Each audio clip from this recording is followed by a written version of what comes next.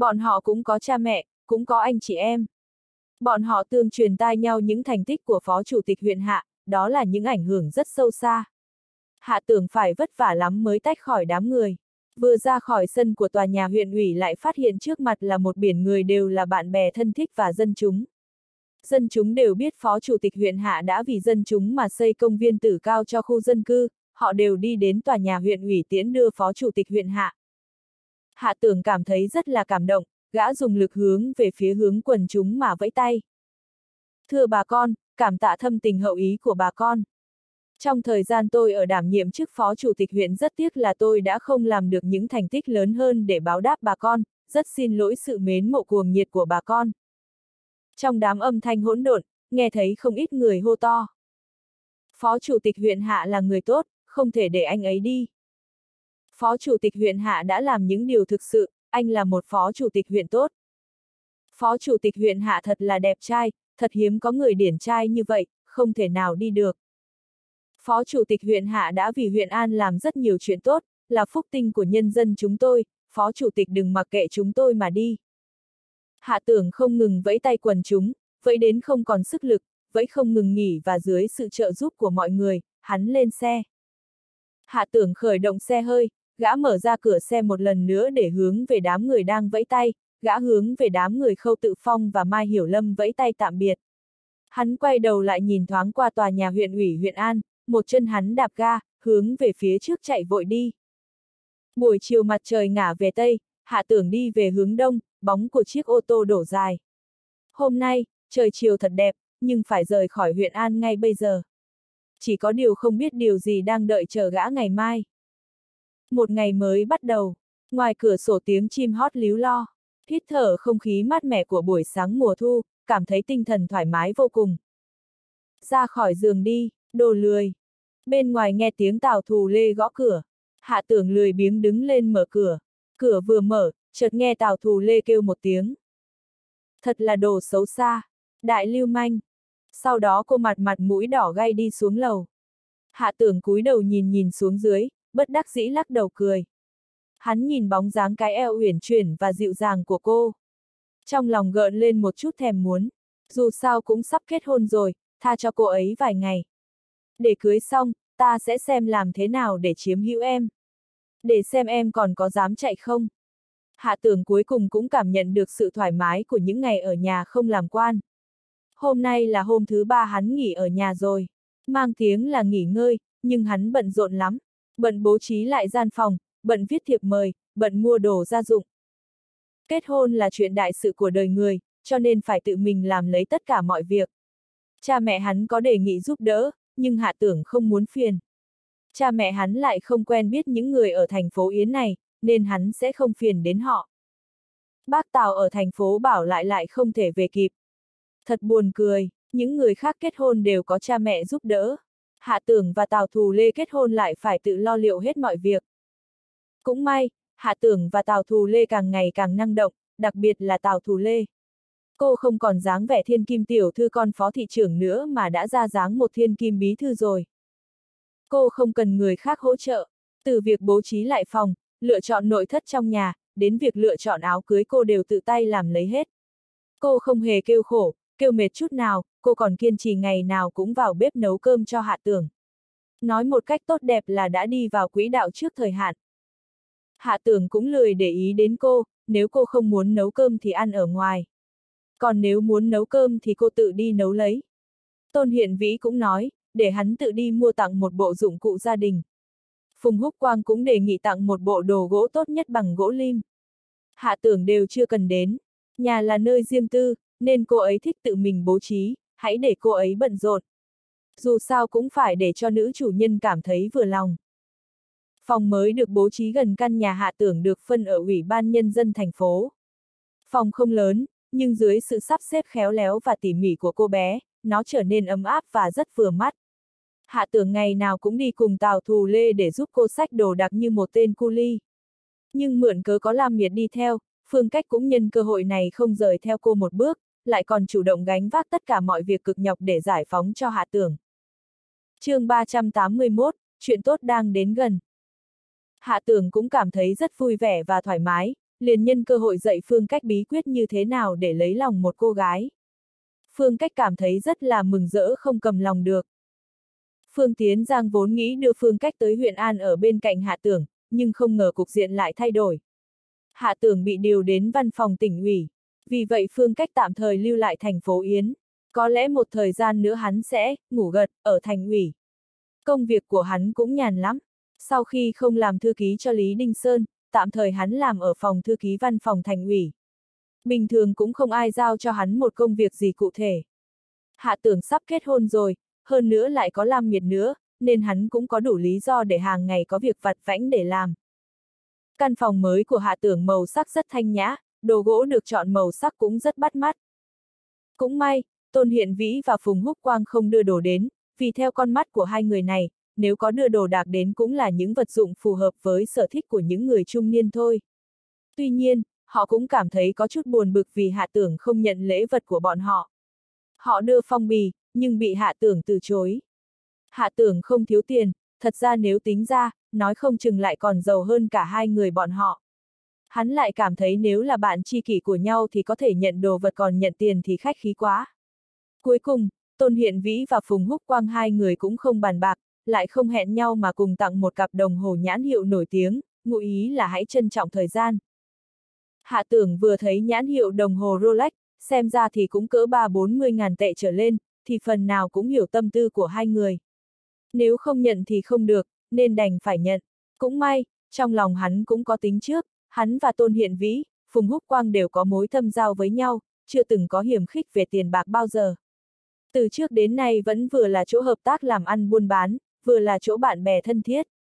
Một cặp đồng hồ đeo tay cũng coi như là một lễ vật giao lưu giữa bạn bè với nhau. Một lúc có tận hai cặp đồng hồ, Hạ Tưởng liền tính đem tặng một cặp cho Hạ An để làm lễ vật kết hôn của họ. Lý Hồng Giang cũng đưa lễ vật đến. Đừng nghĩ Lý Hồng Giang tính tình cầu thả, thực ra cũng suy nghĩ chu đáo.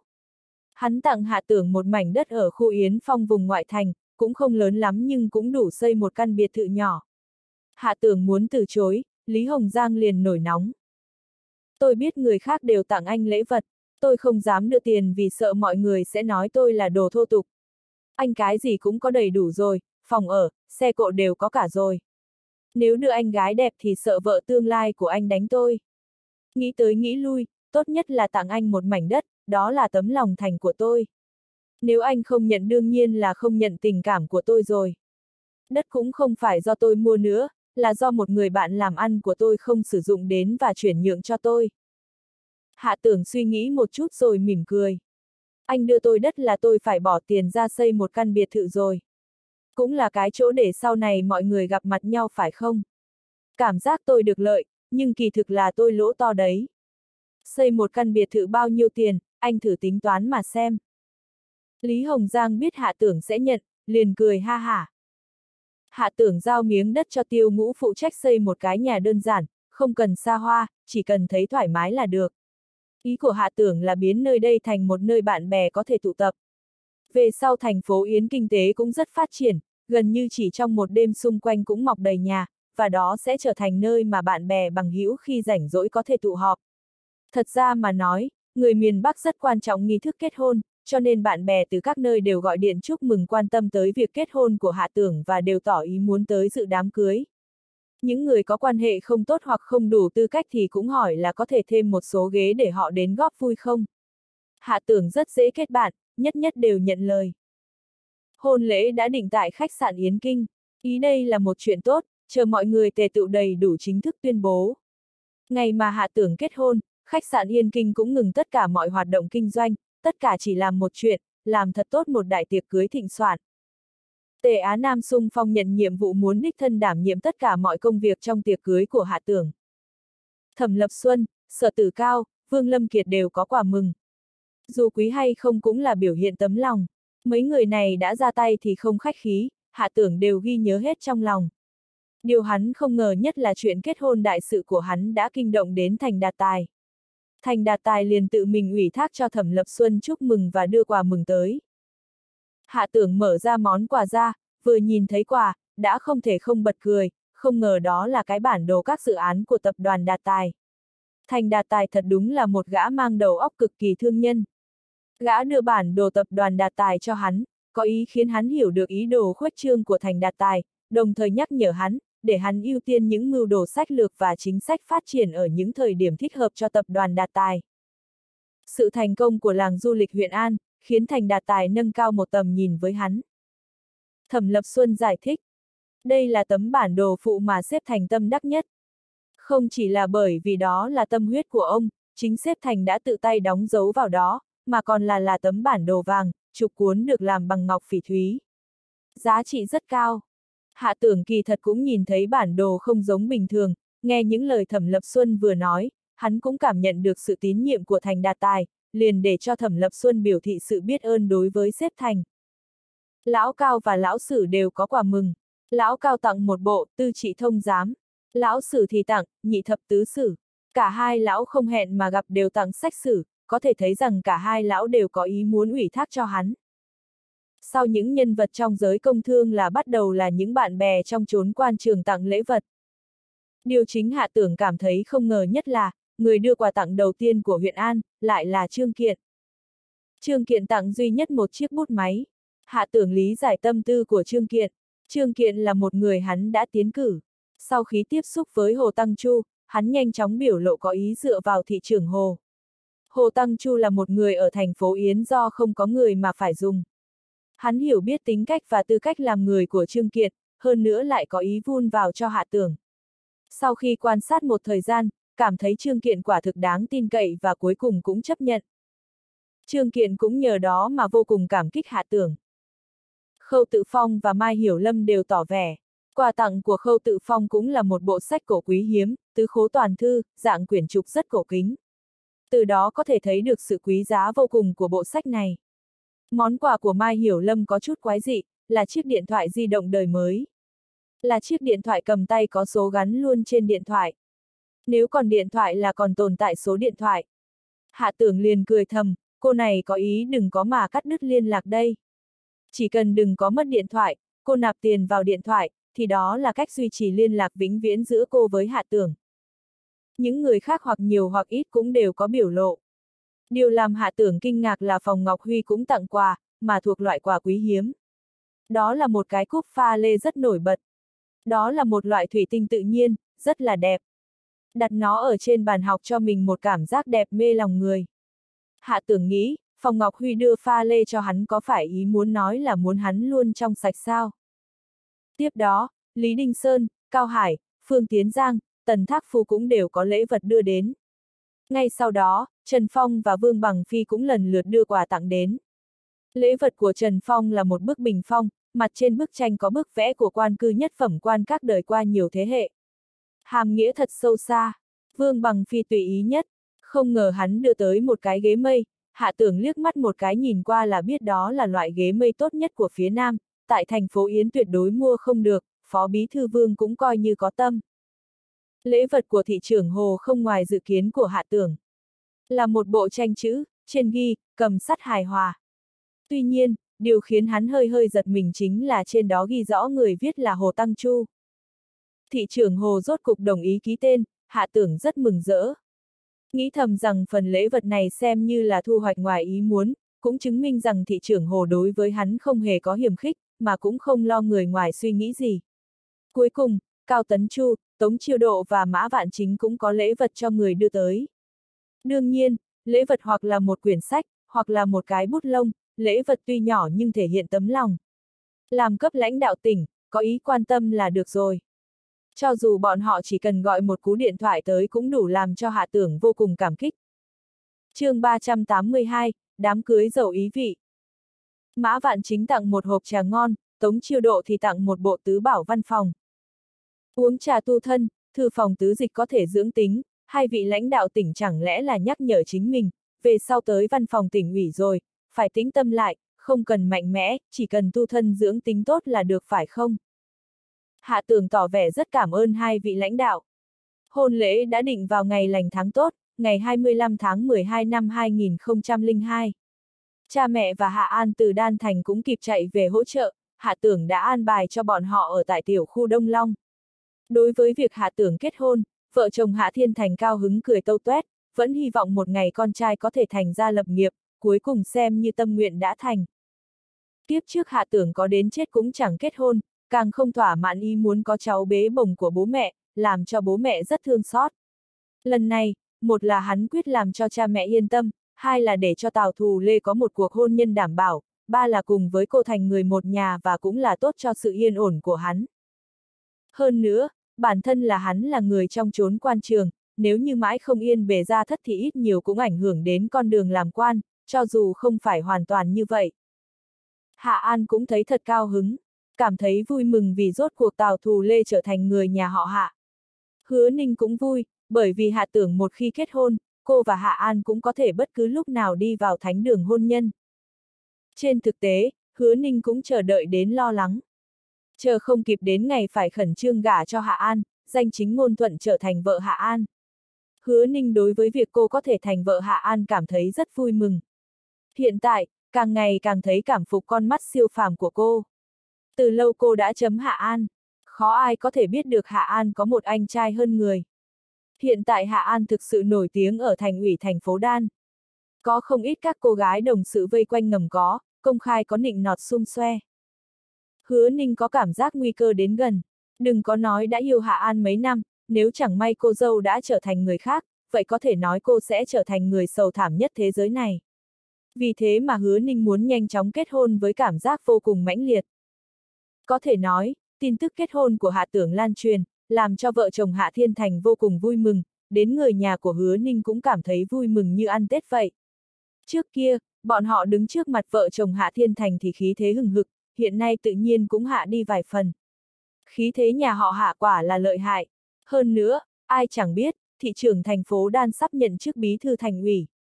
Hạ An lại lại là người tâm phúc của thị trưởng, đương nhiên sẽ nước lên thì thuyền lên. Hạ Thiên Thành trước kia nói, Hạ Tưởng không kết hôn thì Hạ An dù giàu dĩ cũng phải chờ đợi. Hiện tại, Hạ Tưởng sẽ kết hôn, hứa ninh bất cứ lúc nào có thể gả cho nhà họ Hạ. Sao không làm cho bọn họ mừng rỡ phát điên? Hạ Tưởng không biết việc hôn nhân đại sự của hắn còn có tác động xa đến tâm tư của người nhà hứa ninh ở thành phố Đan. Tào Vĩnh Quốc tuy là bí thư thành ủy thành phố Bảo nhưng chuyện kết hôn của con gái là đại sự, nên cũng trở về trước hai ngày. Việc kết hôn đại sự của con gái bí thư thành ủy, rất nhiều người ở thành phố Bảo đều hỏi thăm địa điểm hôn lễ, chuẩn bị đến lúc đó thì lên thượng lễ, cũng là thừa cơ lấy lòng bí thư thành ủy một chút. Tòa nhà thành ủy thành phố Bảo đều biết rằng, bí thư Tào bình thường rất giản dị, gần gũi, nhưng khi cần làm việc gì, chỉ cần phù hợp với nội quy, tiêu chuẩn dù có không đủ điều kiện, hắn cũng sẽ nới rộng tiêu chuẩn cho. Nhưng chỉ có điều, hắn chưa bao giờ nhận lễ vật. Rất nhiều nhân viên cấp dưới và đồng nghiệp vì nể phục bí thư Tào, liền chuẩn bị đến thành phố Yến chúc mừng. Tào Vĩnh Quốc cùng biết rằng trong quan trường, mọi người thường xuyên lui tới không thể tránh né được, cũng không thể chống đỡ được sự nhiệt tình của mọi người, bèn nói ra địa điểm kết hôn. Nhưng có một điểm, không nhận tiền. Phàm tất cả những người mang tiền đến đều không được bước chân vào cửa. Tuy là nói như vậy, nhưng tâm tư của mỗi người lại khác nhau. Không ít người nghĩ rằng Tào Bí Thư chẳng qua làm bộ làm tịch vậy thôi. Con gái nhà quan nào khi gả chồng, hay con trai nhà quan nào đi lấy vợ mà không nhận tiền biếu chứ? Nếu không nhận tiền biếu, chẳng lẽ trả lại tiền về sao? Ngày cưới tới gần, nhà họ Tào và nhà họ Hạ hai nhà ngồi lại với nhau thảo luận chi tiết. Sau khi bàn bạc thỏa đáng xong, Hạ Tưởng liền đi theo Tào Vĩnh Quốc vào thư phòng. Hạ Tưởng nghĩ bác Tào sẽ chỉ giáo vài câu thấm thía. Không ngờ, bác Tào chỉ cười cười, vẻ mặt bất đắc dĩ nói. Khẳng định là sẽ không ít người tặng tiền biếu, nhận sẽ không tốt. Có biếu sẽ có hiểm nghi tặng tiền, không nhận cũng không được. Cùng trong quan trường với nhau, không thể không giáp mặt mọi người được, tiểu hạ, cháu nói làm sao bây giờ. Hạ tưởng mỉm cười. Bác Tào không cần lo lắng.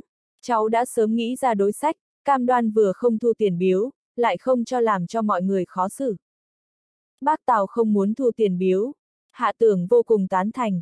Người làm quan không thể gặp, tuy nhiên rằng nói là thu tiền biếu là có thể kiếm một khoản.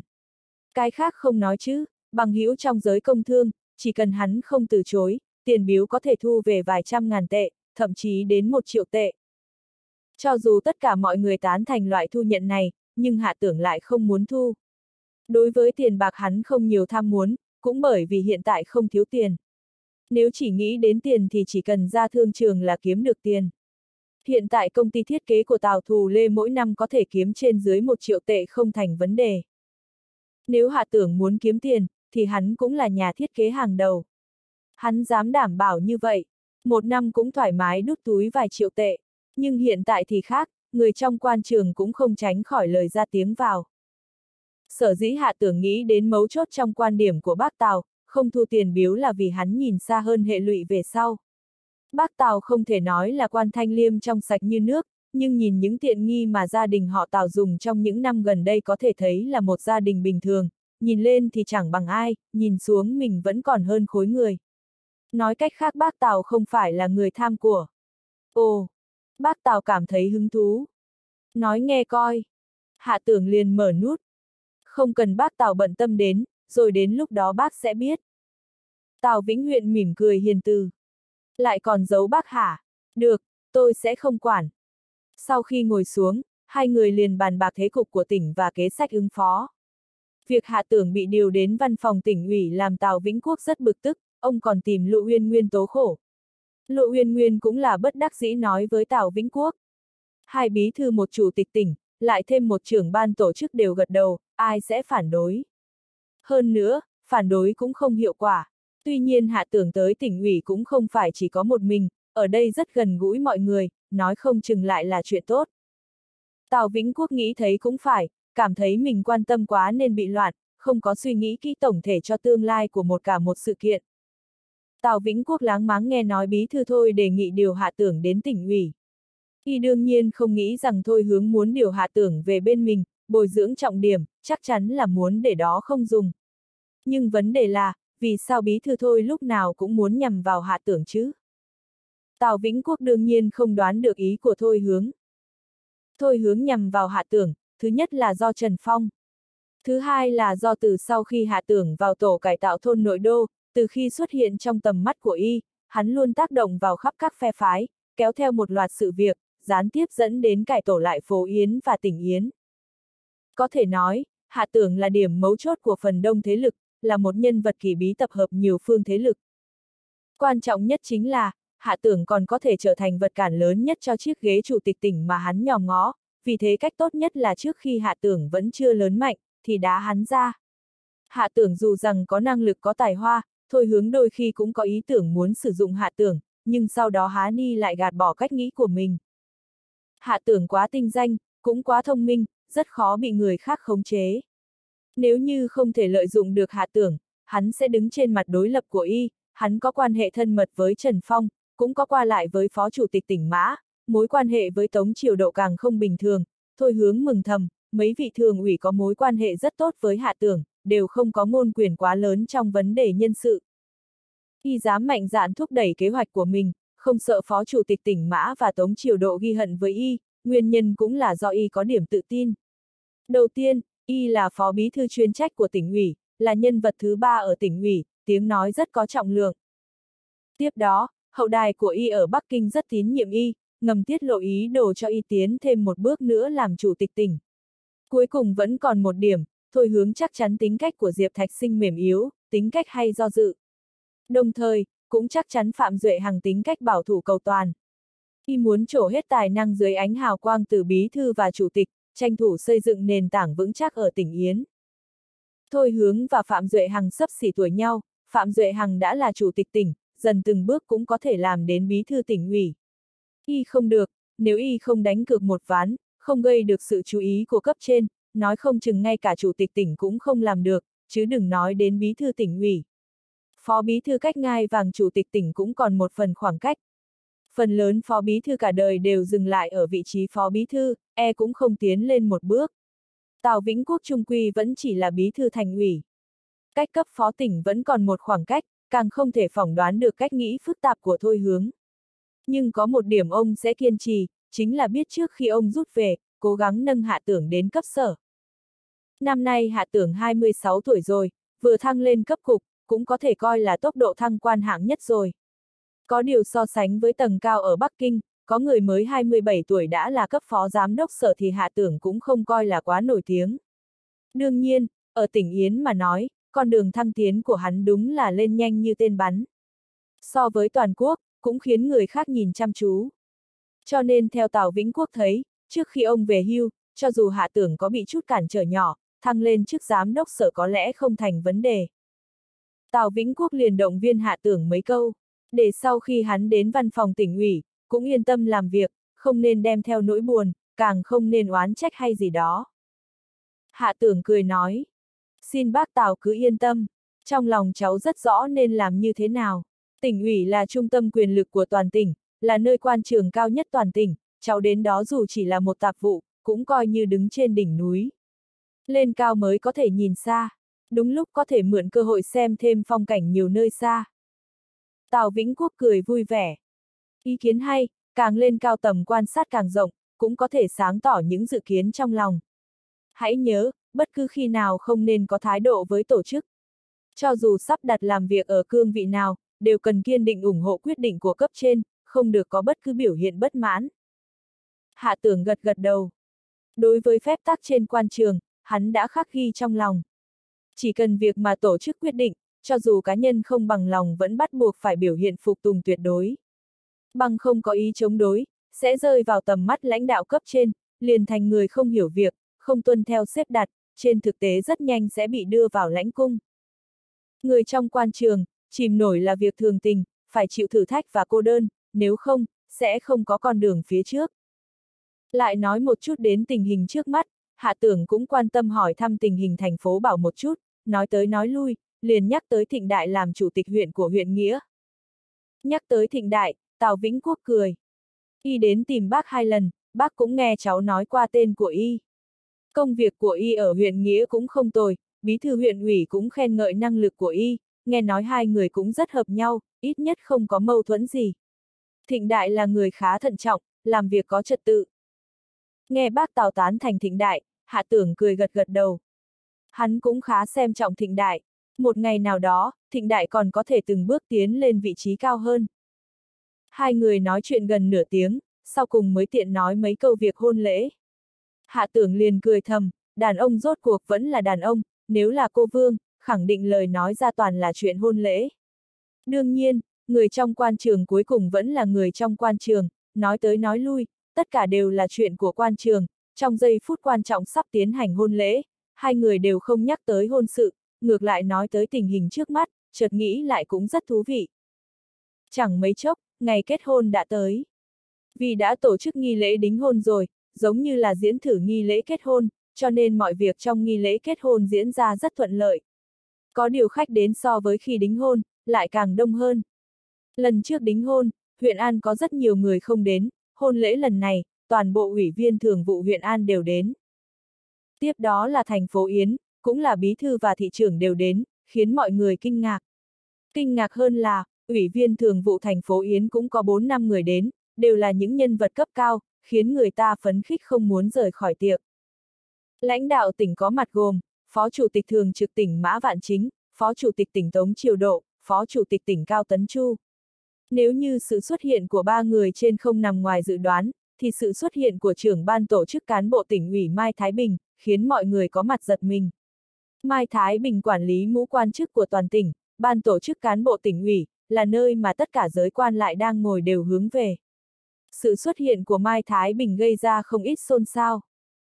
Mã Vạn Chính và Tống Triều Độ nhìn nhau cười, đối với sự xuất hiện ngoài ý muốn của Mai Thái Bình, cũng cảm thấy kinh ngạc, đồng thời rất tò mò đối với các mối quan hệ bí mật của Hạ Tưởng.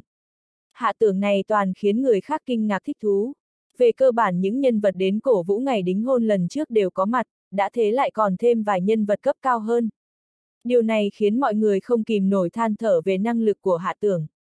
Trong thời gian ngắn, lại có thể thiết lập mối quan hệ tốt đẹp với vài vị quan cấp cao, Hạ Tưởng này rốt cuộc có cái gì tài giỏi hơn người, khiến các vị quan cao ở tỉnh thành đều xem trọng chứ. Rất nhiều người vừa khâm phục vừa hiếu kỳ đối với Hạ Tưởng, và còn có chút ghen tị trong lòng. Đương nhiên, cũng có rất nhiều người ước ao với may mắn của Hạ Tưởng, cưới được người vợ như hoa như ngọc. Hôm nay Tào Thù Lê mặc chiếc váy cưới trắng tinh, trang điểm đẹp như tiên, đứng ở cửa khách sạn đón khách, lôi cuốn rất nhiều cặp mắt. Hai bên má cô ửng hồng, đôi mắt như nước, giống như đóa hoa nở rộ lộng lẫy, đang hiện ra thời khắc đẹp nhất của đời người con gái. Khách sạn Yên Kinh vì chuẩn bị cho hôn lễ, không chỉ toàn bộ trong ngoài tòa nhà đều lau chùi sạch sẽ, còn đặc biệt cắm một nghìn bông hồng ở bãi đỗ xe. Tất cả cây hoa đều được trồng lại, có thể nói là hao tổn tâm huyết. Với lại không chỉ nhà hàng tạm ngừng kinh doanh, ngay cả toàn bộ tòa nhà đều dừng kinh doanh một ngày, thể hiện thành tâm thành ý, khiến hạ tưởng thấy cảm động trong lòng. Hạ tưởng mặc âu phục, tuy không quen lắm, nhưng cũng không thể không diện một chút, tóc vuốt keo, toàn thân đều hiện lên sự phấn khởi, trông bảnh bao hơn nhiều. Tào thù lê cũng phải nhìn mấy lần, trêu hắn. Cũng được, không quá mất mặt, đứng cùng em, người khác sẽ không nghĩ là phù rể. Hạ tưởng lẽ thẳng khí hùng liền nói. Nói gì thế, trước kia anh làm phù rể, mọi người đều nghĩ anh là chú rể. Từ đó trở đi không còn ai mời anh làm phù rể nữa, bởi vì anh hào hoa phong nhã làm cho chú rể xấu hổ, làm cho cô dâu suy nghĩ vẩn vơ. Xí, thổi kèn khen lấy. Tào thù lê kéo tay hạ tưởng nói nhỏ vào tai hắn. Trên thế giới chính là vì có quá nhiều người tự yêu mình giống như anh, mới có cái gương, để cho các anh soi rõ gương mặt thực của mình.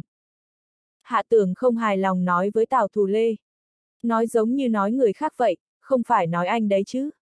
Đã làm vợ thì mọi việc nên coi chồng làm chuẩn, lấy chồng theo chồng, lấy chó theo chó, lấy cái đòn gánh em có thể gánh qua. Khụ khụ, đều đã kết hôn rồi nói ít vài câu giữ thể diện một chút, không nên tán tỉnh ve vãn ở trước cửa. Nghiêm tiểu thì xuất hiện.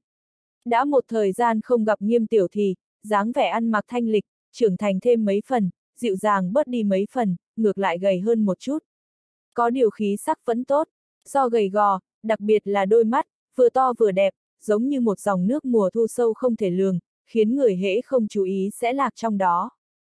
Nhận được Phó Chủ tịch huyện Hạ chỉ bảo, đồ trang điểm của tôi buôn bán vừa mới chạy, có một chút khởi sắc, thị trường tương lai quả thật rất tốt, so với làm bất động sản thì thoải mái hơn nhiều. Thật lòng cảm ơn anh, Phó Chủ tịch huyện Hạ. Cô lại nhìn Tào Thù Lê, nói, trên thế giới con gái sinh rất nhiều, nhưng hợp với anh nhất vẫn là em đó, Tào muội muội. Quà tặng của nghiêm tiểu thì là một bộ trang điểm nhập khẩu. Điều khiến hạ tưởng thấy lúng túng là, hắn tưởng đồ trang điểm để tặng Tào Thù Lê, không ngờ bên trong vẫn còn một bộ chuyên dùng cho nam. Bạn bè không thân của giới công thương và quan trường đến cũng bắt đầu xuất hiện vấn đề tiền biếu. Hạ tưởng bố trí một người chuyên nhận tiền biếu, bên cạnh còn có một người giám sát. Người nhận tiền biếu là Phùng Húc Quang, người giám sát bên cạnh là Cao Hải. Người biết Cao Hải, thấy ông là phó thị trưởng vậy mà tự mình đứng ở một bên, mọi người đều giật mình, do dự không biết nên hay không nên rút tiền ra. Cao Hải liền cười và nói. Nhiều ít không giới hạn, tất cả đều là tấm lòng, có lòng quyên góp, ích nước lợi dân. Mặc dù không hiểu chuyện gì cả, nhưng phó thị trưởng nói, mọi người đều đưa tiền biếu đã chuẩn bị từ trước, tất cả đều đưa lên.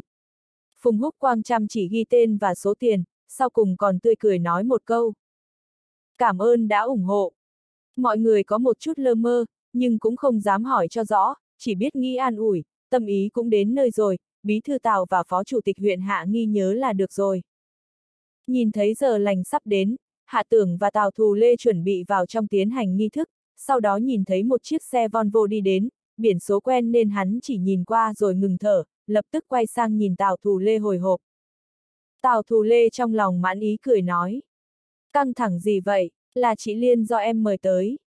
Liên nhược hàm chậm rãi từ trên xe bước xuống, dung mạo quyến rũ, cử chỉ dịu dàng, mặc bộ váy dài màu xanh làm tôn lên như hoa, đẹp khiến người khác nghẹt thở. Tào Thù Lê đi đến nói nhỏ. Có phải là đặc biệt nhớ xã hội phong kiến cũ không? Hạ tưởng giả vờ không hiểu. Nghĩa là gì? Xã hội đang tiến bộ, thời đại đang phát triển, nhớ lại điều gì ở xã hội phong kiến cũ? Lẽ nào lại như vậy? Ở xã hội phong kiến cũ, một người đàn ông có thể đồng thời cưới hai vợ.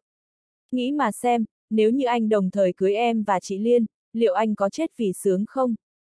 Hàm răng trắng muốt của Tào Thù Lê cắn nhẹ lưỡi. Nếu như Liên Nhược Hạm và cô đứng cùng nhau, đúng là như một đóa sen gộp lại, hai đóa hoa nở, hai chị em cùng tranh sắc. Hạ tưởng không dám nghĩ đến tình cảnh ướt át và nóng bỏng mà Tào Thù Lê vừa vẽ. Nếu như quay về xã hội cũ có thể lấy Tào Thù Lê và Liên Nhược Hạm. Để 100 người đàn ông lựa chọn, sẽ có 101 người bỏ phiếu cho xã hội phong kiến cũ. Đương nhiên, Hạ tưởng cũng biết rõ Tào Thù Lê không phải là cố ý khích lệ hắn, mà là trong lòng cô hiểu rõ giữa hắn và Liên Nhược Hạm rốt cuộc có những gì, thậm chí có thể Liên Nhược Hạm còn nói cho cô biết tất cả. Hạ tưởng cảm thấy sau lưng toát mồ hôi vì những bí mật giữa phụ nữ với nhau. Không được, nhất định tìm thời cơ để một người thật thà trong số hai người giải thích rõ mọi việc, rốt cuộc giữa họ có bao nhiêu bí mật giấu không cho mình biết. Liên Nhược Hạm và Tào Thù lê tay nắm tay nói cười mấy câu, thân mật như chị em, khiến Hạ tưởng thầm cảm thán. Trong lòng nghĩ con gái có lúc đúng là loài vật không thể tưởng tượng nổi. Hắn tự nhận thấy mình hiểu biết về phụ nữ hơn nhưng người đàn ông bình thường. Nhưng đời này kiếp này gặp phải Tào Thù Lê và Liên Nhược Hạm vẫn khiến hắn không thể hiểu giữa hai người con gái tại sao lại có thể tôn trọng nhau như chị em, rất là thân mật. Có điều hai người quan hệ tốt như vậy còn hơn cứ hễ gặp mặt là trừng mắt, hạ tưởng thì làm người hạnh phúc, đúng một bên xem. Liên Nhược Hạm đến trước hạ tưởng, cười rất tươi. Hừ, rất đẹp trai, rất vừa mắt, rất có hứng thú, càng ngày càng có mùi đàn ông. Cô bỗng nhiên lại hạ thấp giọng.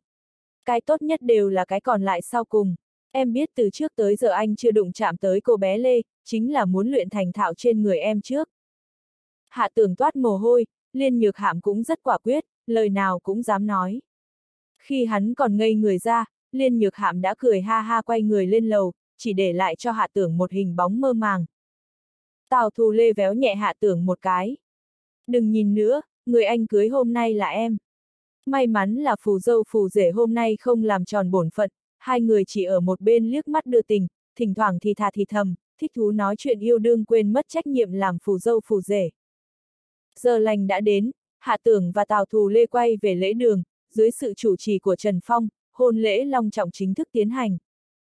Sau khi xong nghi thức, Hạ Tưởng và Tào Thù Lê lần lượt đi chúc rượu, bầu không khí cực kỳ hưng phấn. Mọi người đều xúc động trước đôi trai tài gái sắc, không kìm nổi hâm mộ vì mối quan hệ rộng rãi của Hạ Tưởng và Tào Vĩnh Quốc. Xem xem người ta kìa, 26 tuổi đã ở cấp cục trưởng, còn một người hơn 50 tuổi ở cấp giám đốc sở, đều là tương lai tươi sáng.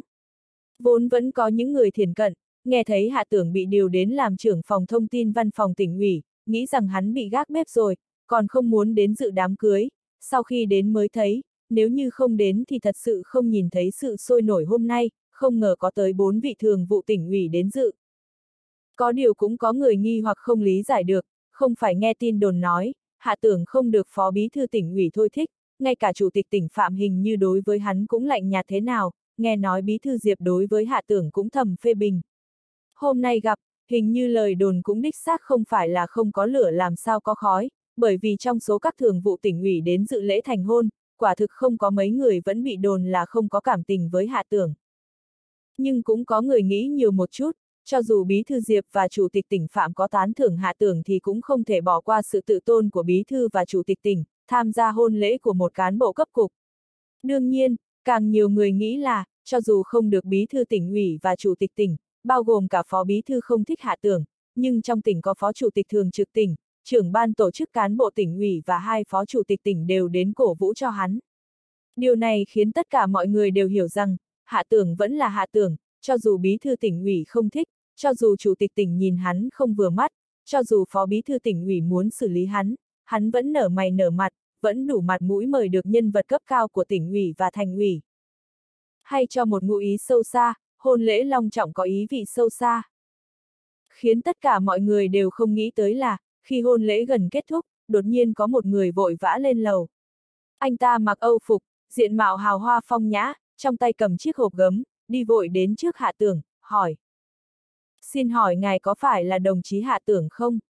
Hạ tưởng không biết người tới là ai, nhưng từ ánh mắt kinh ngạc của mọi người xung quanh có thể biết, y nhất định là người có lai lịch. Mã Vạn Chính và Tống Triều Độ nhìn nhau, hai người đều ngạc nhiên trong lòng, Trương Chất Tân, y tới làm gì? Trương Chất Tân trong tay cầm hộp gấm hướng lên hàng đầu nói. Tôi tên Trương Chất Tân là thư ký của Chủ tịch Phạm, nhận ủy thác của Chủ tịch Phạm, đặc biệt tặng món quà nhỏ trên.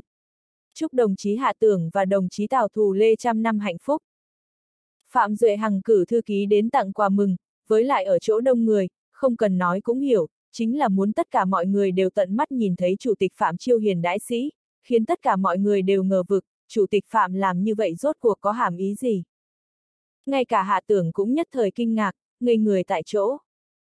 Hắn tự nhận chưa hề qua lại cùng Phạm Duệ Hằng, Ngoại trừ khi Phạm Tranh còn ở bất động sản lĩnh tiên, khi tỉnh tiến hành cuộc gặp mặt, hắn và Phạm Duệ Hằng gặp mặt nhau một lần, từ đó không hề gặp lại và liên hệ gì. Hơn nữa từ sau khi Phạm Duệ Hằng đảm nhận chức chủ tịch tỉnh, Hạ Tưởng cũng hiểu rõ trong lòng, sợ rằng vì sự kiện Cao Thành Tùng, ông ta sẽ không có ấn tượng tốt gì với chính bản thân mình. Sự thật đã chứng minh, trong việc phê duyệt tài chính cho đường Sơn Thủy, Phạm Duệ Hằng đúng là có thái độ chống đỡ, mới chuyển tiền có một lần đã tạm ngừng, hơn nữa hắn cũng nghe đồn là Đàm Long và Phạm Duệ Hằng gần đây thường qua lại, ở tỉnh Phạm Duệ Hằng và Thôi Hướng cũng có quan điểm giống nhau. Nói cách khác, Chủ tịch tỉnh Phạm đối với mình quả thật là có ấn tượng không tốt, cho dù sẽ không cố tình chèn ép giống như Thôi Hướng, nhưng khi có chuyện bất lợi cho mình, ông ta cũng sẽ có thái độ đồng ý và ủng hộ. Thế mà hôm nay Chủ tịch tỉnh Phạm lại diễn kịch như vậy. Hạ tưởng nhận hộp gấm, cảm thấy nhẹ bay không có tí trọng lượng gì, nói vậy chắc bên trong cũng không phải lễ vật gì quý trọng lắm. Nhưng chủ tịch tỉnh đã bảo thư ký tự mình đến tặng lễ, cho dù là một cái lông vũ cũng mang hàm ý sâu xa. Điều này cũng giống như ý ở ngoài lời, quà tặng của chủ tịch tỉnh không phải ở món quà, mà lại tặng quà ngay trước khi hôn lễ, không hiểu là muốn truyền tới thông tin gì. Tất cả mọi người nhất thời đều kinh ngạc, nghĩ không biết chủ tịch tỉnh Phạm tại sao lại có hành động như vậy, có ý gì sâu xa và muốn ám chỉ điều gì. Trong quan trường không có việc nhỏ, huống chi lại là đích thân thư ký chủ tịch tỉnh tới, cũng không khác gì bản thân chủ tịch tỉnh cũng tới đây, trọng lượng cũng không hề kém. Ngay cả Tống Chiêu Độ cũng không hiểu rõ rốt cuộc Phạm Duệ Hằng có ý gì, có phải muốn lôi kéo hạ tưởng không? Hay là mượn cơ hội để ám chỉ thường vụ tỉnh ủy đang ngồi ở đây rằng, ông ta hiểu rõ những bước đi của mọi người trong lòng bàn tay. Hoặc là chủ tịch tỉnh Phạm chẳng qua là chợt có ý nghĩ, muốn phái thư ký tận mắt nhìn thấy xem những ai sẽ tham dự hôn lễ của hạ tưởng chương 383, ai mới là chim sẻ? Tống Chiêu Độ cũng hiểu một chút về Phạm Duệ Hằng. Phạm Duệ Hằng sẽ không làm cái chuyện nhàm chán đó là phái người tới chỉ để xem ai tới dự hôn lễ. Thân là người đứng đầu tỉnh, ngay cả một thủ hạ tin tưởng cũng không có, chính là biểu hiện của việc không có năng lực. Hành động này của Phạm Duệ Hằng, chỉ sợ lại vừa nâng cao thể diện của hạ, cũng lại muốn làm cho người khác phải suy nghĩ đến mê muội. Ngay từ việc ông ta đưa tới hộp gấm đã làm người ta phải suy nghĩ đến mê muội, hạ tưởng chắc chắn sẽ không vô tri đến mức mở hộp gấm ra ngay tại chỗ. Nhìn chủ tịch tỉnh đưa tới lễ vật, lại không được mở ra, khiến tất cả mọi người đều tò mò trong hộp gấm ấy có cái gì, muốn mượn vật trong hộp lễ vật để phán đoán xem rốt cuộc chủ tịch tỉnh Phạm có dụng ý gì. Mà hạ tưởng lại không ngốc, biết cái gì nên nói cái gì không nên nói, mà càng không nói, càng làm sự nghi ngờ trong lòng mọi người ngày càng lớn. Lại càng có thể khiến người ta nghi ngờ, làm cho người ta không biết là mình đang nghĩ gì. Chủ tịch tỉnh Phạm cũng không đơn giản, dùng một chiêu rất hay. Hạ tưởng lại không nghĩ giống như Tống Chiêu Độ, trực giác mách bảo cho hắn rằng, Phạm Duệ Hằng làm việc này rất có thể đây mới chỉ là đòn gió mà thôi, muốn cho Thôi Hướng và Diệp Thạch Sinh nhìn thấy, làm cho bọn họ không hiểu được thái độ thật sự mà Chủ tịch tỉnh Phạm đối với mình là thế nào. Mặc kệ là như thế nào, nghi ngờ không có căn cứ thì cứ nghi ngờ vô căn cứ đi, khó hiểu thì cứ khó hiểu đi. Hạ tưởng vẫn nên cung kính mà tiếp nhận hộp quà, khách khí nói. Cảm ơn Chủ tịch tỉnh Phạm, cảm ơn thư ký Trương. Nói không nhiều, chỉ điểm đến là thôi. Trương chất tân cười ha hả, thân mật bắt tay mà vỗ vỗ vai hạ Tưởng. Đừng khách khí, chủ tịch tỉnh Phạm nói, nếu tiểu hạ khách khí thì đừng tặng quà cho cậu ta nữa, ha ha. Lại là một ý không thể hiểu được, hạ tưởng không khỏi cười khổ, nhìn mọi người xung quanh đang có nhìn mình với ánh mắt thật phức tạp, nghi ngờ, nghĩ thầm rằng không thể không ngăn cái miệng của Trương Chất Tân lại được, nhưng chẳng lẽ không cho gã nói chuyện. Hắn đành phải khách khí nói. Thư ký Trương đã ăn cơm chưa? Tôi bảo khách sạn làm cho anh chút đồ ăn nhé, lát nữa tôi sẽ uống hai chén với anh, anh cũng đã vất vả rồi. Trương Chất Tân khoát tay, rộng lượng nói.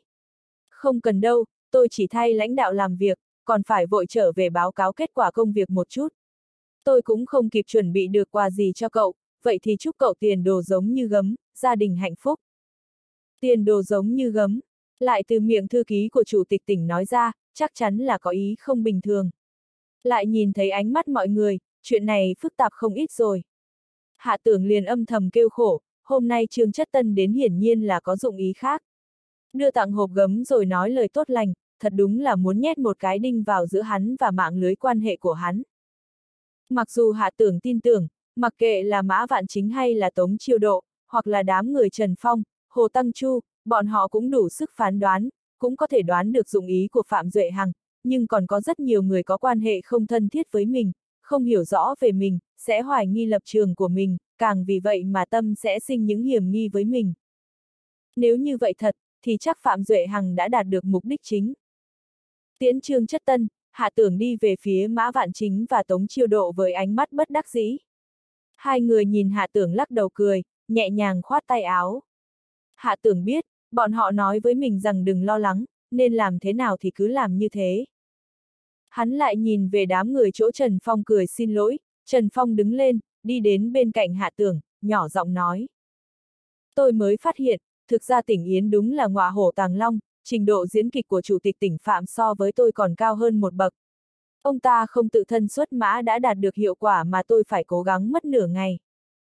Hạ tưởng mỉm cười, lời nói của Trần Phong như cho hắn ăn một viên thuốc an thần. Ít nhất trong lòng hắn biết, những người có quan hệ thân thiết nhất với hắn sẽ không vì vậy mà tin mình sẽ đứng về phía Phạm Duệ Hằng. Nếu hạ tưởng nông cạn như vậy thì không phải là hạ tưởng. Hộp gấm được giao cho phương cách bảo quản, mặt trên còn có một cái khóa rất tinh xảo. Tuy rằng trong lòng phương cách tò mò, cũng không dám mở ra ở ngay trước mặt mọi người. Về cơ bản hôn lễ được cử hành hết sức thuận lợi, cuối cùng mọi người ra về. Bỗng nhiên có một bước chân ồn ào truyền đến, có một gã quân nhân rất cao ở dưới lầu chạy tới, gã đi tới trước mặt hạ tưởng, chào theo nghi thức quân đội một tiếng, xin chào, rồi hỏi. Xin hỏi anh có phải là đồng chí hạ tưởng không? Hạ tưởng buồn bực, mình chưa bao giờ quen biết bộ đội, như thế nào lại có một quân nhân xuất hiện? Hắn khẽ gật đầu, nói. Chính là tôi, xin hỏi có chuyện gì không? Quân nhân lấy tay chỉ xuống dưới lầu đáp. Thủ trưởng có lệnh, đặc biệt chuyển tới một món quà, mời anh kiểm tra và nhận. Nói xong, cũng không chờ hạ tưởng tỏ thái độ gì, xoay người đi xuống lầu, chỉ chớp mắt đã chạy biến mất không thấy. Hạ tưởng sợ ngây người, ai là thủ trưởng, thế nào hôm nay lại có ý như vậy? Lúc này những người có quan hệ xa hơn một chút đã đi rồi, những người ở lại đều có mối quan hệ gần gũi. Trần Phong lại cảm thấy hứng thú. Đi, xem cái đó có gì lạ không? Mã Vạn Chính, Tống Chiêu Độ, Mai Thái Bình cùng với Hồ Tăng Chu, Vương Bằng Phi, Phương Tiến Giang theo sát sau đó, lần lượt xuống lầu.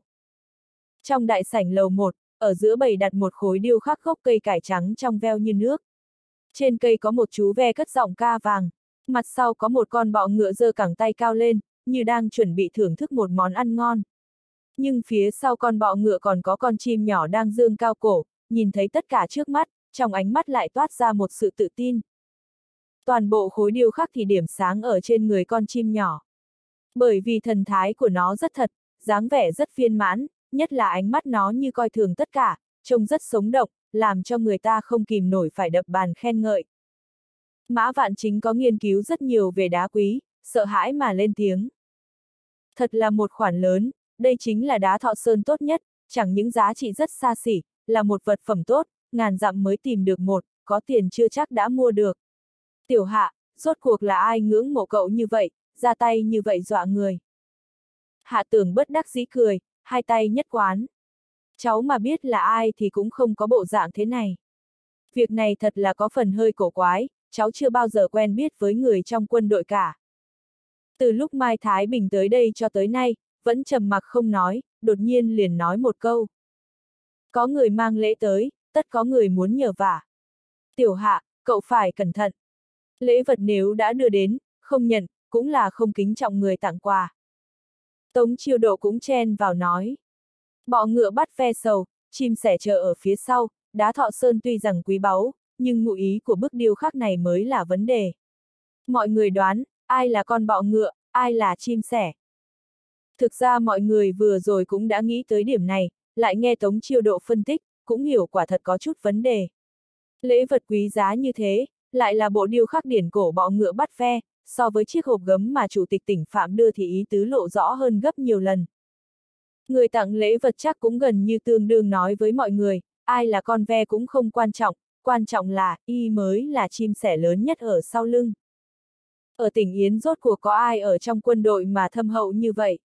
Tất cả mọi người đều trầm tư suy nghĩ, không cần nghĩ mọi người cũng biết, nếu có thể đưa ra một lễ vật quý như vậy, người đó không nhất định phải đang ở quân đội, khẳng định là một cán bộ cấp cao. Chỉ có điều quân khu trong phạm vi tỉnh Yến không phải là quân khu lớn, cho nên quân đội ở tỉnh Yến cũng có ảnh hưởng không lớn ở tỉnh. Đương nhiên tỉnh Yến cũng nổi tiếng với bộ đội tên lửa, nhưng họ cũng không đóng quân tại thành phố Yến, bởi vì đặc thù tính chất của bọn họ là ở trong núi.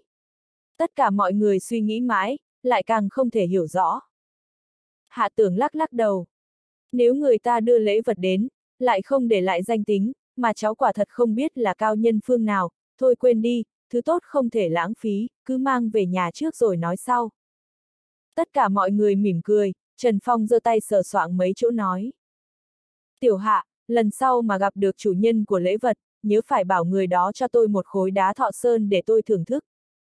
Bí thư Trần lên đã tiếng, hạ tưởng chắc chắn phải nghe lệnh. Tuy nhiên có hai vấn đề khó khăn không nhỏ là, một là chủ nhân giấu mặt, cháu quả thật không biết là ai, hai là sau khi người ấy lộ diện, cháu muốn đề nghị hắn làm, nếu hắn không làm, thì bí thư Trần cũng đừng trách cháu không suy nghĩ. Không trách cậu không có suy nghĩ, cũng phải trách cậu không đủ mặt mũi khiến người ta nể. Trần Phong mỉm cười. Buổi tối, Tào Vĩnh Quốc làm chủ, mời các bằng hữu cùng nhau ăn một bữa tiệc rượu thân mật tại nhà, lúc này các lãnh đạo tỉnh đang ngồi đã ít đi nhiều. Mã Vạn Chính, Tống Chiêu Độ ở lại, Mai Thái Bình và Cao Tấn Chu cáo tử rồi đi. Trần Phong tự nhiên không đi, Hồ Tăng Chu có việc đi trước nên rời đi, Vương Bằng Phi do dự một chút, cũng ở lại, Phương Tiến Giang không cần phải nói, căn bản là không có ý đi đâu, Lý Ninh Sơn và Cao Hải càng không cần phải nói, chắc chắn là sẽ ở lại. Lại nói về Lý Ninh Sơn, từ trước tới giờ ông ta chưa bao giờ có dịp ăn cơm với Tào Vĩnh Quốc. Hôm nay là ngày vui của hạ tưởng, giữa chưa có lúc người ông ta hơi hơi có men say, buổi tối lại buông thả, uống nhiều chén, đến 7-8 phần là có men say rồi, liền không kiềm chế được kích động ở trong lòng. Tiểu hạ đi từng bước một cho tới hôm nay, thật sự là không tồi, lòng tôi hết sức vui mừng. Năm đó chúng ta tới huyện bá, lòng tôi còn bất ổn, cảm giác như bị đi này. Không nghĩ tới, năm đó mạo hiểm bước đi thật là đi đúng rồi. Hôm nay nhân cơ hội này, tôi trịnh trọng nói với tiểu hạ một câu, tiểu hạ, cảm ơn cậu, nếu không phải cậu năm đó ra sức khuyên tôi tham gia con đường chính trị, tôi cũng sẽ không có ngày hôm nay. Lý Đinh Sơn đứng lên, toàn thân hơi đong đưa, Cao Hải vội vàng giúp đỡ, nhỏ giọng nói. Đinh Sơn, ông uống ít thôi, ít nói đi một chút. Lý Đinh Sơn khoát tay. Rượu làm ra thì phải uống, nhưng thật sự đầu óc tôi rất tỉnh táo. Vài năm nay ở trong lòng có chút buồn bực, hôm nay nếu không nói ra, chỉ sợ về sau không tìm ra cơ hội tốt để nói, cho phép tôi khi đầu óc tỉnh táo, giữ lại một chút rè rặt của một văn nhân. Cao Hải ngậm miệng, y không muốn Đinh Sơn thất lễ, dù sao ở ngay trước mặt hai phó chủ tịch tỉnh và một bí thư thành ủy, lo rằng bọn họ sẽ có ấn tượng không tốt.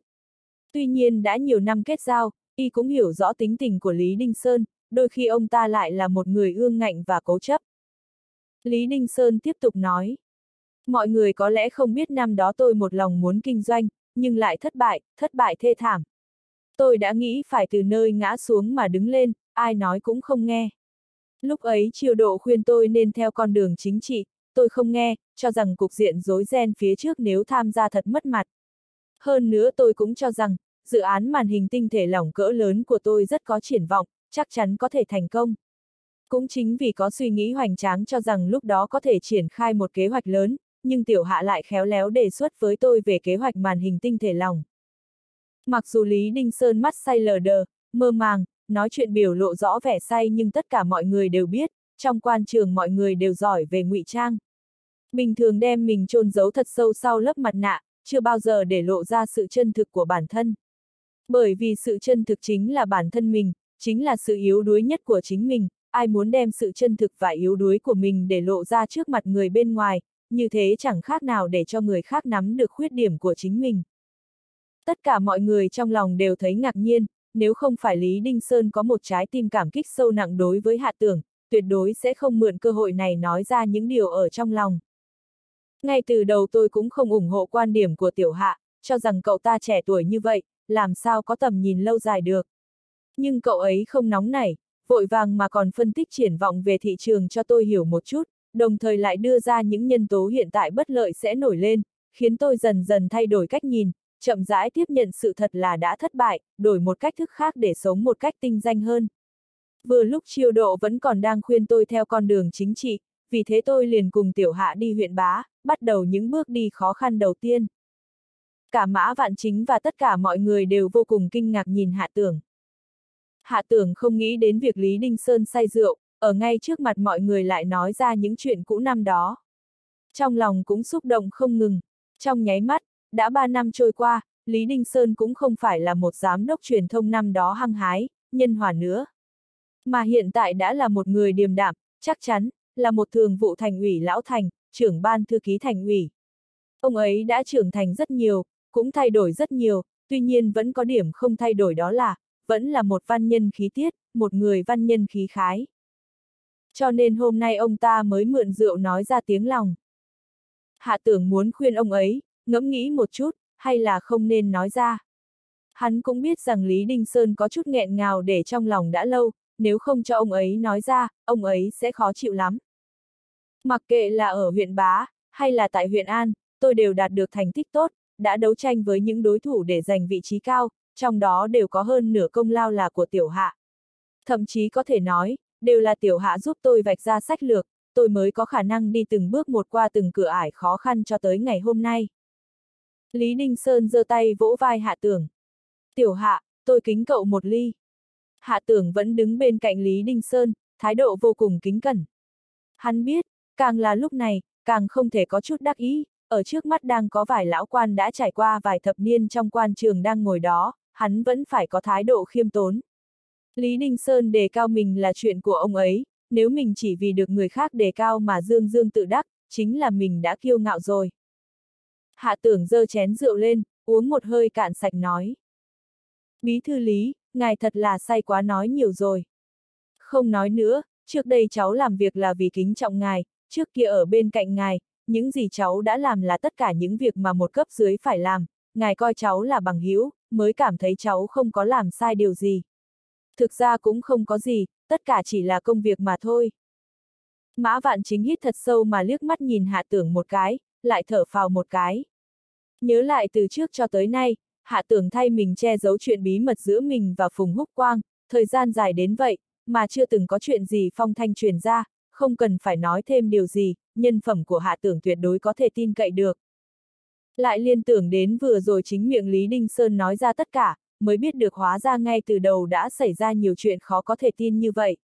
Nói Lý Đinh Sơn là người dẫn đường cho hạ tưởng vào quan trường, còn không đúng bằng nói đúng ra là vì hạ tưởng chu toàn, mới có Lý Đinh Sơn hôm nay. Trên thực tế thậm chí có thể nói là hạ tưởng ở phía sau tạo dựng nên Lý Đinh Sơn ngày hôm nay. Mã Vạn Chính vô cùng kinh ngạc. Mình vẫn cho rằng hạ tưởng dựa vào thế lực, đầu tiên là dựa vào Lý Đinh Sơn, sau đó là dựa vào Trần Phong, lúc này lại là Tống Chiêu Độ, đương nhiên, còn có Tào Vĩnh Quốc, nhưng không nghĩ tới, chính miệng Lý Đinh Sơn nói ra là hạ tưởng ở phía sau giúp ông ta đi tới ngày hôm nay, hơn nữa khi Lý Đinh Sơn mới vào quan trường cũng là lúc phải trải qua một giai đoạn phức tạp.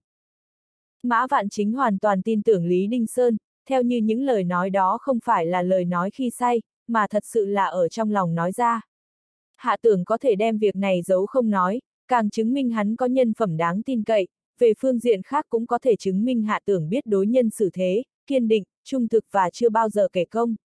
Không kể công là phẩm chất đáng quý của người ở trong quan trường, người nào làm lãnh đạo mà không thích cấp dưới chăm chỉ làm việc chứ. Nhưng một lãnh đạo chân chính, thông minh, thì có ai lại không thích một trợ thủ vừa có năng lực, có tài, khiêm tốn. Hạ tưởng thông minh là ở chỗ đó. Cái gì nên thuộc về hắn thì hắn sẽ tranh thủ. Cái gì không thuộc về hắn, hắn chắc chắn sẽ không nói ra.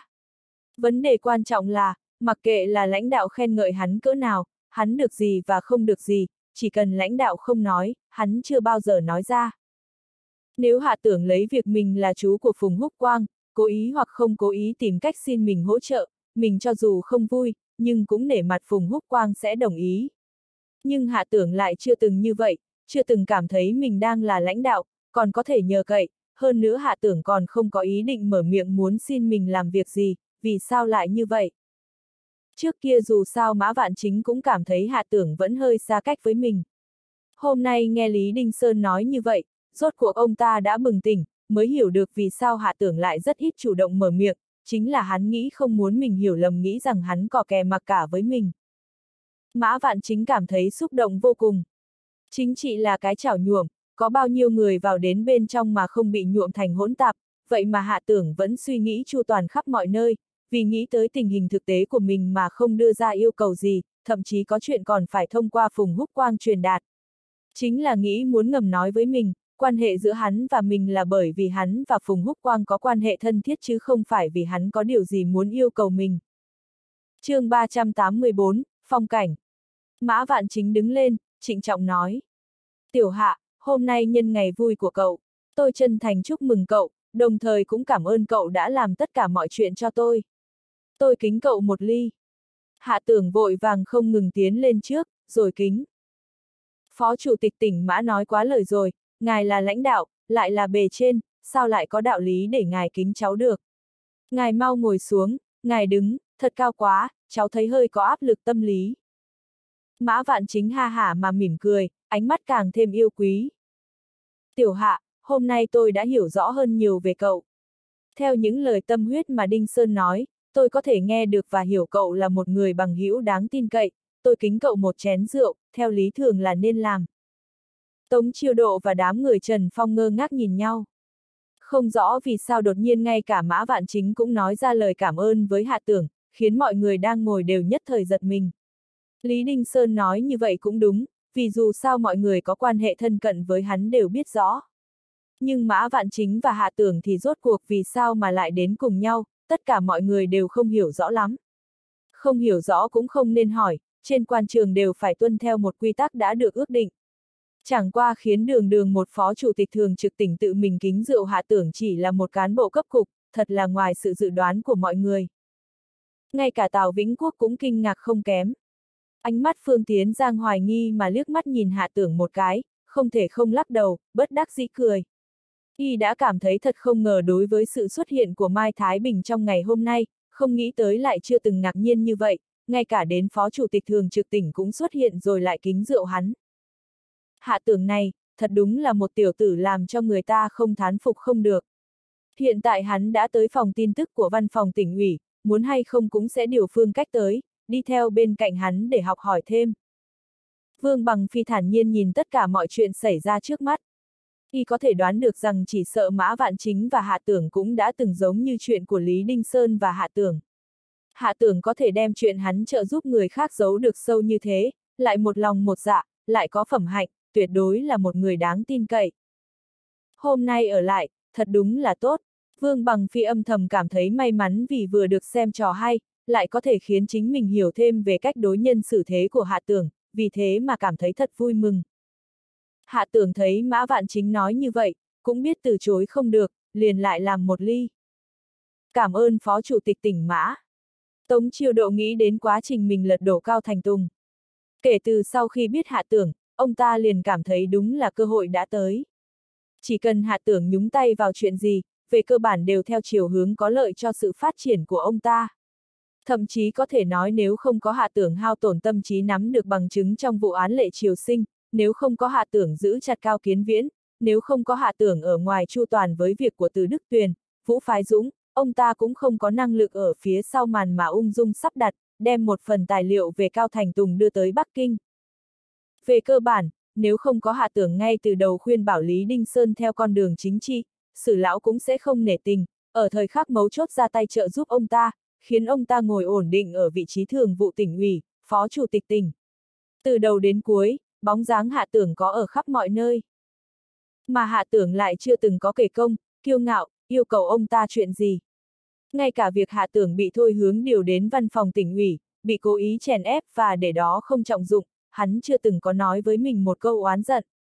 Thực ra Tống Chiêu Độ cảm thấy đôi khi đối với Hạ Tưởng mà nói, những gì ông ta làm được thật không đủ. Hạ Tưởng đối với việc Lý Đinh Sơn và Mã Vạn Chính đề cao quả thật hơi kinh sợ, dù sao ngay trước mặt phần đông lãnh đạo, như vậy khiến hắn ít nhiều cũng cảm thấy không được tự nhiên. Cũng may Tống Chiêu Độ thay hắn giải vây, Tống Chiêu Độ đứng lên nói. Mọi người cùng nhau kính tiểu hạ một ly, chú rể hôm nay chính là người quan trọng nhất. Chúng ta có thể cùng ngồi một chỗ, thứ nhất là vì hôn lễ của tiểu hạ, thứ hai cũng là vì cậu ấy biết đối nhân xử thế, cậu ấy rất quan trọng đối với chúng ta, vì thế chúng ta vì cậu ấy mà động viên một chút. Mọi người cùng nhau đứng dậy, kính hạ tưởng một ly. Hạ tưởng lần đầu tiên bị nhiều cán bộ cấp quan trọng kính rượu như vậy, mà trong người đã thấy có men say, hơn nữa lãnh đạo đã mời rượu hắn dám không uống sao. Cuối cùng vì thật sự đã say quá nên ngã xuống bàn rượu. Sáng sớm hôm sau thức dậy, phát hiện Tào Thù lên nằm ở bên người hắn, chừng đôi mắt mở to rồi tò mò nhìn, nhìn không chớp mắt với hắn. Cô mặc áo ngủ, dáng người phập phồng, nằm nghiêng nghiêng ở trên giường cách hạ tưởng một đoạn, trên mặt lộ vẻ mỉm cười ngọt ngào. Em cười cái gì? Hạ tưởng bóp đầu, cảm thấy đầu đau như muốn nứt ra. Say rượu khi tỉnh mới biết bị đau đầu, không uống say thì sao mà biết. Hắn nghiêng người, còn chưa kịp nói gì, cô bé đã để một chén nước trong tay hắn. Hạ tưởng uống một ngụm, bỗng nhiên chán nản nói. Thật đáng tiếc, trong đời người chỉ có một đại hỷ sự chính là trong một đêm động phòng hoa trúc, anh không ngờ lại say quá đến nỗi bất tỉnh, thật là quá thất bại. Cô bé biết hạ tưởng muốn nói cái gì, cười khúc khích. Vừa lúc, em tránh được một đêm, đỡ phải bị anh quấy dày. Hạ tưởng nhìn nhìn thời gian, mới có 8 giờ sáng, liền đột nhiên nhanh như hổ đói vồ mồi nhào tới, đem cô bé đặt ở dưới thân, nhe răng cười độc ác nói. Trời còn sớm, hiện tại anh đem em tử hình ngay tại chỗ vẫn còn kịp. Cô bé hoảng sợ, vội vàng hai tay ôm ngực nhỏ giọng hô. Anh tha cho em đi. Hạ tưởng bị vướng tay còn chưa kịp tiến thêm một bước nữa, chợt nghe thấy bên ngoài có người nói vào. Hai đứa thức dậy đi, cô dâu chú rể mới cưới không thể ở trên giường mãi thế được. Được rồi, lại không có cơ hội rồi, hạ tưởng từ trên người cô bé xuống dưới, vẫn chưa hết ý mà nhìn cô vài lần. Cô bé rụt rè mà an ủi hắn nói.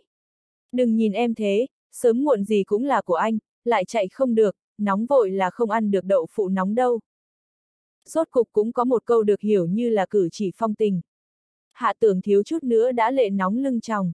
Thật không dễ dàng, đã hơn một năm truyền dạy về một phương diện nào đó với cô. Vậy mà chỉ mới khai phá cho cô nhận rõ được quan hệ giới tính, cũng cố gắng lắm mới dạo chơi được một chút trên hai ngọn núi của cô. Mặc dù hạ tưởng cũng biết, một người phụ nữ chưa từng trải qua người đàn ông, sẽ không hiểu được làm thế nào để có được sự hấp dẫn, khiêu khích để quyến rũ đàn ông.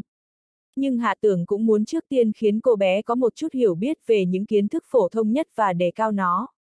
Là người vợ ở chung với hắn sớm chiều, cũng phải hiểu biết một số phương diện thực tế mới được.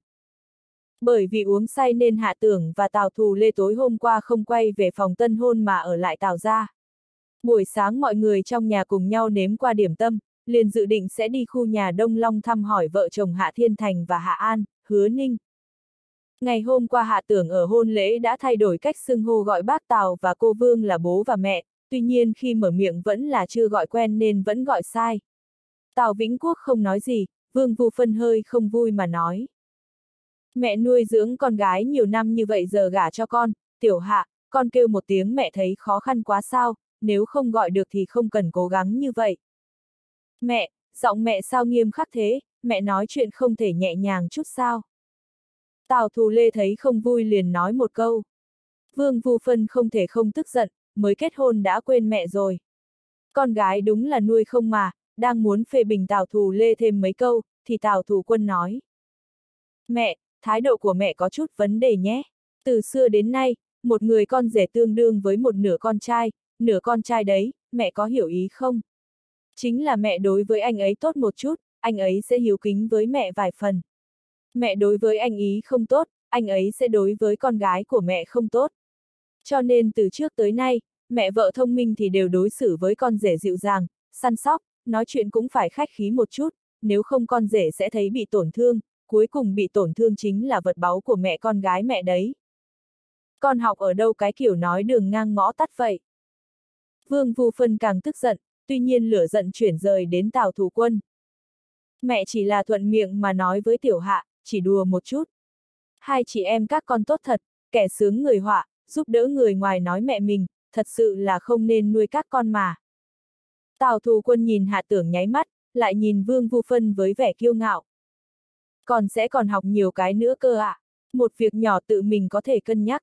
Mẹ, mẹ còn nói như vậy nữa, con và chị sẽ đứng về phía anh rể, chứng minh anh rể rất được lòng người. Anh rể là người ngoài sao? Mẹ đã xem anh rể trở thành người ngoài, lại còn muốn người ta gọi là mẹ, đây là đạo lý gì vậy? Con! Vương Vu Phân tức giận đến nói không ra lời. Hạ tưởng vội hòa giải. Mẹ, mẹ đừng giận, tiểu quân có thể nghĩ thông suốt đạo lý này, về sau em ý ở trước mặt mẹ vợ tương lai cũng sẽ không bị thiệt thòi. Vương Vu Phân tỉnh ngộ liền nói. Cũng là đúng, hiện tại các bà mẹ vợ rất giống nhau, nuôi dưỡng một người con gái cũng có nhiều điểm giống nhau, sẽ tìm mọi cách làm khó dễ cho con rể. Tiểu quân về sau có thể phải chú ý một chút, không nên tìm một bà mẹ vợ khó chịu như vậy. Vương Vu Phân nói xong bỗng nhiên phát hiện ngay cả Tào Vĩnh Quốc, cả bốn người đều chừng to con mắt nhìn mình. Nhìn xem mình không biết làm sao, bà trột dạ nói. Làm sao vậy, em có nói gì sai không? Lập tức bà nghĩ ra là vừa mới đứng ở lập trường của con gái để ý hạ tưởng, trong nháy mắt lại đứng ở lập trường của con công kích thẩm tệ những người là mẹ vợ, mà lại đã quên chính mình cũng đang là mẹ vợ. Vương Vu Phân xấu hổ mà cười. Lập trường khác nhau, ý kiến khác nhau, có thể hiểu được. Ha ha! Cả nhà đều mỉm cười. Hai nhà Tào Gia và Hạ Gia cùng tập trung một chỗ ăn cơm buổi trưa, sau đó đến buổi chiều Hạ Tưởng cùng Tào Thù Lê theo Hạ Thiên Thành trở về thành phố Đan Thành, muốn tại thành phố Đan Thành cũng mở mấy bàn tiệc rượu để chiêu đãi bạn bè thân thiết. Vốn ngay từ đầu Hạ Tưởng đã xin ý kiến của cha mẹ, nếu cử hành hôn lễ tại thành phố Đan Thành cũng được. Nhưng Hạ Thiên Thành cũng không để ý nhiều như vậy, suy xét đến việc gia đình Tào Vĩnh Quốc ở thành phố Yến, Hạ Tưởng cũng đang công tác tại thành phố Yến, cũng hiểu được là không gì tốt hơn là tổ chức tại thành phố Yến. Tuy nhiên vì nghĩ đến tâm lý cha mẹ muốn được ở trước mặt bạn bè thân thiết chiêu đãi một bữa, hắn cũng liền chủ động quay về thành phố Đan Thành tham gia bữa tiệc. Hạ Thiên Thành vô cùng phấn chấn. Ngày hôm sau, lại ở khách sạn tốt nhất của thành phố Đan Thành mở tiệc chiêu đãi bạn bè thân thiết, có các đồng nghiệp và lãnh đạo của Hạ Thiên Thành, còn có đồng nghiệp và lãnh đạo của Hạ An, người cuối cùng của thành phố Đan Thành là thị trưởng Đan Sĩ Kỳ cũng đã xuất hiện tham gia bữa tiệc. Từ nay về sau, Hạ Thiên Thành ở tại thành phố Đan Thành sẽ được mọi người hết sức tôn trọng. Mọi người đều biết rằng ông ấy đã sinh được một người con tốt. Cũng đều biết rằng con của ông ấy đã cưới được thiên kim xinh đẹp của bí thư thành ủy, đều biết rằng hôn lễ của hắn cũng kinh động cả đến thị trường, thị trường còn tự mình đến chúc mừng, còn tặng hạ tưởng lễ vật. Ở thành phố Đan Thành hai ngày, Hạ Tưởng và Tào Thù Lê theo hành trình đã dự định bay đến du lịch Hải Nam hưởng tuần trăng mật. Vốn định là đi nước ngoài nhưng cô bé cảm thấy ra nước ngoài xa quá, lại quá mệt mỏi, không muốn lãng phí thời gian dài nên Hạ Tưởng cũng theo ý cô. Mùa đông ở thành phố Yến đúng là rét lạnh, đến Hải Nam lại ấm áp như mùa xuân, đúng là khí hậu khác hẳn. Sau khi nghỉ ngơi, hai người đi vào khách sạn Sania xa hoa nhất, đi dạo một vòng trên bờ biển. Buổi tối ăn một chút hải sản, hạ tưởng thấy cô bé chủ động đi tắm rửa, hắn cũng không có nghĩ nhiều, liền ngồi ở trên giường xem tin tức thời sự. Làm một cán bộ, tin tức thời sự là mục tất yếu phải xem, có thể từ đó hiểu được không ít các chính sách của nhà nước đang theo chiều hướng nào, có khác gì so với các nước khác. Tuy nhiên lúc này trong nước vẫn đang rất hiên bình, tương lai vài năm tới có thể sẽ có chuyển biến lớn. Hạ tưởng cũng có biết một chút, cho nên cũng thoải mái xem. Không bao lâu cô bé tắm rửa đi ra, mặt đỏ bừng mà đứng ở cửa, không chịu đến gần. Hạ tưởng vô tình chỉ nhìn thoáng qua lập tức tim đập nhanh hơn. Tóc cô bé dài chưa khô, nửa ẩm ướt nửa khô mà rơi trên vai, trên người chỉ quấn một chiếc khăn tắm, lộ ra cổ trắng như tuyết và xương quai xanh. Khăn tắm không lớn, chỉ vây quanh mấy bộ phận quan trọng trên thân vừa vặn mới che khuất, đùi non như ngọc trắng được ngọn đèn phía xa chiếu tới, phản chiếu làm người cô bé sáng bóng lên, làn da trắng nõn mà mịn màng, ánh mắt đã lộ ra một tia nhìn hồng nhạt, ngượng ngùng như hoa mà đứng ở cách đó không xa, đẹp không sao tả xiết. Liên tiếp vài ngày bôn ba, hạ tưởng mới nhớ tới hắn thật không xứng đáng làm chú rể. Vì hắn vẫn chưa động vào cô bé, bởi vì mấy ngày qua dừng chân không có nghĩ tới. Lại tiệc tùng nhiều, gần như ngày nào cũng uống rượu. Hôm nay xem như hạ tưởng hoàn toàn trầm tĩnh lại, vừa thấy cô bé đã thấy hấp dẫn, làm sao còn chịu được, thân mình vừa động, nhanh như thỏ liền chạy tới ôm cổ cô bé, định xé khăn tắm trên người cô ra. Không ngờ cô bé nhẹ nhàng tránh ra, trốn sang được một bên, cười khẽ chỉ ra buồng vệ sinh. Anh đi tắm rửa đi, nếu không không cho anh chạm vào đâu. Tắm rửa chỉ là việc nhỏ, đối với đàn ông mà nói thì chỉ mất ba phát là có thể giải quyết xong vấn đề. Hạ tưởng nhanh chóng tắm rửa xong, vội vàng không thể nhịn nổi đẩy cửa ra, đã thấy cô bé trốn ở trong chăn, khăn tắm đã ném sang một bên. Có thể tưởng tượng bên trong đích thực là một phong cảnh vô cùng. Hạ tưởng liền nhanh tay nhanh chân mà sờ soạn tới. Làm bộ cười ha hả, xốc chăn lên rồi chui vào. cổ nhiên, chạm vào bên trong là một thân hình trắng mịn, cảm thấy mềm mại đến động lòng người, làm cho người ta mê muội không thể tự kiềm chế. Mặt cô bé xấu hổ đến đỏ bừng, không dám nhìn hạ tưởng. Hạ tưởng liền quay đầu cô lại, để cô nhìn mình, rồi hỏi. Sao đột nhiên em lại chủ động? Lá gan lớn như vậy từ lúc nào thế? Cô bé vẫn không dám nhìn hạ tưởng, giọng nói nhỏ như con muỗi. Có phải ở thời cổ đại, sau ba ngày lập gia đình mà phu quân không để ý tới, thân là thê tử chính là không có đức. Em được gả cho anh đã được năm, sáu ngày rồi, có phải anh không muốn em không? Hiếm khi thấy cô bé vẫn còn có một đức tính của một cô gái truyền thống như vậy. Hạ tưởng liền thấy trong lòng thương xót, vuốt ve phía sau lưng cô, nhẹ giọng nói. Không phải như vậy, không phải mấy ngày qua chúng ta hối hả chạy ngược xuôi sao, anh lại phải uống rượu suốt, cũng không thể trong lúc u mê mà lừa đi vật báu là em. Hạ tưởng còn chưa dứt lời, đã bị một cái miệng nhỏ thơm hương ngăn lại, sau đó một thân mình nóng bỏng lại bắt đầu đi lên, hạ tưởng liền cảm thấy căng thẳng, bị hai cánh tay cô bé ôm lấy, sau đó cảm thấy trước ngực nóng lên. Ban đêm mưa gió thành từng tiếng, hoa rơi biết bao nhiêu. Trong căn phòng nhỏ một đêm nghe mưa xuân, mưa gió tưới tắm cho đất tốt tươi. Sáng sớm hôm sau hạ tưởng nhớ lại đêm qua, thấy cô bé đã dậy, đang thay bộ quần áo khác, liền hỏi. Dù sao cũng không có việc gì, sao không ngủ thêm chút nữa? Em phải dậy trước anh vì em là vợ, nếu dậy muộn hơn chồng, như vậy thật là thất lễ. Cô nghiêm túc nói. Hạ tưởng vui vẻ. Em học ở đâu tư tưởng truyền thống như vậy? Tuy rằng anh cũng đồng ý là con gái Trung Quốc ít nhiều cũng phải có một chút đức tính truyền thống, nhưng không cần để ý một số cái tỉ mỉ như vậy, anh cũng không phải người độc đoán có đúng hay không. Đùa chút thôi, cô bé đắc ý mỉm cười. Em chính là muốn thử anh một chút, xem anh có phải sau khi bị vướng tay, liền đối với em không tốt hay không, không nghĩ tới anh lại đối xử tốt như vậy. Không phải vậy đâu, anh có phải người nông cạn đâu.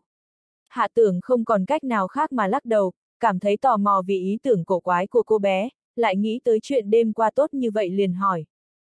Đêm qua em cảm thấy thế nào? Không tốt. Cô bé không nghĩ mà đáp. Chẳng lẽ chính mình làm thật không tốt sao? Hạ tưởng không khỏi xấu hổ liền hỏi. Thế nào là không tốt? Không tốt chính là không tốt, dù sao cũng không tốt như em tưởng tượng vậy. Anh thích thì về sau em sẽ tận lực mà thỏa mãn anh. Cô bé làm mặt quỷ, dường như nhớ tới cái gì, vội lại bổ sung một câu. Với lại anh không sao đâu, anh khá lợi hại, là em không thích ứng kịp thôi. Hạ tưởng mới thoải mái mà thở dài một hơi, cười ha hả. Không thành vấn đề, từ từ sẽ được mà, anh có niềm tin vì mình còn nhiều thời gian mà. Hạ tưởng được nghỉ nửa tháng, chính là vì hắn mới được bổ nhiệm làm trưởng phòng tin tức nên mới như vậy. Nếu không nhiều lắm chỉ được nghỉ một tuần sau khi kết hôn. Ở Hải Nam năm ngày liền quay trở về thành phố Yến, lại được nghỉ ngơi và hồi phục vài ngày, liền nhận được thông báo chính thức, cần phải tới văn phòng tỉnh ủy báo danh. Trước khi hạ tưởng đi làm, những cán bộ lớn nhỏ đã tham gia hôn lễ gửi lì xì cho đám cưới đều nhận được thư cảm ơn từ Tổng cục Từ thiện chuyển tới. Cảm ơn mọi người vì đã nhiệt tình tham gia công ích, làm việc thiện và cũng đã hứa số tiền bọn họ quyên góp đó sẽ được dùng ở những nơi cần thiết nhất. Đồng thời còn có một tấm biên lai like quyên tiền, trên đó ghi số tiền chính là số tiền bọn họ biếu. Hạ tưởng kết hôn, mặt ngoài thì thu tiền của bọn họ, nhưng cũng vừa thay bọn họ quyên góp cho đơn vị từ thiện, khiến rất nhiều người cảm thấy không biết làm sao. Tuy nhiên khi nghĩ lại, mặc kệ tiền được dùng ở đâu, miễn là tiền đã được hạ tưởng và Tào Vĩnh Quốc nhận lấy thì đã có tình nghĩa rồi. Về phần được dùng ở nơi nào, không phải là vấn đề bọn họ quan tâm. chương 385, trận đầu đấu sức về chính trị. Nếu như ở cấp cục, bí thư huyện ủy hoặc là chủ tịch huyện nhậm chức ít nhất cũng có cán bộ ban tổ chức cán bộ thành ủy ra đón tiếp, huyện cũng sẽ xếp hàng chào đón. Hiện tại hắn đang ở phòng tin tức, tốt xấu gì cũng là trưởng phòng, nhưng khi đến tỉnh ủy đưa tin lại không có xe tiếp, không có ai đón, so với mình trước đây quả nhiên là không thể so sánh nổi. Tuy nhiên hạ tưởng lại không có oán giận, mà vui tươi hớn hở tự mình lái xe như trước đây. Cũng may là xe của Liên Nhược Hạm giấy thông hành vẫn không đổi, lại thêm ở cửa tỉnh ủy có cảnh sát vũ trang gác, thấy vậy nên cũng không có kiểm tra cẩn thận lắm, liền trực tiếp cho đi thẳng. Trụ sở tỉnh ủy tỉnh Yến, bộ phận chính là một tòa nhà 20 tầng, tuy nhiên ở bên trong tòa nhà cao tầng đó đều không có các phòng ban quan trọng. Các phòng ban quan trọng đều ở phía sau tòa nhà chính, trong mấy dãy nhà làm việc 3, 4 tầng màu xám. Không may, phòng tin tức của hạ tưởng lại ở tầng cao nhất của tòa nhà chính. Đi qua những dãy nhà màu xám, theo hướng đó đi tiếp thì đó chính là một tòa nhà không quá bắt mắt, bên trong có phòng họp, có văn phòng, còn có vài căn nhà, đây chính là trung tâm chính trị của tỉnh Yến, chính là trụ sở thường vụ tỉnh ủy. Trụ sở thường vụ tỉnh ủy lại gọi là nhà thường vụ tỉnh ủy, bởi vì chỉ có hai tầng lại được xây dựng từ thập niên 80, vẫn không bỏ đi. Sau khi trải qua vài lần sửa chữa và tu bổ, toàn bộ tường ngoài được sơn màu đỏ, có vẻ vừa thanh nhã lại yên tĩnh. Trong sân có trồng vài cây cổ thụ rất lớn, có một loại mang hương vị thời trước Liên Xô cũ. Vì nhà hai tầng này là do các ủy viên thường vụ đề nghị xây dựng, hơn nữa tất cả các hội nghị thường vụ đều diễn ra ở nhà hai tầng này, cho nên bên ngoài lại gọi là trụ sở thường vụ tỉnh ủy thay vì gọi là nhà thường vụ tỉnh ủy. Mà nhà thường vụ tỉnh ủy vì được sơn màu đỏ nên được gọi là hồng lâu.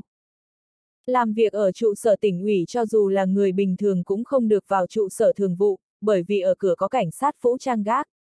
Nếu không được ủy viên thường vụ ký tên hoặc cho phép, kể cả cán bộ cấp sở cũng không thể bước vào. Hạ tưởng tới văn phòng tỉnh ủy để tiếp nhận công việc, mọi việc cũng khá tốt.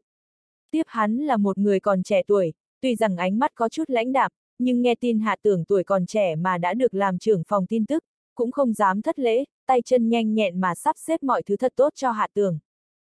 Tuy nhiên hạ tưởng vẫn thấy anh ta lạnh nhạt, xa cách, cảm thấy bên trong có chút gì đó không tốt. Bởi sau khi anh ta giúp hắn làm tốt mọi thủ tục, dường như lại gọi điện thoại xin chỉ thị gì đó, sau đó để hạ tưởng tự mình đi tìm văn phòng. Theo đúng trình tự sẽ có phó tránh văn phòng tỉnh ủy ra tiếp đón, sau đó sẽ dẫn hạ tưởng đến một số chỗ giới thiệu. Không nghĩ tới là không thấy phó tránh văn phòng nào xuất hiện, liền trực tiếp đem hắn ném sang một bên, tự hắn phải đi tìm. Chỉ sợ từ trước tới nay mình là người đầu tiên nhậm chức trưởng phòng mà lại diễn ra trong bầu không khí buồn tẻ như vậy. Nhưng hạ tưởng vẫn thấy nên tỏ vẻ cảm ơn, liền một mình đi tìm văn phòng, nhìn thấy phòng của trưởng phòng, liền tự mình đẩy cửa đi vào. Vừa đi vào chỉ thấy một người đang vệ sinh dọn dẹp, nghe được tiếng cửa phòng mở, anh ta đứng thẳng dậy, quay đầu lại nhìn thoáng qua hạ tưởng, không kiên nhẫn được nói. Anh tìm ai? Bên trái là cục cơ yếu, bên phải là phòng tổng hợp, đừng có đi nhầm phòng. Xem ra chỉ cần nhìn thấy ai cũng đã cảm thấy có điều không tốt đối với mình, hạ tưởng liền đoán, phó tránh văn phòng tỉnh ủy chắc hẳn là người của bí thư thôi. Còn về việc tránh văn phòng có phải là đi theo thôi hướng hay không, hắn cũng không dám khẳng định. Bởi vì tránh văn phòng là do trưởng ban thư ký tỉnh ủy kiêm nhiệm. Mà trưởng ban thư ký tỉnh ủy là Tiền Cẩm Tùng, ông ta đến tỉnh Yến hơn 2 năm, cũng không nghe nói ông ta đứng ở bên nào, dường như là ở trung gian. Điều khó hiểu không phải là việc thôi hướng làm phó bí thư, mà tại sao Tiền Cẩm Tùng đã nhanh chóng cùng y đạt được sự đồng thuận như vậy. Hạ tưởng xua tan nhưng ý nghĩ hỗn độn đang ở trong đầu, ngẩng đầu nhìn xung quanh, hắn không đủ kiên nhẫn liền liếc mắt nhìn người trẻ tuổi đó một cái. Nói là người trẻ tuổi, nhưng so với hắn cũng lớn hơn không ít, ít nhất cũng đã gần 30 tuổi, dáng vẻ vừa đen lại vừa gầy, ánh mắt rất to, nhìn dáng vẻ đó ít nhiều hơi có chút dọa người khác. Mặt anh ta đen nghiêm lại, thấy hạ tưởng còn đứng bất động, liền nói. Anh này lạ thật, anh tìm ai, có chuyện gì? Thật là điển hình cho phong cách của cơ quan lớn, vẻ mặt khó coi, khó làm việc. Hạ tưởng âm thầm lắc đầu, người làm việc ở cơ quan tỉnh ủy, hơn một nửa đều là có quan hệ thân thích. Nói như vậy bản lĩnh của mình cũng lớn nên cũng không lo, cấp bậc cao không quan trọng, quan trọng là Đầu tiên phải tỏ thái độ cao ngạo, để thể hiện tài trí hơn người thì khi xuất hiện phải khiến người khác có cảm giác xuất chúng. Ở kiếp trước, Hạ Tưởng hiếm khi thấy một vẻ mặt vui vẻ của một cán bộ làm việc trong một cơ quan lớn. Nói thật còn không bằng cán bộ công tác ở xã, thị trấn, họ rất dễ gần, ít nhất bọn họ luôn đồng lòng với nhau. Người ở cơ quan lớn, thường thường tự cho mình là quan lớn quyền quý, tự coi mình cũng là quan lớn, dần dần hình thành vấn đề là không có bản lĩnh lớn nhưng tính tình thì nhiều thói hư tật xấu. Hạ tưởng hỏi lại, anh tên là gì, ai cho anh quét dọn văn phòng? Người đàn ông gầy, đen sừng sốt, xem chừng hôm nay bị ám khí rồi, lập tức hùng hổ nói. Tôi hỏi anh, anh lại hỏi tôi, anh có biết đây là đâu không? Đây là trụ sở tỉnh ủy, không phải là nhân viên quét dọn nào cũng đều có thể vào đâu. Tôi nói cho anh biết, nếu có việc gì thì khẩn trương nói ngay, nếu không có việc gì thì đi ra ngoài cho tôi. Giọng nói hết sức không khách khí, giống như là quát mắng vậy. Hạ tưởng vốn đối với phòng tin tức văn phòng tỉnh ủy còn có chỗ không vừa lòng, nhưng hắn là một người rộng lượng, anh ta chỉ là một nhân viên, không có khả năng làm hắn nảy sinh tức giận. Hơn nữa hôm nay đã biết việc mọi người không để ý hắn, tất cả đã được âm thầm sắp xếp tất cả, chính là muốn cố ý lạnh nhạt với hắn, cho hắn thấy sự khó khăn. Nếu không một trưởng phòng đến nhậm chức, mà ngay cả một phó tránh văn phòng ra giới thiệu cũng không có, như vậy thật là quá đáng.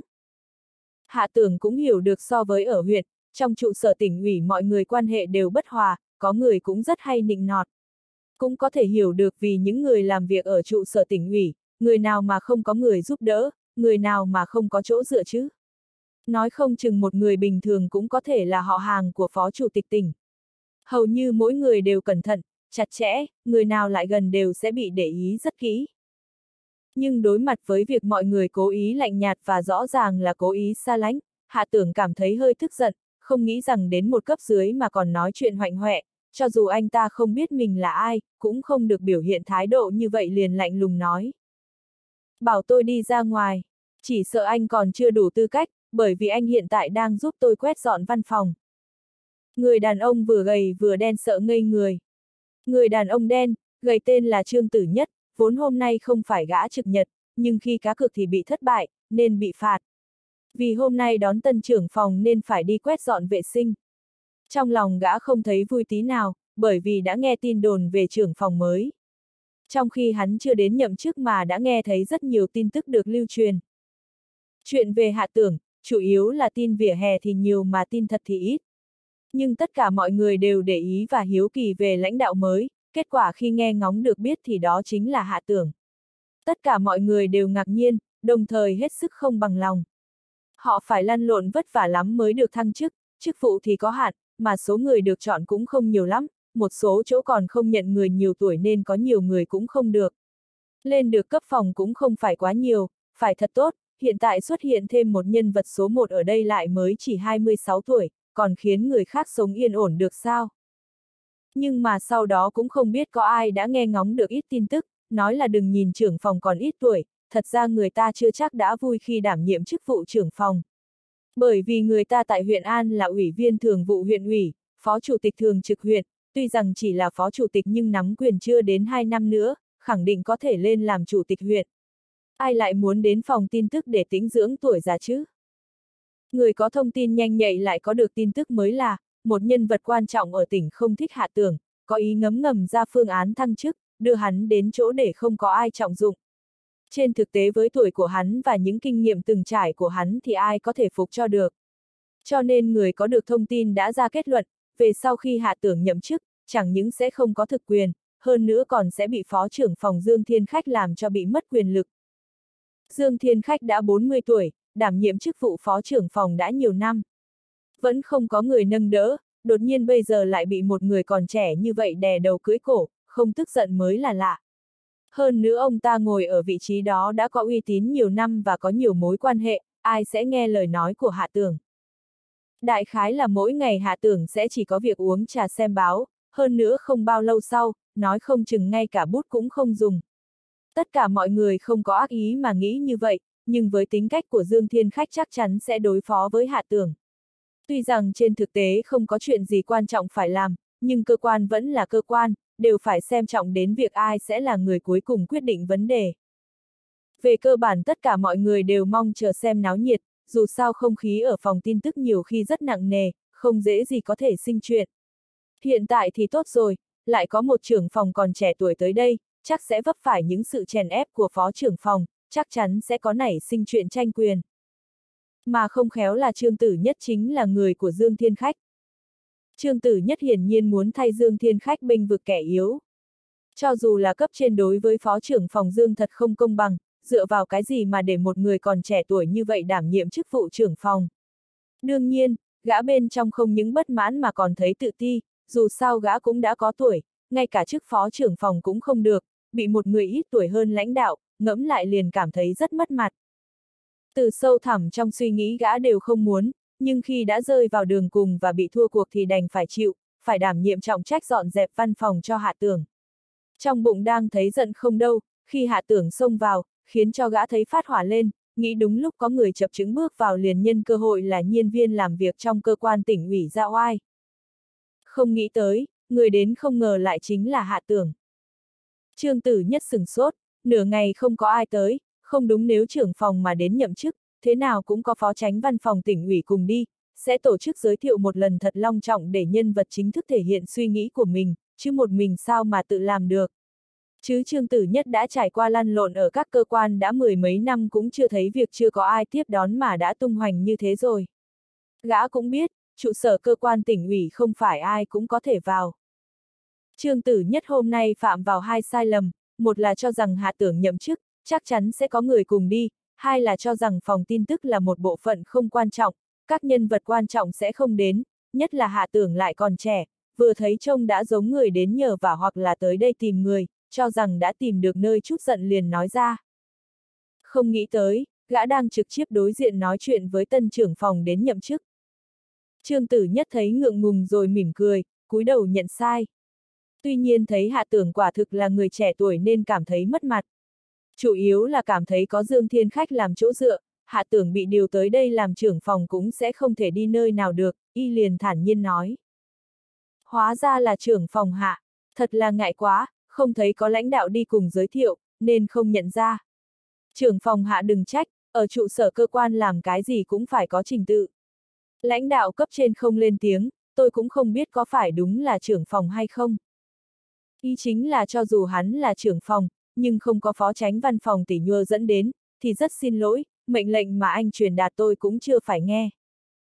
Hạ tưởng vốn nghĩ muốn lấy quyền uy của trưởng phòng phê bình gã vài câu, nhưng vừa nghe thấy gã giọng đầy ẩn ý nói, liền nghĩ ra là không được chính thức dẫn đến, cho dù mình cũng không thể giả làm trưởng phòng được, nhưng cũng danh bất chính, ngôn bất thuật, mọi chuyện cũng đều đã được định theo quy định như vậy rồi. Hạ tưởng bỗng nhiên cười, hắn chấp nhặt cũng không có ích lợi gì. Chính mình về sau sẽ phải đối mặt, đấu đá với những thủ đoạn của thôi hướng, cũng đã nghe là bên trong có tranh đấu, hắn cũng không để ý, liền cười rồi phất tay. Không cần vội, tôi tự mình đến là được rồi. Đúng rồi anh tên là gì? Trương Tử Nhất. Trương Tử Nhất đáp, vì sợ hạ tưởng hiểu lầm, còn giải thích rõ ràng.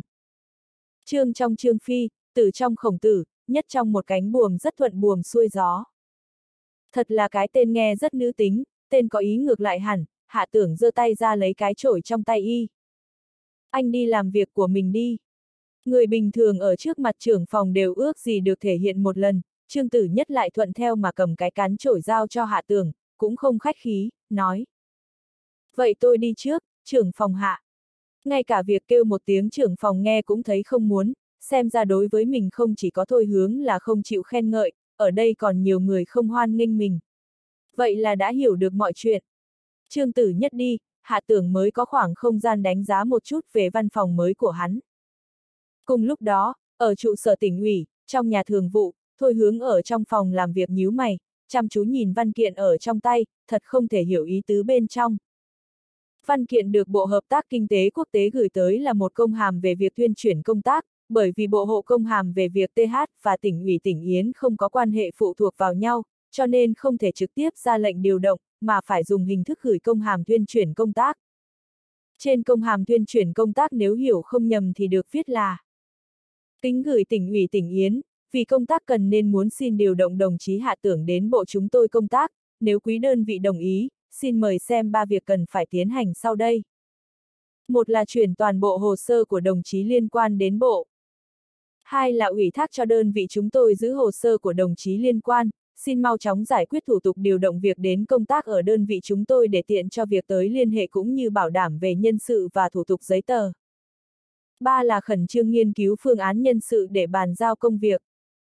Ngày 12 tháng 1 năm 2002 Bộ Hợp tác Kinh tế Quốc tế là một cơ quan chuyên môn của Quốc vụ Viện, sang năm 2003 thì chính thức đổi tên thành Bộ Thương mại, chủ yếu có nhiệm vụ là vạch ra và quán triệt thi hành đường lối kinh tế đối ngoại, hợp tác kinh tế và đối ngoại, các chính sách của đầu tư nhà nước, cải cách các chính sách, quyền hạn cũng thật không nhỏ khiến Thôi Hướng thấy buồn bực. Vì sao Bộ Hợp tác Kinh tế Quốc tế lại đột nhiên gửi tới công hàm tuyên chuyển công tác, lại điều một trưởng phòng nhỏ ở văn phòng tỉnh ủy? Điều làm cho y khó hiểu chính là, rõ ràng hạ tưởng vừa mới được điều đến tỉnh ủy, chân trước vừa bước vào cửa thì sau lưng công hàm tuyên chuyển công tác đã tới, hiển nhiên là đã chọn đúng thời điểm để cố ý làm như vậy. Sắc mặt thôi hướng rất khó nhìn, đứng lên đi về phía trước cửa sổ nhìn ra phía ngoài cửa sổ. Ngoài cửa sổ là một khoảng không mờ mịt, không có gì để nhìn. Mùa đông ở thành phố Yến trông thật suy yếu, cho dù cây cối trong tòa nhà thường vụ tỉnh ủy đã được xanh hóa, tuy nhiên cũng chỉ có một số cây sồi xanh thôi, trên mặt đất lá rụng đầy, gió bắc thổi qua, bầu không khí thật tiêu điều. Cũng giống như tâm trạng thôi hướng lúc này. Vì sao, vì sao đường đường là một bộ lớn, đột nhiên lại ra công hàm thuyên chuyển công tác muốn điều hạ tưởng đến Bắc Kinh. Nếu là người khác thì lại khác, thôi hướng có thể hiểu là Bộ Hợp tác Kinh tế Quốc tế quả thật rất cần người, quả thật là đã tìm hiểu ở tỉnh Yến, bọn họ cần nhân tài ở đây. Nhưng hạ tưởng thì lại hoàn toàn khác, bởi vì y có ý đưa hạ tưởng đến tỉnh ủy rồi để đó không trọng dụng, đưa hạ tưởng tới đây để không coi hắn ra gì, không cho hắn trưởng thành đi lên, trở thành chướng ngại vật. Phải chăng ở Bắc Kinh cũng có người đã nhúng tay vào, muốn giúp hạ tưởng một phen. Thôi hướng hoàn toàn là cư xử từ góc độ chính trị, còn với việc Bộ Hợp tác Kinh tế Quốc tế ra công hàm tuyên chuyển công tác lại là một chuyện khác. Tuy nói tỉnh ủy tỉnh Yến hoàn toàn có thể từ chối công hàm Thuyên chuyển công tác của Bộ Hợp tác Kinh tế Quốc tế, rồi tìm đại một lý do là được. Bộ Hợp tác Kinh tế Quốc tế cũng không thể nghĩ tỉnh Yến thế nào.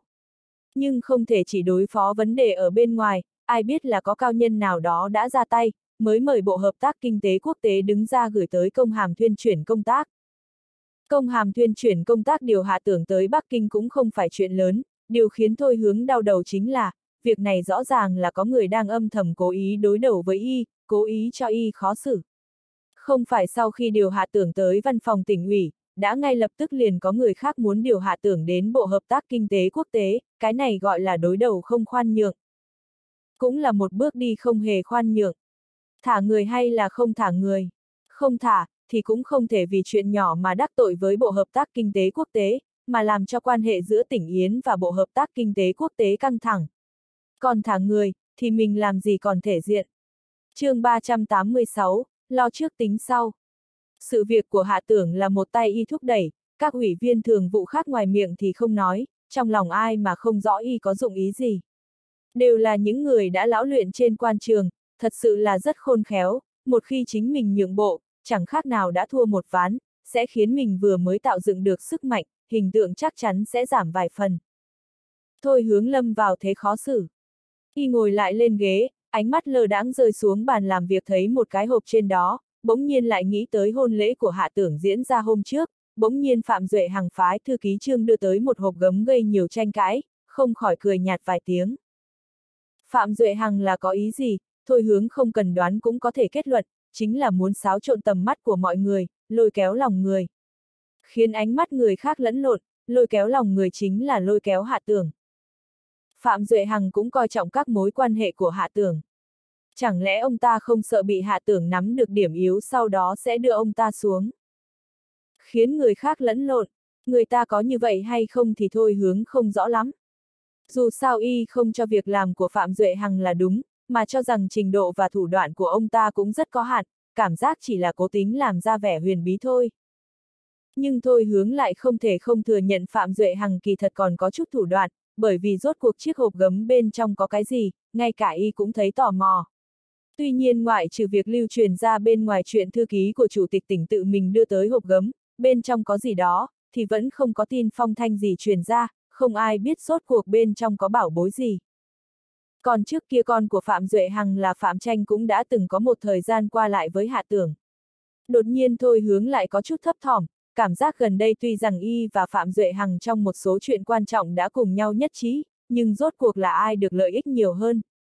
Đến lúc đó nếu đột nhiên y phát hiện đã bị Phạm Duệ Hằng lợi dụng, muốn hối hận cũng không còn kịp nữa rồi.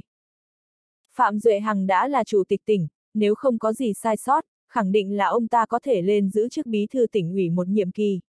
Mà y và Phạm Duệ Hằng tuổi không chênh lệch lắm, nhưng y vẫn là phó bí thư, bình thường phải theo trình tự từ một nhiệm kỳ chủ tịch tỉnh mới có thể tiến thêm một bước nữa lên làm bí thư được. Nếu mình không có thành tích nào, không được cấp trên chú ý, có thể được lên làm chủ tịch tỉnh hay không còn rất khó nói. Phạm Duệ Hằng không cần đánh cuộc, ông ta chỉ cần đi điềm đạm từng bước là được, nhưng thôi hướng phải đánh cuộc, nếu không sẽ có khả năng chỉ có thể làm phó bí thư, chỉ có thể về an dưỡng tuổi già ở Hội đồng Nhân dân, mặt trận Tổ quốc. Có thể nói, thời gian đối với y không còn nhiều nữa, đã vô cùng cấp bách rồi. Phải đạt được những thành tích, phải tính kế để tranh thủ thời gian. Hiện tại thì Tống Chiêu Độ là đối thủ cạnh tranh mạnh mẽ với mình. Mà hạ tưởng với ông ta, hai người lại có quan hệ hết sức tốt đẹp. Hai ba năm sau, hạ tưởng ít nhất cũng lên tới chức vụ phó giám đốc sở, có hắn trợ giúp thì Mã Vạn Chính và Tống Chiêu Độ như hổ thêm cánh, có thể ung dung mà khiêu chiến với quyền uy của y. Nghĩ lại hạ tưởng ở cấp phó huyện đã có các mối quan hệ rất sâu rộng.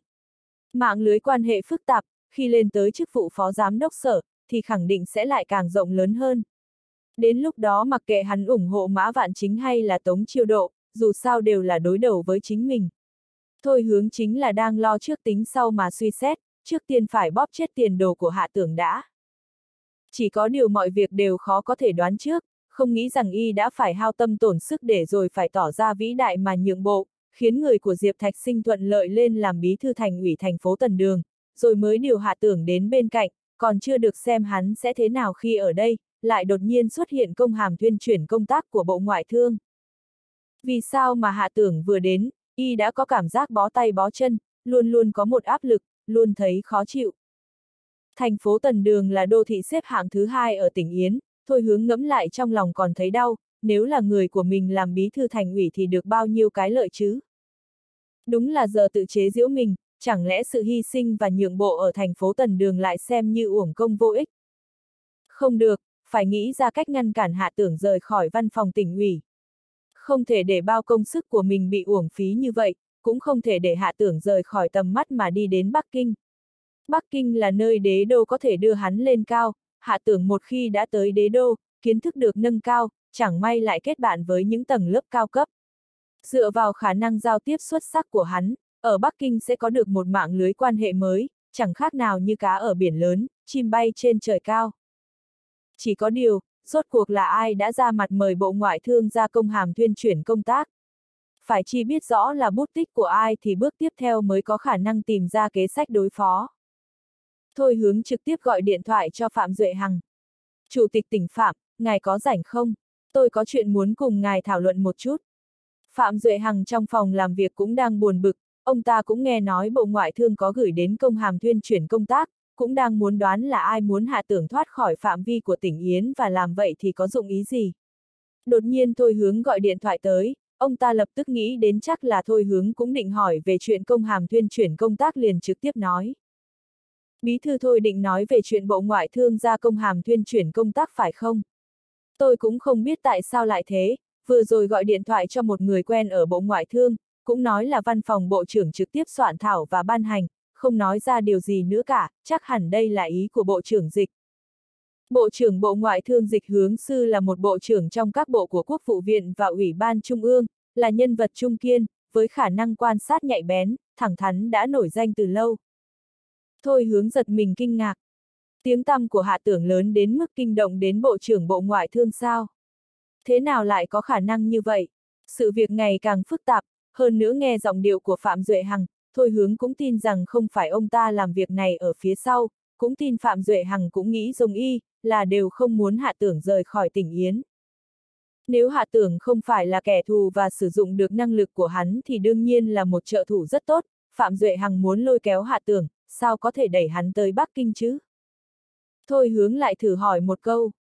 Chủ tịch tỉnh Phạm có biết người nào làm ra chuyện này không? Ý là hỏi Phạm Duệ Hằng có biết ai ở phía sau ra tay không? Phạm Duệ Hằng đáp. Tôi cũng rất ngạc nhiên. Chỉ một câu này là cũng biết ông ta chẳng hay biết gì. Có phải ý bí thư thôi muốn hỏi là văn phòng tỉnh ủy có nên thả người hay không, phải không? Vấn đề khó khăn là không biết là ai ở phía sau ra tay, thả người hay không giờ là vấn đề rất khó. Thôi hướng mặc dù muốn giữ hạ tưởng ở bên người, nhưng không biết là ai muốn đưa hạ tưởng điều đến thủ đô, nên y cũng sẽ không tùy tiện mà tỏ thái độ. Bởi vì không ai biết rõ nên đều muốn tránh sau màn không nói gì, cứ nên để cho người khác làm người xấu là tốt nhất. Thôi hướng liền do dự một chút, từ chối cho ý kiến rồi nói. Hạ tưởng vừa đến phòng tin tức không tới một ngày đã có thư gửi đến muốn thả người, hóa ra quyết định của tỉnh ủy tỉnh Yến bị biến thành trò đùa sao. Tôi đề nghị là chúng ta thử nghe ý kiến của Bí Thư Diệp một chút.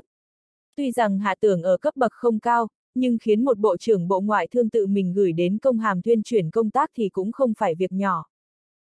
Phạm Duệ Hằng nghe rõ ràng ý của Thôi Hướng, biết Thôi Hướng không muốn nhận trách nhiệm, không muốn thả người, lại muốn đem vấn đề giao cho Diệp Thạch Sinh giải quyết, thật sự là một kẻ xảo quyệt.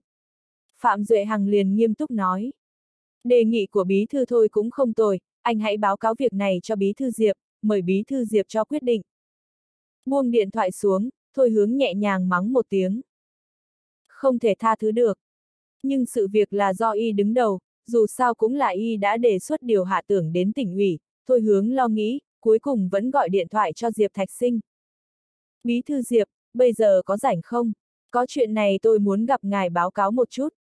Diệp Thạch Sinh ở trong văn phòng lặng im một lúc, Diệp Thạch Sinh bỏ công hàm tuyên chuyển công tác ở trong tay xuống, nhẹ nhàng kéo tay áo nói. Bộ Ngoại thương gửi tới công hàm tuyên chuyển công tác, ý là muốn trưng cầu ý kiến của chúng ta, hạ tưởng cũng không phải là một cán bộ quan trọng của ngành, nếu Bộ Ngoại thương đã đề xuất, vậy chúng ta sẽ để lại cho họ. Thôi hướng lắc lắc đầu. Bí thư Diệp, ngài hãy suy xét lại một chút. Hạ tưởng vừa được điều đến tỉnh ủy nay lại bị điều ngay đến Bộ Ngoại thương, hóa ra quyết định của tỉnh ủy không có một chút quyền lực nào sao. Nếu truyền ra ngoài sẽ làm người ngoài có cái nhìn không tốt về tỉnh Yến. Dường như lời nói của Bộ Ngoại thương, tỉnh ủy nhất định phải nghe vậy. Diệp Thạch Sinh nhíu mày. Thôi hướng nói không phải không có lý. Vừa điều hạ tưởng từ huyện An đến, ngày đi làm đầu tiên đã nhận được công hàm tuyên chuyển công tác của Bộ Ngoại thương, không đến sớm một ngày cũng không đến muộn một ngày. Chắc là đã cố tình vào đúng ngày mà hạ tưởng vừa mới bước vào cửa tỉnh ủy, chẳng hóa ra nói bước vào cửa của tỉnh ủy tỉnh Yến dễ như vậy nên bước chân ra ngoài cũng dễ như thế. Thật là không nể mặt tỉnh ủy tỉnh Yến chút nào. Nếu chính là hạ tưởng ở sau lưng tìm người làm ra chuyện này, chẳng lẽ là hắn không muốn chỉ làm kẻ ngốc ở tỉnh ủy tỉnh Yến. Còn bộ ngoại thương cũng đúng là không chọn hôm khác lại gửi tới công hàm vào lúc này, nếu chậm lại vài ngày sẽ dễ giảm sóc hơn. Không ngờ hạ tưởng vừa lên đã gửi công hàm vậy, có phải tưởng tỉnh ủy tỉnh Yến dễ bắt nạt lắm không? Đúng là tỉnh Yến ở trong nước không phải là một tỉnh lớn, càng không có một bí thư tỉnh ủy nằm trong ủy viên Bộ Chính trị, nói trắng ra là ủy viên dự khuyết của Bộ Chính trị cũng không phải. Mà ngay cả Bộ trưởng Bộ Ngoại thương dịch hướng sư cũng không phải ủy viên Bộ Chính trị, mọi người cũng như vậy, ai cũng ở vị trí không cao không thấp, vậy mà không cần nói lời nào đã gửi tới công hàm tuyên chuyển công tác, tùy ý điều động người của tỉnh Yến. Đừng nghĩ đó chỉ là một trưởng phòng, ở trụ sở tỉnh ủy, trưởng phòng mới là lực lượng trung kiên nhất. Thôi hướng đã thành công khi dùng lời nói khơi dậy sự tức giận ở Diệp Thạch Sinh. Chủ yếu là bộ ngoại thương gửi công hàm tới rất trùng hợp về thời gian, quả thật là cố ý làm cho người ta thấy họ cố ý làm tỉnh ủy có cảm giác khó chịu. Thôi hướng thấy Diệp Thạch Sinh tức giận, trong lòng mừng thầm, y biết y đã thành công một nửa. Trong lòng thôi hướng biết rõ, y biết trước đây Diệp Thạch Sinh và dịch hướng sư từng có xung đột. Hai người ở thủ đô cùng học tại trường đảng Trung ương, bởi vì khi thảo luận về chính sách đã xảy ra tranh chấp, tranh luận không ngớt. Trong thời gian học tập ở trường đảng, tranh luận là chuyện bình thường, nhưng có lẽ giọng điệu của dịch hướng sư rất hăng, Diệp Thạch Sinh lại không quen nhìn thái độ như vậy của dịch hướng sư, hai người càng nói càng hăng, không ngờ lại lên đến mức chiến tranh lý luận. Kết quả trải qua một phiên tranh luận, Diệp Thạch Sinh thất bại. Từ đó về sau ông ta đối với dịch hướng sư tâm tư đầy khúc mắc. Cán bộ cũng là người, gặp được người tính cách đối lập với mình, sẽ cảm thấy đối phương thật đáng ghét. Thôi hướng đã biết đây là chuyện từ trong quá khứ, mới mịt mờ đề xuất việc có thể bộ ngoại thương cậy thế chèn ép người khác, thật là đã thành công khi khơi ra sự tức giận của Diệp Thạch Sinh. Vậy anh tùy ý xử trí cho tốt. Diệp Thạch Sinh tùy ý ném xuống một câu, cúi đầu nhìn lên văn kiện. Ý của ông ta đã rõ ràng, sẽ giả vờ như không biết việc này. Giao cho thôi hướng ra mặt xử lý cho tốt, dù sao y cũng là người được phân công quản lý cán bộ ở tỉnh ủy. Trở lại văn phòng, thôi hướng đưa công hàm tuyên chuyển công tác giao cho thư ký, nói. Gửi công văn trả lời cho Bộ Ngoại thương nói là đồng chí Hạ Tưởng đang quen việc ở văn phòng tỉnh ủy, nhà lại ở tại thành phố Yến nên không muốn tới thủ đô. Tỉnh ủy cũng hy vọng đồng chí Hạ Tưởng ở lại công tác ở tỉnh ủy, có thể cống hiến nhiều hơn nữa cho tỉnh ủy. Thôi hướng coi như đã thành công trong việc ngăn cản hắn đi đường lớn tới thủ đô. Hạ tưởng vẫn hoàn toàn không biết gì cả, hắn ngồi yên trong văn phòng trưởng phòng một lúc lâu, xem đi xem lại các văn kiện đã nửa ngày, thấy đã đến trưa, vừa đúng 12 giờ, không thấy có ai đến báo cáo công tác, càng không có một phó trưởng phòng nào tới để chính thức giới thiệu hắn với mọi người.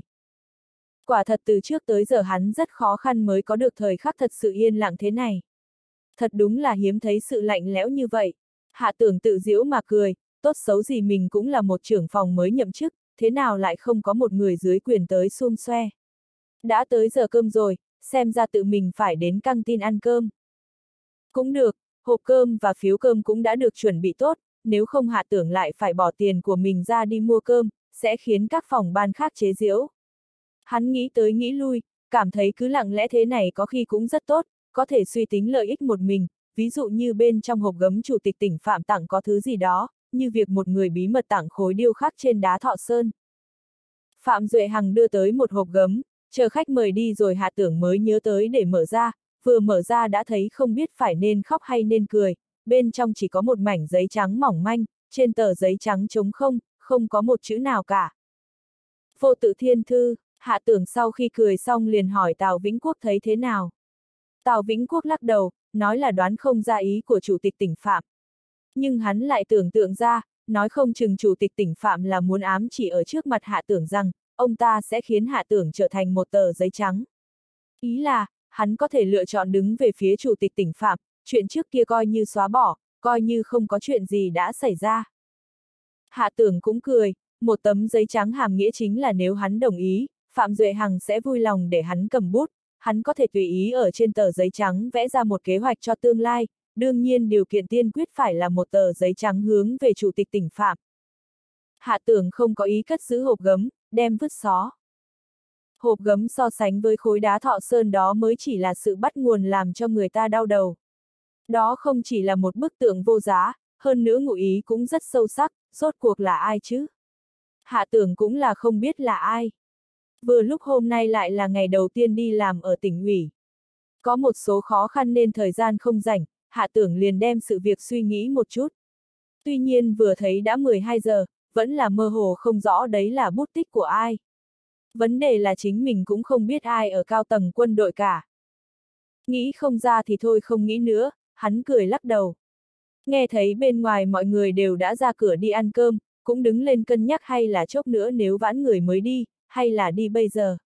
Thôi để chốc nữa đi cũng tốt, có thể làm quen với môi trường xung quanh một chút.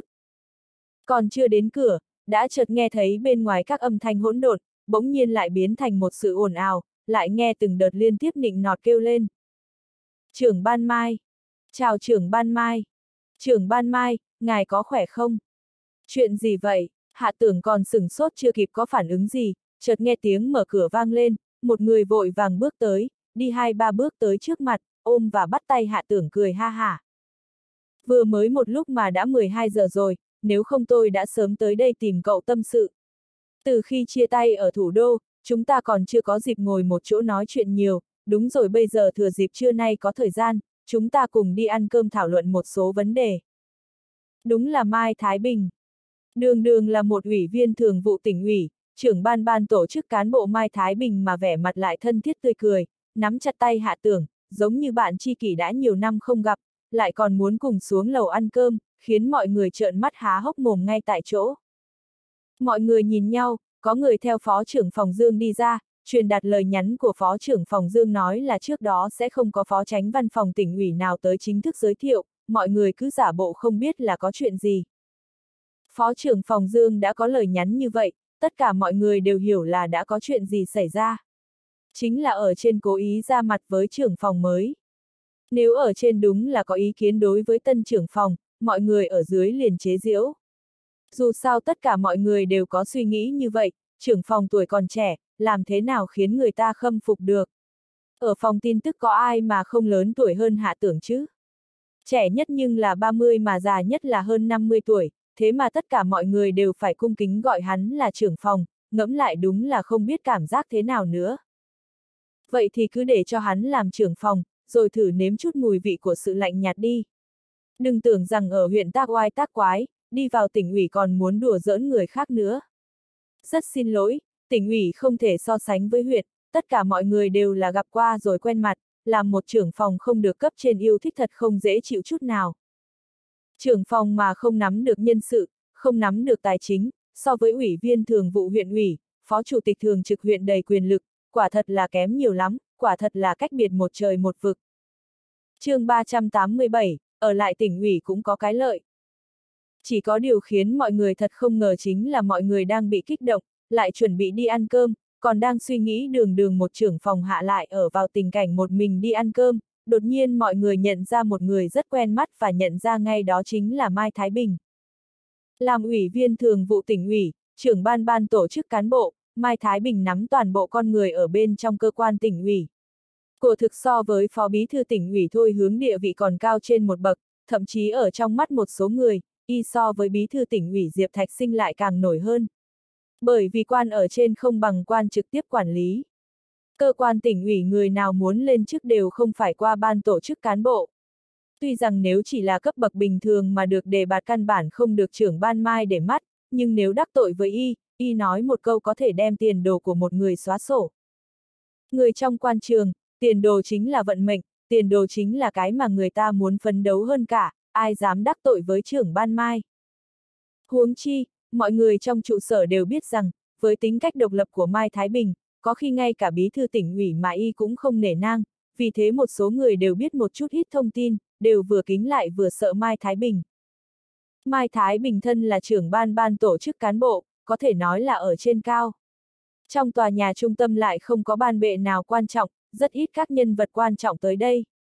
Mai Thái Bình từ khi làm trưởng ban ban tổ chức cán bộ tới nay, một bước cũng không có bước vào cửa chính tòa nhà, lại càng không đến phòng tin tức, nơi thường xuyên bị mọi người bỏ quên. Không nghĩ tới, đột nhiên trưởng ban mai lại đến đây, lập tức khiến mọi người vừa mừng vừa sợ, phía trước phía sau đều thể hiện thiện ý với trưởng ban mai. Mai Thái Bình chỉ nhìn mọi người xung quanh gật gật đầu, cũng không cười, liền sải bước theo hướng văn phòng của trưởng phòng mà đi. Cảnh tượng tiếp theo đến khiến tất cả mọi người đều không thể tin được, Mai Thái Bình trực tiếp đẩy cửa phòng làm việc, chủ động nhiệt tình, thân thiết mà bắt tay hạ Tường. Mọi người trong trụ sở tỉnh ủy, ai chẳng nói Mai Thái Bình luôn luôn kiêu ngạo, bình thường rất ít khi để ý người khác. Khi người ta chào hỏi, ngay cả mặt cũng không hề cười, ngay cả cán bộ cấp sở chào hỏi ông ta, chưa chắc ông ta đã đáp lại, cùng lắm là khẽ gật đầu. Sao bây giờ lại có thể thân mật với hạ tưởng như thế, làm sao không khiến cho người khác thấy kinh ngạc? Chưa từng nghe nói trưởng phòng hạ và trưởng ban mai có quan hệ như thế nào. Cấp trên không phải nói muốn lạnh nhạt với trưởng phòng hạ sao. Hiện tại đúng là đáng chê cười, bọn họ lạnh nhạt với người ta nửa ngày. Đột nhiên lại xuất hiện một ủy viên thường vụ tỉnh ủy tiến đến thăm hỏi hạ tưởng, hơn nữa đó còn là vị trưởng ban ban tổ chức cán bộ mà tất cả mọi người đều xem trọng. Trưởng ban ban tổ chức cán bộ tự mình ra mặt, không mang theo thư ký, không gọi điện thoại báo trước, một mình đi gặp mặt, khiến gần như mọi người không thể tin được ngay cả khi bọn họ đã tận mắt nhìn thấy tất cả. Quả thật hạ tưởng thấy đột nhiên Mai Thái Bình đến cũng hết sức ngạc nhiên. Hắn với Mai Thái Bình không biết rõ nhau nhiều lắm, hắn với Khâu Tự Phong đến thủ đô chẳng qua gặp mặt ông ấy duy nhất một lần. Nhưng hôm nay ông ấy mừng rỡ mà đến thăm mình trước, khiến trong lòng hắn tràn đầy sự cảm động. Mặc dù trong tỉnh ủy hắn cũng biết mấy người, Phó Chủ tịch Thường trực tỉnh Mã Vạn Chính, Phó Chủ tịch tỉnh Tống Chiêu Độ và Phó Chủ tịch tỉnh Cao Tấn Chu. Nhưng khi bị mọi người đối xử lạnh nhạt, hắn cũng thật không biết làm sao để cân bằng lại được. Hạ tưởng cũng hiểu được rằng, khi hắn mở miệng nói với ba người đó, thì sẽ có một người ra mặt giúp hắn lấy lại thể diện, nhưng cũng không cần phải như vậy, có rất nhiều chuyện vẫn nên là tự mình ứng phó mới thỏa đáng. Lại không ngờ là Mai Thái Bình đột nhiên lại xuất hiện, khiến hắn thấy vừa vui vừa bất ngờ, lại âm thầm cảm kích dụng ý của Mai Thái Bình. Đều là người ở trong quan trường, đặc biệt là tới giờ này mới xuất hiện, tuyệt đối là có ý nâng đỡ hắn, cũng muốn cho người khác thấy, cũng là có ý phát cho hắn một tín hiệu, chính là ở trụ sở tỉnh ủy Mai Thái Bình sẽ cố gắng nâng đỡ hạ tưởng.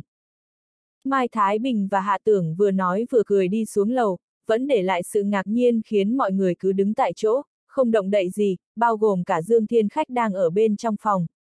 Y bỗng nhiên cảm giác không thích ứng kịp với sự thay đổi trước mặt. Cấp trên không muốn chiếu cố hạ tưởng, còn văn phòng thì muốn lạnh nhạt với người ta, ban tổ chức cán bộ tỉnh ủy lại nâng đỡ người ta, rốt cuộc nên làm thế nào mới tốt. Tất cả mọi người cúi đầu đi ăn cơm, ai nấy đều không nói gì, nhưng không ai trong lòng hiểu được, trong nháy mắt Mai Thái Bình xuất hiện, liên minh của phòng tin tức muốn đối phó với hạ tưởng liền ngay lập tức sụp đổ. Ngay cả lập trường của Dương Thiên Khách cũng nhanh chóng thay đổi, chuẩn bị khi buổi chiều lên ban, liền sẽ tới báo cáo công việc một chút với trưởng phòng hạ. Tòa nhà trung tâm cách căng tin tỉnh ủy một đoạn, trên đường đi hai người như hai người bạn đi ăn cơm. Rất nhiều người không biết hạ tưởng nhưng đại bộ phận mọi người đều biết Mai Thái Bình.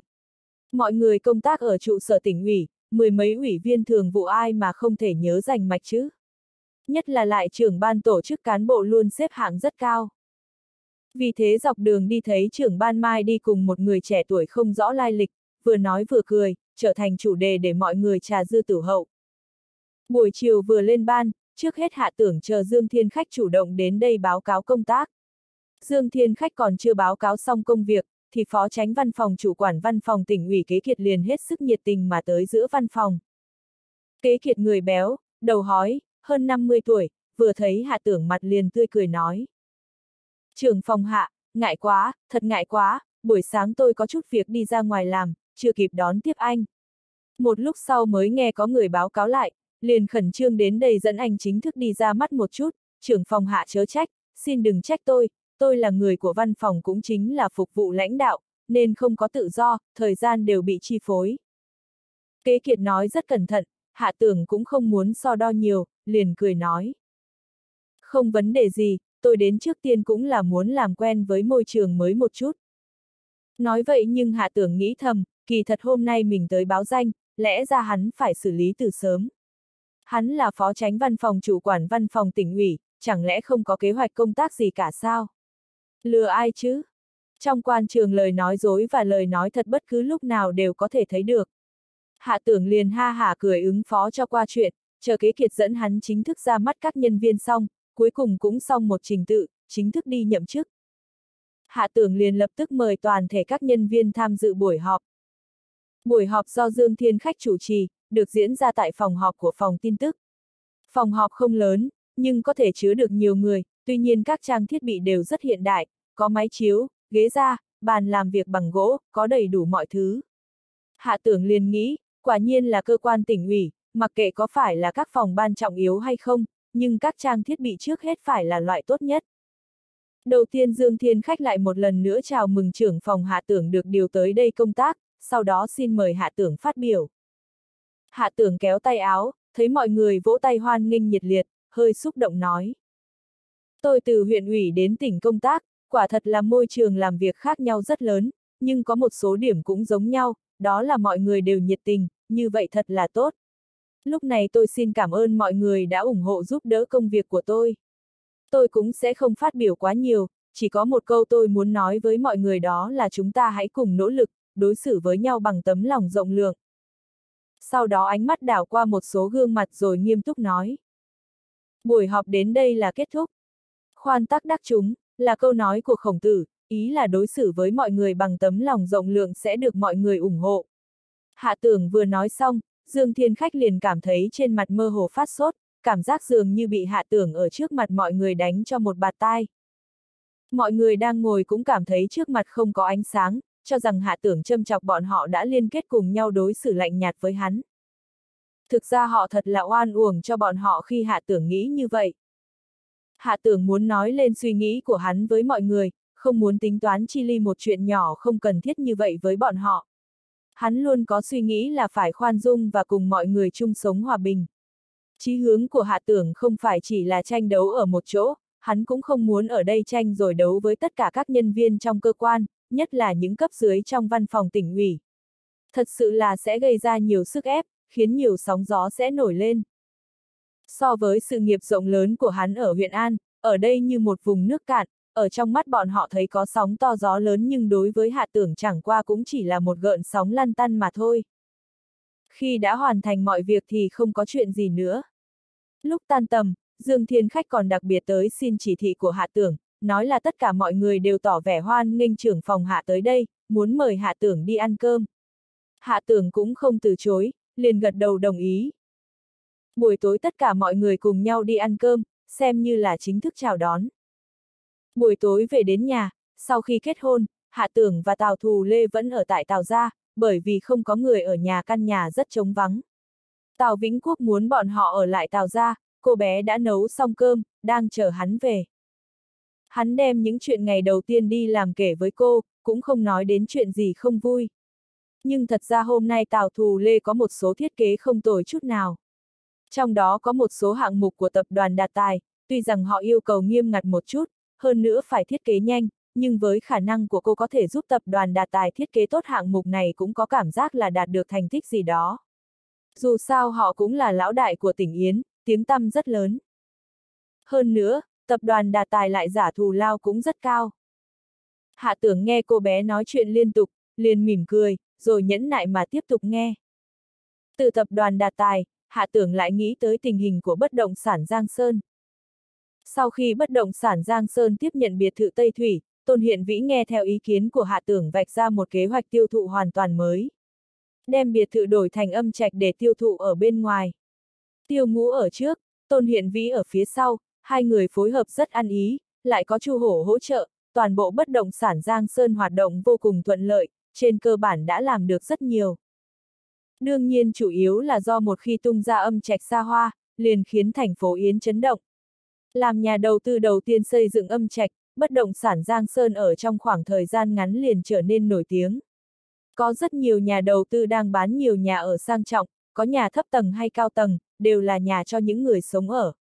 Nhưng một công ty bất động sản Giang Sơn chưa có danh tiếng vừa ra tay đã tung ra những âm trạch xa hoa, không làm cho mọi người chú ý mới lạ.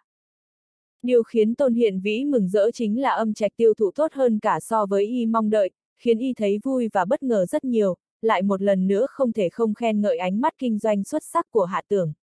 Âm trạch xa hoa là sự vật mới tại thành phố Yến, nên không nghĩ tới là mới làm lần đầu đã có thể thành công, ngạc nhiên hơn nữa là lợi nhuận cũng rất cao, không thể kém nhiều hay ít so với biệt thự xa hoa dành cho người sống, điều đó khiến cho Tôn Hiện Vĩ lại vui mừng không kìm nén được.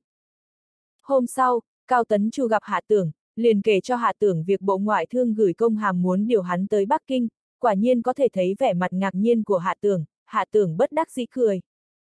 Hẳn là nhược hạm ở sau lưng làm việc này, cô ấy không nói cho tôi biết. Thực ra Cao Tấn Chu không muốn Hạ Tưởng rời khỏi thành phố Yến và tỉnh Yến. Theo ông ta thấy thì điều động đến Bắc Kinh hắn sẽ không có ưu đãi gì. Tuy nhiên cũng đã nghe Hạ Tưởng nói một số chuyện hôm qua ở phòng tin tức, biết là có người cố ý chèn ép Hạ Tường. Nếu Hạ Tường không tới Bắc Kinh mà lại ở lại làm một chức vụ nho nhỏ ở văn phòng tỉnh ủy cũng chẳng có gì để làm. Mặc dù xuất phát từ trong lòng, y cũng muốn Hạ Tường ở lại, nhưng theo góc độ của Hạ Tường mà suy xét, hắn tới Bắc Kinh cũng không hẳn là một lựa chọn xấu. Có lẽ thiên hạ vô tận Bắc Kinh rộng lớn, ngược lại Hạ Tường có thể như cá gặp nước chứ không phải bị nhốt ở một nơi đến phát chán, lãng phí thời gian và năng lực ở trong quan trường. Đồng thời Cao Tấn Chu còn lo lắng cho quan hệ của Hạ Tưởng và Liên Nhược Hạm. Hiện tại theo y suy xét, cũng là hy vọng Hạ Tưởng và Liên Nhược Hạm mọi việc đều thuận lợi, không bị ảnh hưởng bởi thế lực hai bên. Nhưng y cũng biết nếu chẳng may trong lúc đó ông cụ biết được quan hệ của Liên Nhược Hạm và Hạ Tưởng, nói không chừng sẽ vô cùng tức giận. Ông cụ mà giận dữ, sẽ lấy quyền lực của Ngô Gia Gia, Hạ Tưởng tuyệt đối sẽ không may mắn như lần trước mà tránh được khó khăn. Tính tình ông cụ, Cao Tấn Chu cũng hiểu một chút. Cố chấp lại cứng nhắc, có lẽ là do ở địa vị cao đã lâu nên rất lạnh lùng không biết điều, ở ngô gia cũng chỉ có ngô tài giang là có thể lấy lòng ông khiến ông vui vẻ.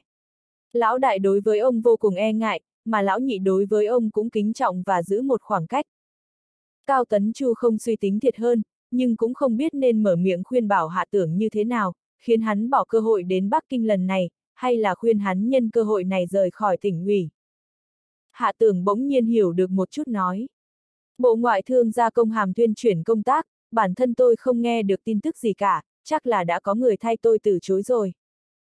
Cao Tấn Chu chỉ lo rồi sốt ruột tìm đến hạ tưởng để hỏi rõ ràng, hiện tại thấy hạ tưởng cảnh tỉnh, cũng mới nghĩ thông suốt vấn đề mấu chốt ở trong đó, ngẫm nghĩ một chút rồi nói.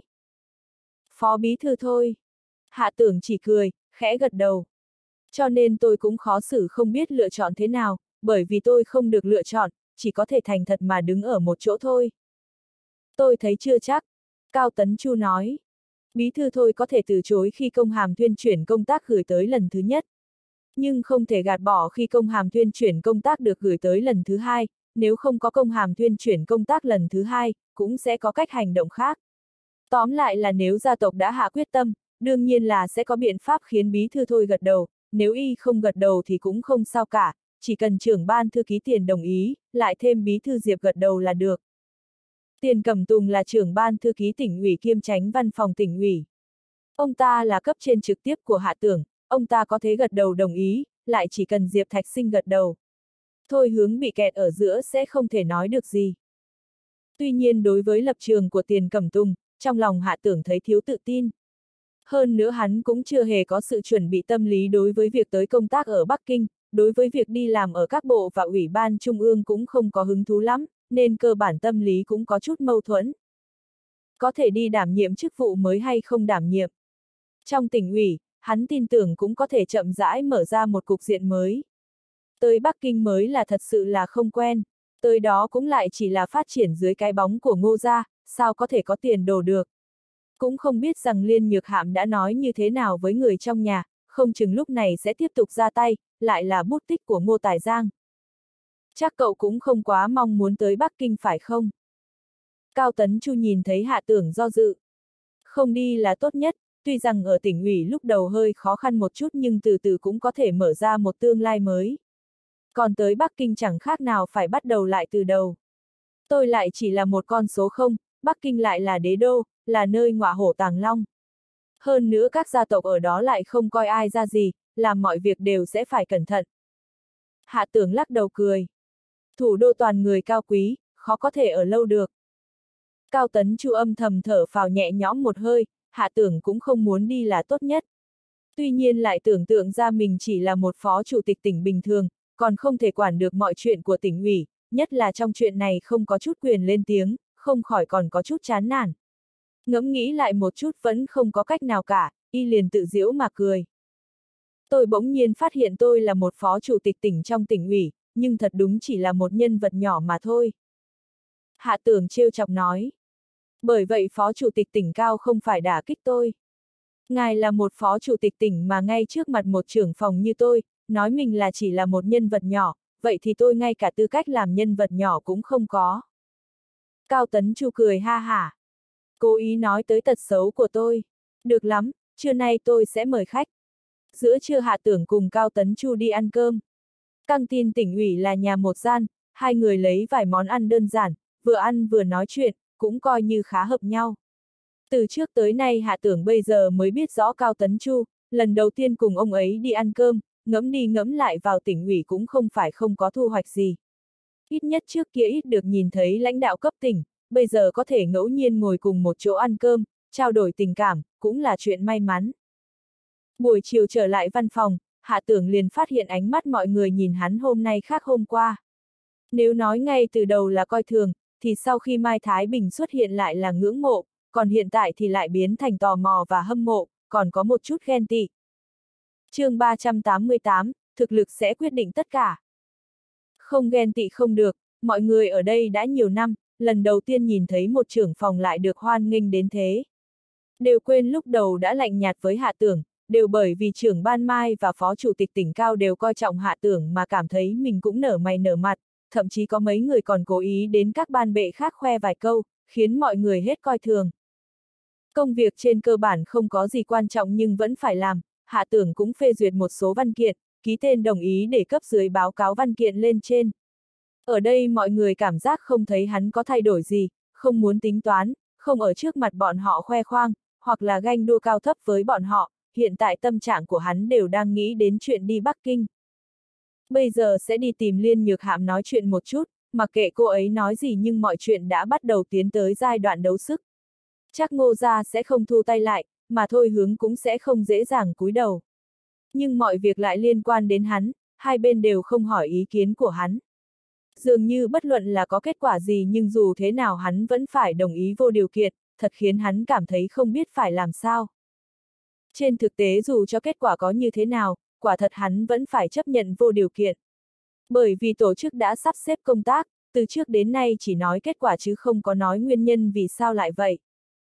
Hạ tưởng nghĩ tới nghĩ lui cuối cùng lại gọi điện thoại cho Liên Nhược Hạm. Dường như Liên Nhược Hạm biết vì sao Hạ Tưởng lại gọi điện thoại cho cô. Đầu tiên là chủ động thừa nhận là cô không đúng khi chưa được hắn cho phép đã cùng với gia tộc bàn bạc đưa hắn đến Bắc Kinh, thật là có lỗi. Sau đó liền lại giả bộ đáng thương có ý ôn tồn, nói cô quả thật không muốn để hắn lại quá mệt mỏi như vậy, nếu đã đến được Bắc Kinh được một thời gian thì đã có thể rèn luyện thêm, cũng là chờ cơ hội khi đã thành thục sẽ trực tiếp được trao quyền làm phó thị trưởng cất bước. Chưa bao giờ Liên Nhược Hạm quan tâm đến chính trị rồi vì hắn mà suy xét nhiều như vậy. Hạ tưởng cũng thầm cảm động, ngay cả một câu oán trách cũng không nói nên lời. Chỉ có điều hắn vẫn kín đáo đưa ra suy nghĩ là hắn không muốn rời khỏi tỉnh Yến. Liên Nhược hạ mất hứng nói. Nam nhi trí ở tứ phương, nếu cứ mãi ở một mẫu ruộng nhỏ thì bao giờ mới có tiền đồ được. Với năng lực của anh đến Bắc Kinh có thể được lăn lộn, được vui vẻ mà bắt đầu. Bắc Kinh thì làm sao, Bắc Kinh cũng là nơi mà người người ở khắp các địa phương tới, không phải tất cả đều là thần tiên. Nếu tất cả mọi người là người thì không có gì phải sợ bọn họ. Nếu anh không xa được cô bé Lê, thì mang cô ấy cùng đi đến đây, đưa cô bé tới Bắc Kinh đi, em sẽ giới thiệu một số công việc cho cô ấy. Liên nhược hạm nhả chữ như châu ngọc, nói liên tiếp khiến hạ tưởng không thể phản ứng kịp. Lập tức nghĩ cũng hiểu liên nhược hạm đã phải khổ tâm một phen, hắn liền thở dài một tiếng. Vấn đề then chốt là tỉnh ủy không muốn thả người, có người không muốn anh rời khỏi tầm mắt ông ta, anh vừa rời khỏi, trong lòng ông ta sẽ không được thoải mái. Còn nữa, nếu thật sự muốn anh tới Bắc Kinh, em hãy cùng anh quay về Bắc Kinh đi, điều kiện bệnh viện ở Bắc Kinh cũng rất tốt, cũng có trang thiết bị hiện đại thuận tiện cho việc sinh sản. Cho dù có ra nước ngoài cũng có chuyến bay thẳng. Liên nhược hạm được hạ tưởng tâm sự, giọng lập tức hạ xuống.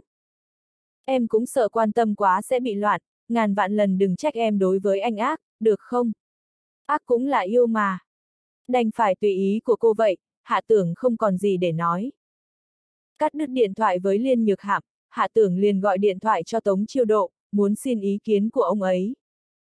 Câu đầu tiên của Tống Chiêu Độ mang một niềm vui bất ngờ liền nói. Tiểu Hạ, tôi đang muốn gọi điện thoại cho cậu, không ngờ cậu lại gọi trước đến đây, thế nào cậu đã thích ứng với công việc ở tỉnh ủy chưa? Hạ tưởng liền nói qua mọi chuyện, đơn giản là mọi việc tất cả đều rất tốt, vân vân. Sau đó liền chuyển qua đề tài khác, liền nhắc tới việc Bộ Ngoại thương ra công hàm tuyên chuyển công tác. Tôi cũng nghe nói tới chuyện này, cuối cùng là do Phó Bí Thư Thôi đề nghị ép xuống, còn Bí Thư Diệp cho chỉ thị, lý do là đồng chí Hạ Tưởng không muốn tới công tác ở Bộ Ngoại thương, mong muốn tiếp tục ở lại tỉnh Yến cống hiến. Giọng tống chiêu độ âm trầm, mạnh mẽ, không có phập phồng, nghe cũng không hiểu được quan điểm của ông ta đối với việc này là như thế nào. Tiểu hạ, việc tới các bộ và ủy ban trung ương công tác đối với cậu mà nói không có tốt lắm. Tôi cảm thấy cậu trước mắt hay là cứ nên ở lại tỉnh ủy, so sánh ra thì tuy rằng vẫn có chút chắc trở nhưng sau một thời gian cậu sẽ học được đạo lý đối nhân xử thế, sẽ ngày càng có sự hiểu biết trên quan trường. Đối với việc trưởng thành của cậu sau này mà nói là hết sức có lợi. Tống chiêu độ bất chợt dừng lại rồi nói thẳng ra quan điểm của mình. Hạ tưởng cũng đã đoán được như thế, Tống chiêu độ sẽ càng có khuynh hướng muốn giữ hắn ở lại tỉnh Yến để rèn luyện. Tống chiêu độ và Mai Thái Bình khác nhau, Mai Thái Bình là thái tử đảng, hắn nghe đồn y có một bộ mặt khác, cho nên giữa trưa hôm qua mới có cảnh tượng như vậy.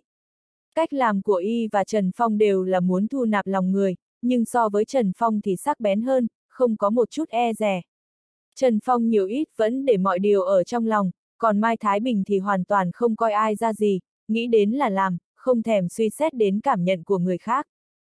Bởi vì Trần Phong xuất thân từ tầng lớp bình dân, so sánh với Mai Thái Bình là một thiếu gia lớn lại có thể dựa vào thế lực của gia tộc mình, tất nhiên ít nhiều cũng phải phải cẩn thận, thật cẩn thận.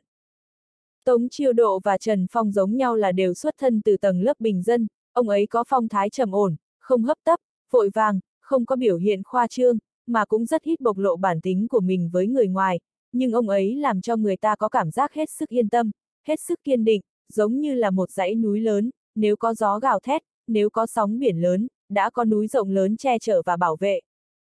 Bình tĩnh mà xem xét hạ tưởng tự nhiên bằng lòng với việc dựa vào tống chiêu độ. Không chỉ là bởi vì hắn biết về sau Tống Chiêu Độ có thể được làm bí thư tỉnh ủy mà hơn nữa con đường mà Tống Chiêu Độ đang đi là một con đường lớn, được cấp trên rất khen ngợi và cũng đã làm ra không ít lợi ích cho toàn thể nhân dân. Còn có chuyện quan trọng hơn nữa là vì hạ tưởng muốn lấy Tống Chiêu Độ làm tấm gương, thân đang ở địa vị cao thì bị lạnh nhạt, bị người ta để đó không trọng dụng, khi thì trên quan trường mọi chuyện xảy ra phập phồng, đi lên đi xuống. Nhưng cuối cùng ông ta vẫn có thể bình tĩnh mà đối diện với con đường làm quan không bằng phẳng chút nào. Hơn nữa gia cảnh lại không phải là gia tộc để có thế dựa vào, sao dám so bì với thái tử đảng, nên phải nỗ lực và phải đổ thật nhiều tâm huyết và trí tuệ. Hạ tưởng trầm mặc một lát, nói. Nếu phó bí thư thôi giúp cháu ngăn cản việc đó cũng thật là tốt, cháu cũng đang không muốn đi thủ đô. Tuy nhiên điều cháu lo lắng chính là ngô gia có khả năng sẽ không bỏ qua, sẽ còn có những hành động tiếp theo. Tống chiêu độ hơi trầm ngâm, hỏi. Theo nguồn gốc của sự việc, thử nghĩ ra cách nào xem có thể khiến ngô gia dừng tay hay không. Hạ tưởng ngắt điện thoại của Tống chiêu độ lại lo nghĩ, cho rằng hay là thử bàn bạc với Trần Phong một chút cho thỏa đáng, liền lại gọi cho Trần Phong. Trần Phong cũng vừa mới nghe nói việc này, cũng có ý giống Tống chiêu độ, cũng là mong muốn Hạ Tưởng ở lại tỉnh Yến. Hạ Tưởng cũng tỏ ý đồng ý, nhưng lại chuyển sang đề tài khác, nhắc tới vấn đề đất xây dựng của nhà máy thép và nhà máy dược. Ở thành phố đã thông qua nghị quyết là năm sau nhà máy thép và nhà máy dược bắt đầu thi công, cho nên sớm nhất cũng muốn xác định rõ quyền sở hữu đất. Trần Phong thấy Hạ Tưởng quan tâm tới tập đoàn viễn cảnh cũng không thấy kinh ngạc chút nào, ngược lại cười nói. Phó Chủ tịch tỉnh Cao cũng đã nói qua với tôi, dựa theo quy định khẳng định là phải chiếu cố tập đoàn viễn cảnh trước tiên. Bởi vì lúc khai phá công viên rừng rậm, họ đã ký bản dự thảo với thành phố. Nhưng dự thảo vẫn chỉ là dự thảo, hiện tại thị trưởng Hồ lại là người quản lý nên khả năng ông ấy sẽ không nghĩ như vậy. Trần Phong thân là ủy viên thường vụ, bí thư, chủ trì công tác mọi mặt. Nhưng Hồ Tăng Chu dù sao cũng là nhân vật số 2, chủ trương của chính phủ là dù công tác về mọi mặt, nhưng bí thư cũng không thể trực tiếp tham gia vào công việc hành chính, sẽ khiến người ta có suy nghĩ lệch lạc. Cấp trên khi đưa ra quyết định về Cao Thành Tùng còn có một số sai lầm đó là việc, tham gia vào công việc hành chính, chuyện vừa mới qua chưa lâu, Trần Phong cũng không muốn bị người khác công kích là giống Cao Thành Tùng. Trong lòng hạ tưởng cũng thấy căng thẳng. Sau khi Hồ Tăng Chu tới thành phố Yến, phong cách nắm quyền coi như vững vàng, cũng không biết là có phải muốn dựa vào tỉnh và có ý đồ gì không. Thái độ của Hồ Tăng Chu luôn ở giữa nên hạ tưởng vẫn cảm thấy trong lòng kiên định. Tuy nhiên hắn cũng biết thái độ của Hồ Tăng Chu đứng ở giữa, nhưng cũng không hoàn toàn như vậy là bởi vì y vẫn có niềm tin kiên trì, chỉ là thời gian y đến thành phố Yến còn ít, còn chưa gặp phải những vấn đề lớn và quan trọng cần phải đưa ra sự lựa chọn. Hiện giờ là vấn đề đất của nhà máy thép và nhà máy dược mà đã bắt đầu phải thể hiện ra ý chí lớn và quyền lực. Hồ Tăng Chu do dự giải quyết một vấn đề, chắc là có người tạo áp lực cho y. Đương nhiên việc đồng thời tạo áp lực, khẳng định trong đó cũng đã có lời hứa hẹn, nói không chừng là còn có một quyền lợi thật hấp dẫn. Thị trưởng Hồ không biết sẽ quyết định thế nào, nên hạ tưởng không dám đoán, nhưng ít ra cũng hiểu được một chút chính là thị trưởng Hồ đang thấy khó xử. Bởi vì trước đây Hồ Tăng Chu có một thời gian kết giao, thời gian đó y và tập đoàn viễn cảnh có quan hệ rất tốt đẹp. Mình cũng từng kín đáo đề xuất với Hồ Tăng Chu về việc tập đoàn viễn cảnh đã cống hiến rất lớn cho thành phố Yến, căn cứ chính sách thu hút đầu tư từ bên ngoài chiếu cố đến các doanh nghiệp bên ngoài, cũng có thể phê duyệt mảnh đất của nhà máy thép và nhà máy dược để lại cho tập đoàn viễn cảnh. Lúc ấy Hồ Tăng Chu tuy rằng không có tỏ thái độ rõ ràng, nhưng trong khi nói vẫn có ý thiên vị tập đoàn viễn cảnh. Hơn nữa y cũng nói phải tôn trọng quyết định của chính quyền nhiệm kỳ trước, tuyệt đối không thể làm các nhà đầu tư cảm thấy thất vọng về chuyện gì. Chỉ có điều khi chuyện này xảy ra, vẫn là có một sự cản trở mạnh mẽ. Cũng may Trần Phong cuối cùng cũng biểu lộ thái độ.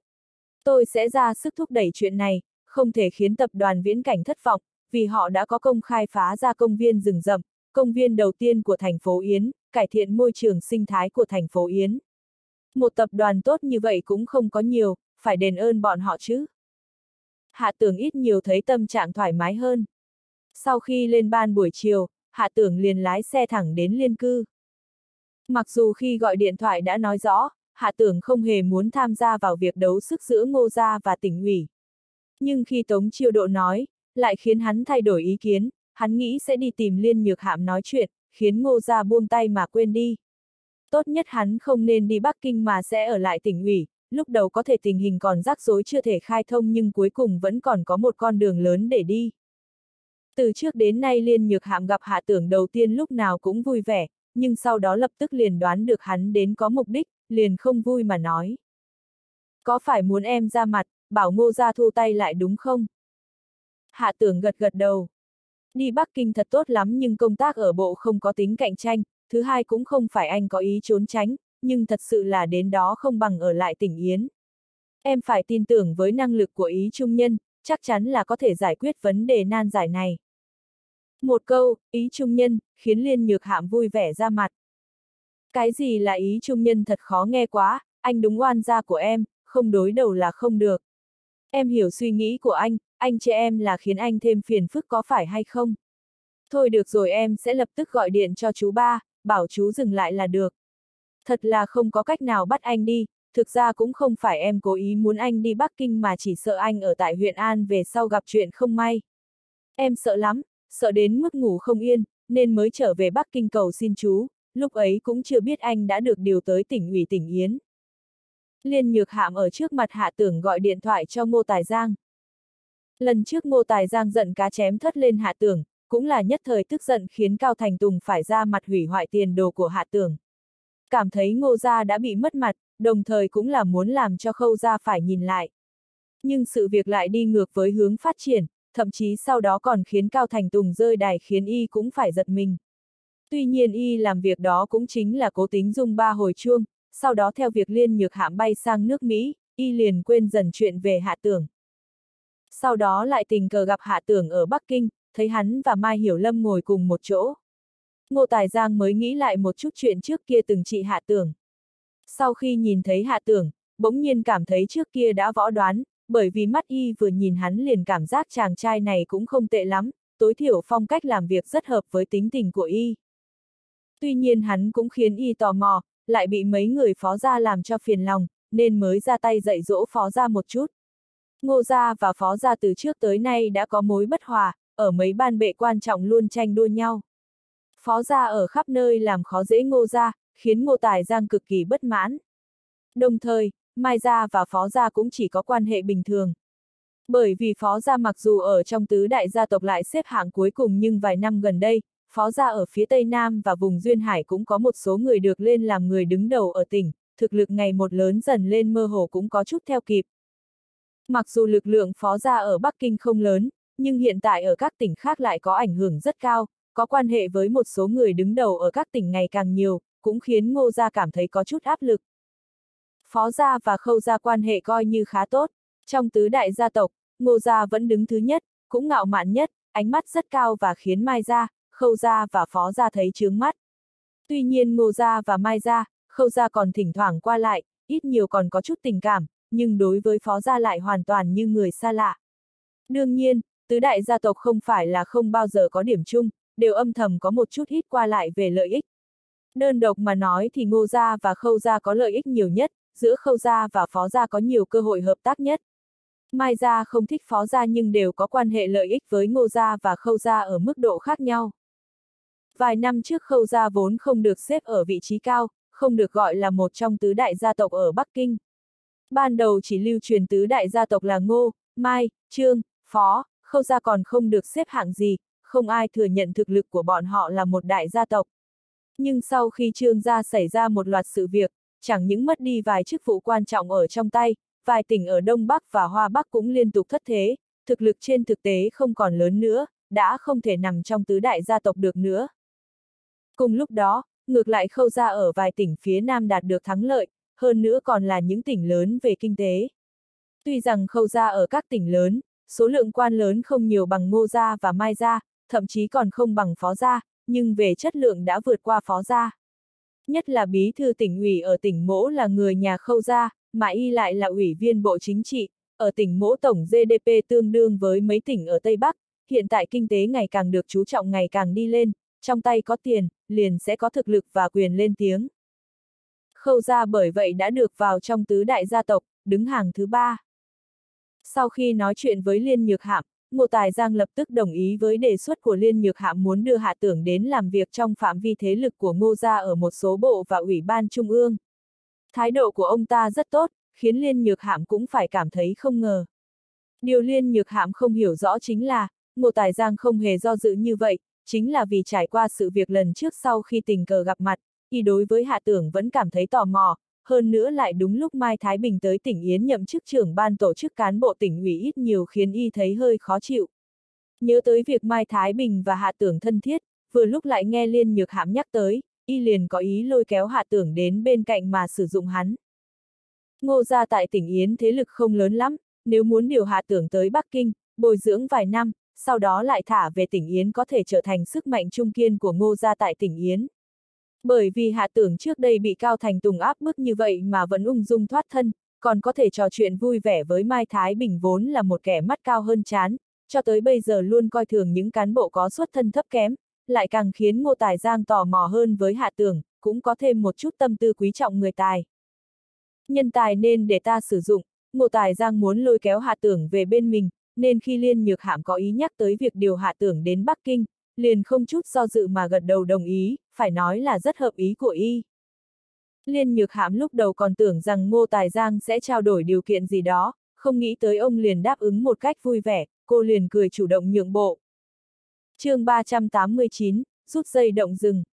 Tuy rằng quan hệ của cô và Ngô Gia cũng bình thường, nhưng dù sao đối với Ngô Tài Giang cũng là máu mủ tình thân. Thân là chú, vẫn là có một chút thân thiết mới khiến cho Ngô Tài Giang cố gắng chiếu cố hạ tưởng như vậy. Ngô Tài Giang cũng không ngốc, cũng có thể nhìn ra liên nhược hạm có tình cảm đối với hạ tưởng, ngẫm nghĩ một chút vẫn nên nhắc nhở cô một câu. Hạ tưởng là một người không tồi, nhưng có điều cậu ấy có rất nhiều mối quan hệ phức tạp, và chủ yếu chính là cậu ấy đã đính hôn. Đúng là anh ấy chẳng những đã đính hôn mà đến Tết Nguyên đán sẽ kết hôn. Nhưng việc anh ấy đính hôn và kết hôn thì có quan hệ gì đến việc cháu giúp anh ấy? Anh ấy đã từng giúp tập đoàn viễn cảnh, về sau có thể trở thành trợ thủ của ngô gia. Hiện tại anh ấy quan hệ với cả khâu gia và mai gia không tồi, cháu là vì nghĩ đến lợi ích của gia tộc, chú không nên suy nghĩ linh tinh. Liên nhược hạm bỗng nhiên nhớ tới việc ngô tài giang ở sau lưng phá rối đã làm cho hạ tưởng bị giữ vài ngày, khiến cô cũng phải đi tới nước Mỹ. Mặc dù cuối cùng hạ tưởng và cô đều trong họa gặp phúc, nhưng trong lòng cô vẫn thấy tức giận bất bình, chỉ vì ngô tài giang hấp tấp mà tâm sinh bất mãn, mượn cơ hội liền phát ra. Ngô Tài Giang hiểu tính cách của Liên Nhược Hạm, biết cô bé ngay cả lời ba nói cũng không nghe, lời nói của Trình mình đối với cô bé lại càng không có uy lực gì, liền lắc đầu cười. Nhược Hạm, chú chỉ quan tâm đến cháu, chú cam đoan với cháu về sau sẽ không tham gia vào chuyện cá nhân của cháu. Cháu yêu thế nào, bị áp lực thế nào cũng kệ cháu, dù sao cháu cũng có một con mắt tinh tường, lại có năng lực có thể kiếm được rất nhiều tiền. Nhưng nếu tên của Hạ Tưởng được ông cụ biết đến, tính tình ông thế nào thì cháu cũng biết, chú cũng không ngăn được đâu. Chú không cần lo, có vấn đề gì cháu sẽ chịu trách nhiệm. Chỉ cần chú đồng ý không nói chuyện này với ông cụ, nếu không cháu sẽ có cách làm hạ tưởng trợ giúp Mai Gia và Khâu Gia, sẽ đối đầu với Ngô Gia. Nói vậy chắc chú cũng hiểu được, gần đây Mai Gia và Khâu Gia thế lực tăng lên rất nhanh, hơn nữa Mai Gia và Khâu Gia đều thích hạ tưởng. Đừng buộc anh ấy phải đi theo hướng đối đầu với Ngô Gia. Liên nhược hạm bỗng nhiên kiên cường đứng lên, đối đầu với Ngô Tài Giang gay gắt. Ngô Tài Giang không có cách nào nói với Liên nhược hạm, đành phải miễn cưỡng cười với nhược hạm. Cháu đối với chú như vậy để làm gì? Đúng là trước kia chú đã sai thật là xin lỗi hạ tưởng, nhưng thực sự đó chỉ là hiểu lầm, hơn nữa mọi việc cũng đã qua, làm người phải nhìn vào chuyện tương lai, không nên nhìn mãi chuyện quá khứ như vậy.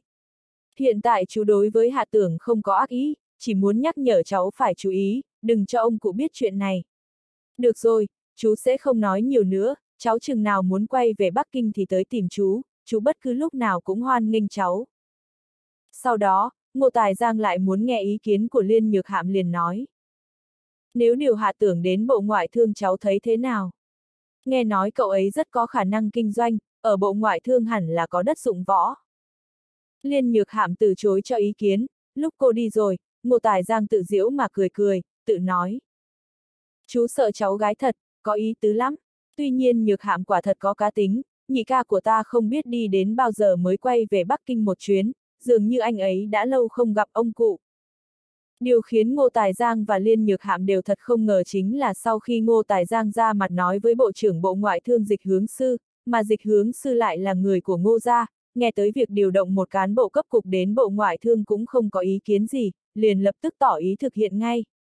Nhưng y khi chọn thời gian, vẫn còn suy nghĩ một chút. Bởi vì y nghe được tin hạ tưởng sắp sửa được điều tới tỉnh ủy tỉnh Yến, liền đặc biệt chú ý đến ngày hạ tưởng tới đó. Thông qua một số người làm ở tỉnh ủy tỉnh Yến được biết chính xác thời gian hạ tưởng sẽ đi làm, liền ngay trong ngày đầu tiên hạ tưởng đi làm, ra công hàm tuyên chuyển công tác. Làm như vậy chính là muốn làm khó Diệp Thạch Sinh, bởi vì năm đó y và Diệp Thạch Sinh có mối bất hòa. Dịch hướng sư vẫn cảm thấy ký ức đó còn rất mới, về sau khi làm việc vài lần với Diệp Thạch Sinh, đều nhớ đến lần cố tình làm ông ta khó xử mà nhớ mãi không quên. Hiện nay có một cơ hội tốt như vậy nếu không mượn cơ hội này thể hiện một chút, thì không phải là dịch hướng sư.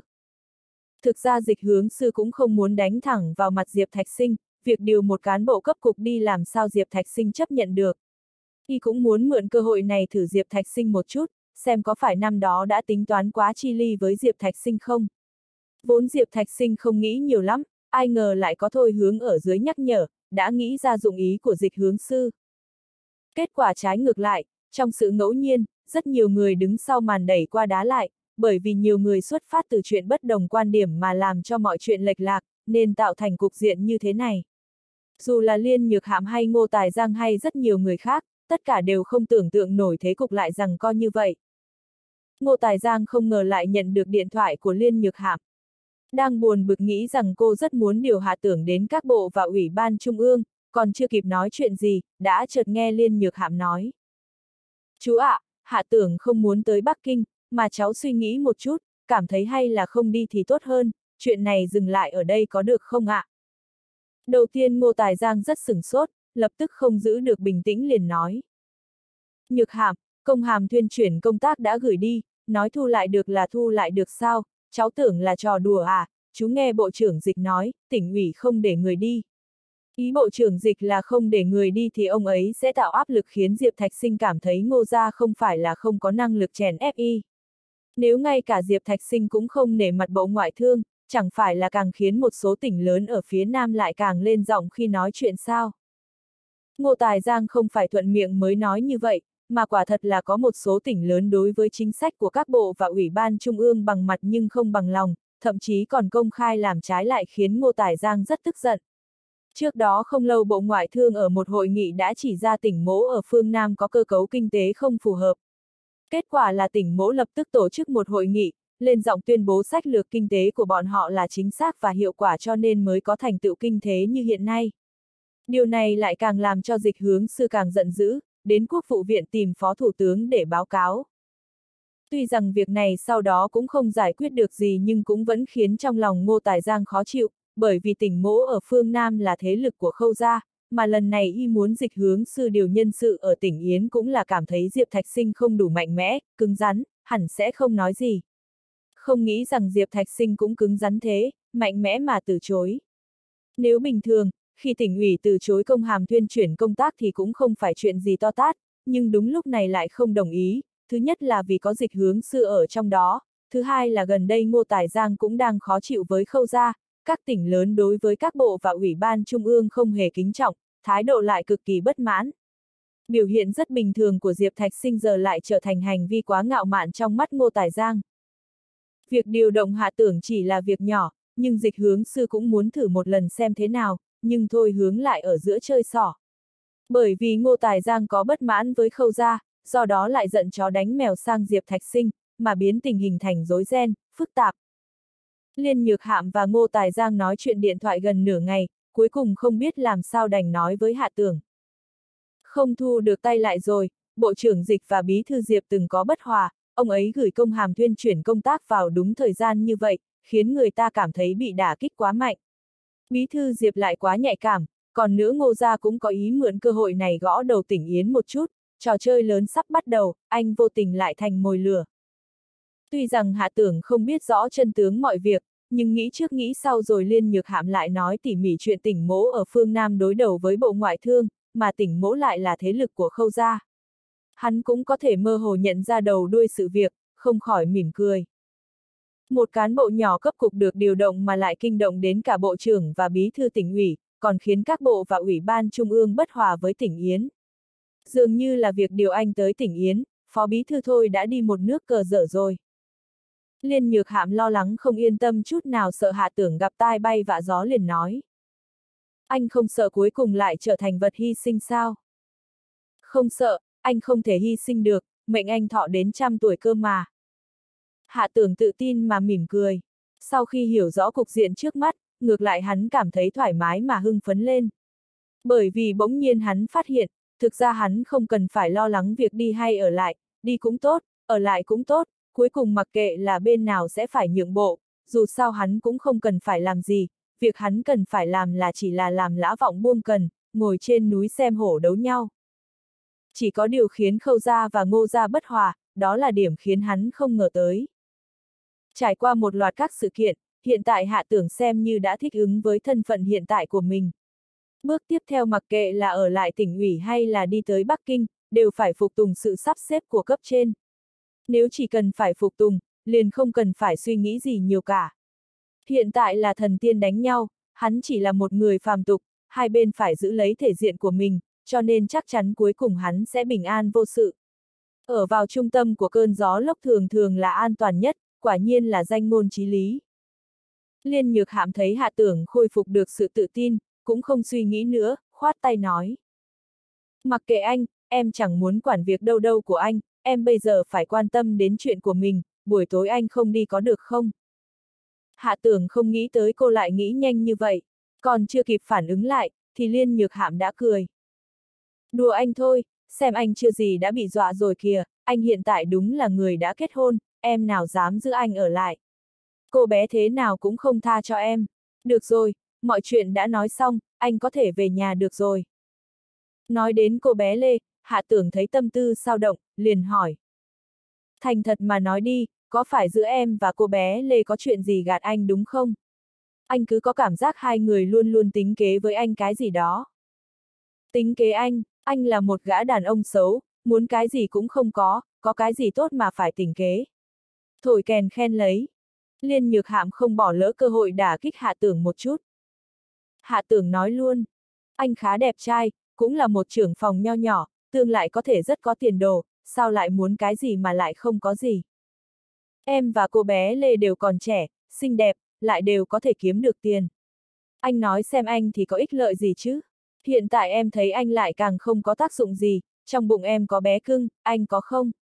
Anh chỉ có cái bụng hay nghĩ xấu thôi. Hạ tưởng khá buồn bực mà đi, sao liên nhược hạm có thấy lấy chuyện mang thai ra đả kích người khác. Đàn ông chỉ phụ trách gieo hạt, kết quả nở hoa là chuyện của phụ nữ, như vậy cũng đáng được khoe hay sao? Tuy nhiên xem ra dáng vẻ của liên nhược hãm rất tốt, lại tự đắc tự kiêu, vẻ mặt còn thấy hạnh phúc sáng ngời, cũng khiến hắn cảm thấy hạnh phúc. Ngày hôm sau đi làm, mọi việc đều bình thường, hạ tưởng cũng biết hai bên đấu sức sẽ không dễ dàng phân ra thắng bại như vậy, và lại cứ để bọn họ phân cao thấp đi, mình không phải làm gì cả, cứ làm việc của mình cho tốt là được rồi. Tuy rằng công tác ở phòng tin tức chẳng có chuyện gì cả nhưng hạ tưởng là người tái sinh, tự nhiên có rất nhiều điều kiện tiện lợi. Phòng hắn phụ trách là quản lý về trang web và hệ thống mạng ở tỉnh ủy. Mặc dù lúc này mạng còn chưa tiên tiến, tốc độ cũng không nhanh, nhưng tỉnh ủy tỉnh Yến cũng có hệ thống mạng khá tốt và ủy ban nhân dân tỉnh cũng có trang web đối ngoại riêng. Phòng hắn cũng đồng thời cũng phụ trách an toàn cho hệ thống mạng. Hạ tưởng liền tận dụng những ưu thế của mình, hắn luôn nói với một số nhân viên là khi làm việc thì luôn phải tâm niệm rằng phải làm việc thật an toàn, thao tác làm việc an toàn, tránh xảy ra sai sót đến mức thấp nhất.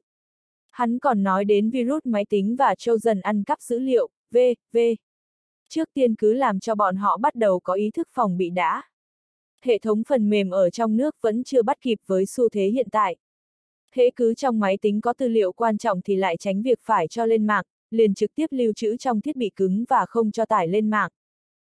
Mọi người ở đây đều cho rằng Hạ Tưởng chỉ là cán bộ từ cơ sở đi lên, làm sao có thể hiểu được kiến thức về máy tính. Không nghĩ tới hắn lại chậm rãi nói nhưng kiến thức còn rộng hơn cả những người có kỹ thuật vững vàng nhất ở đây, khiến mọi người phục sát đất.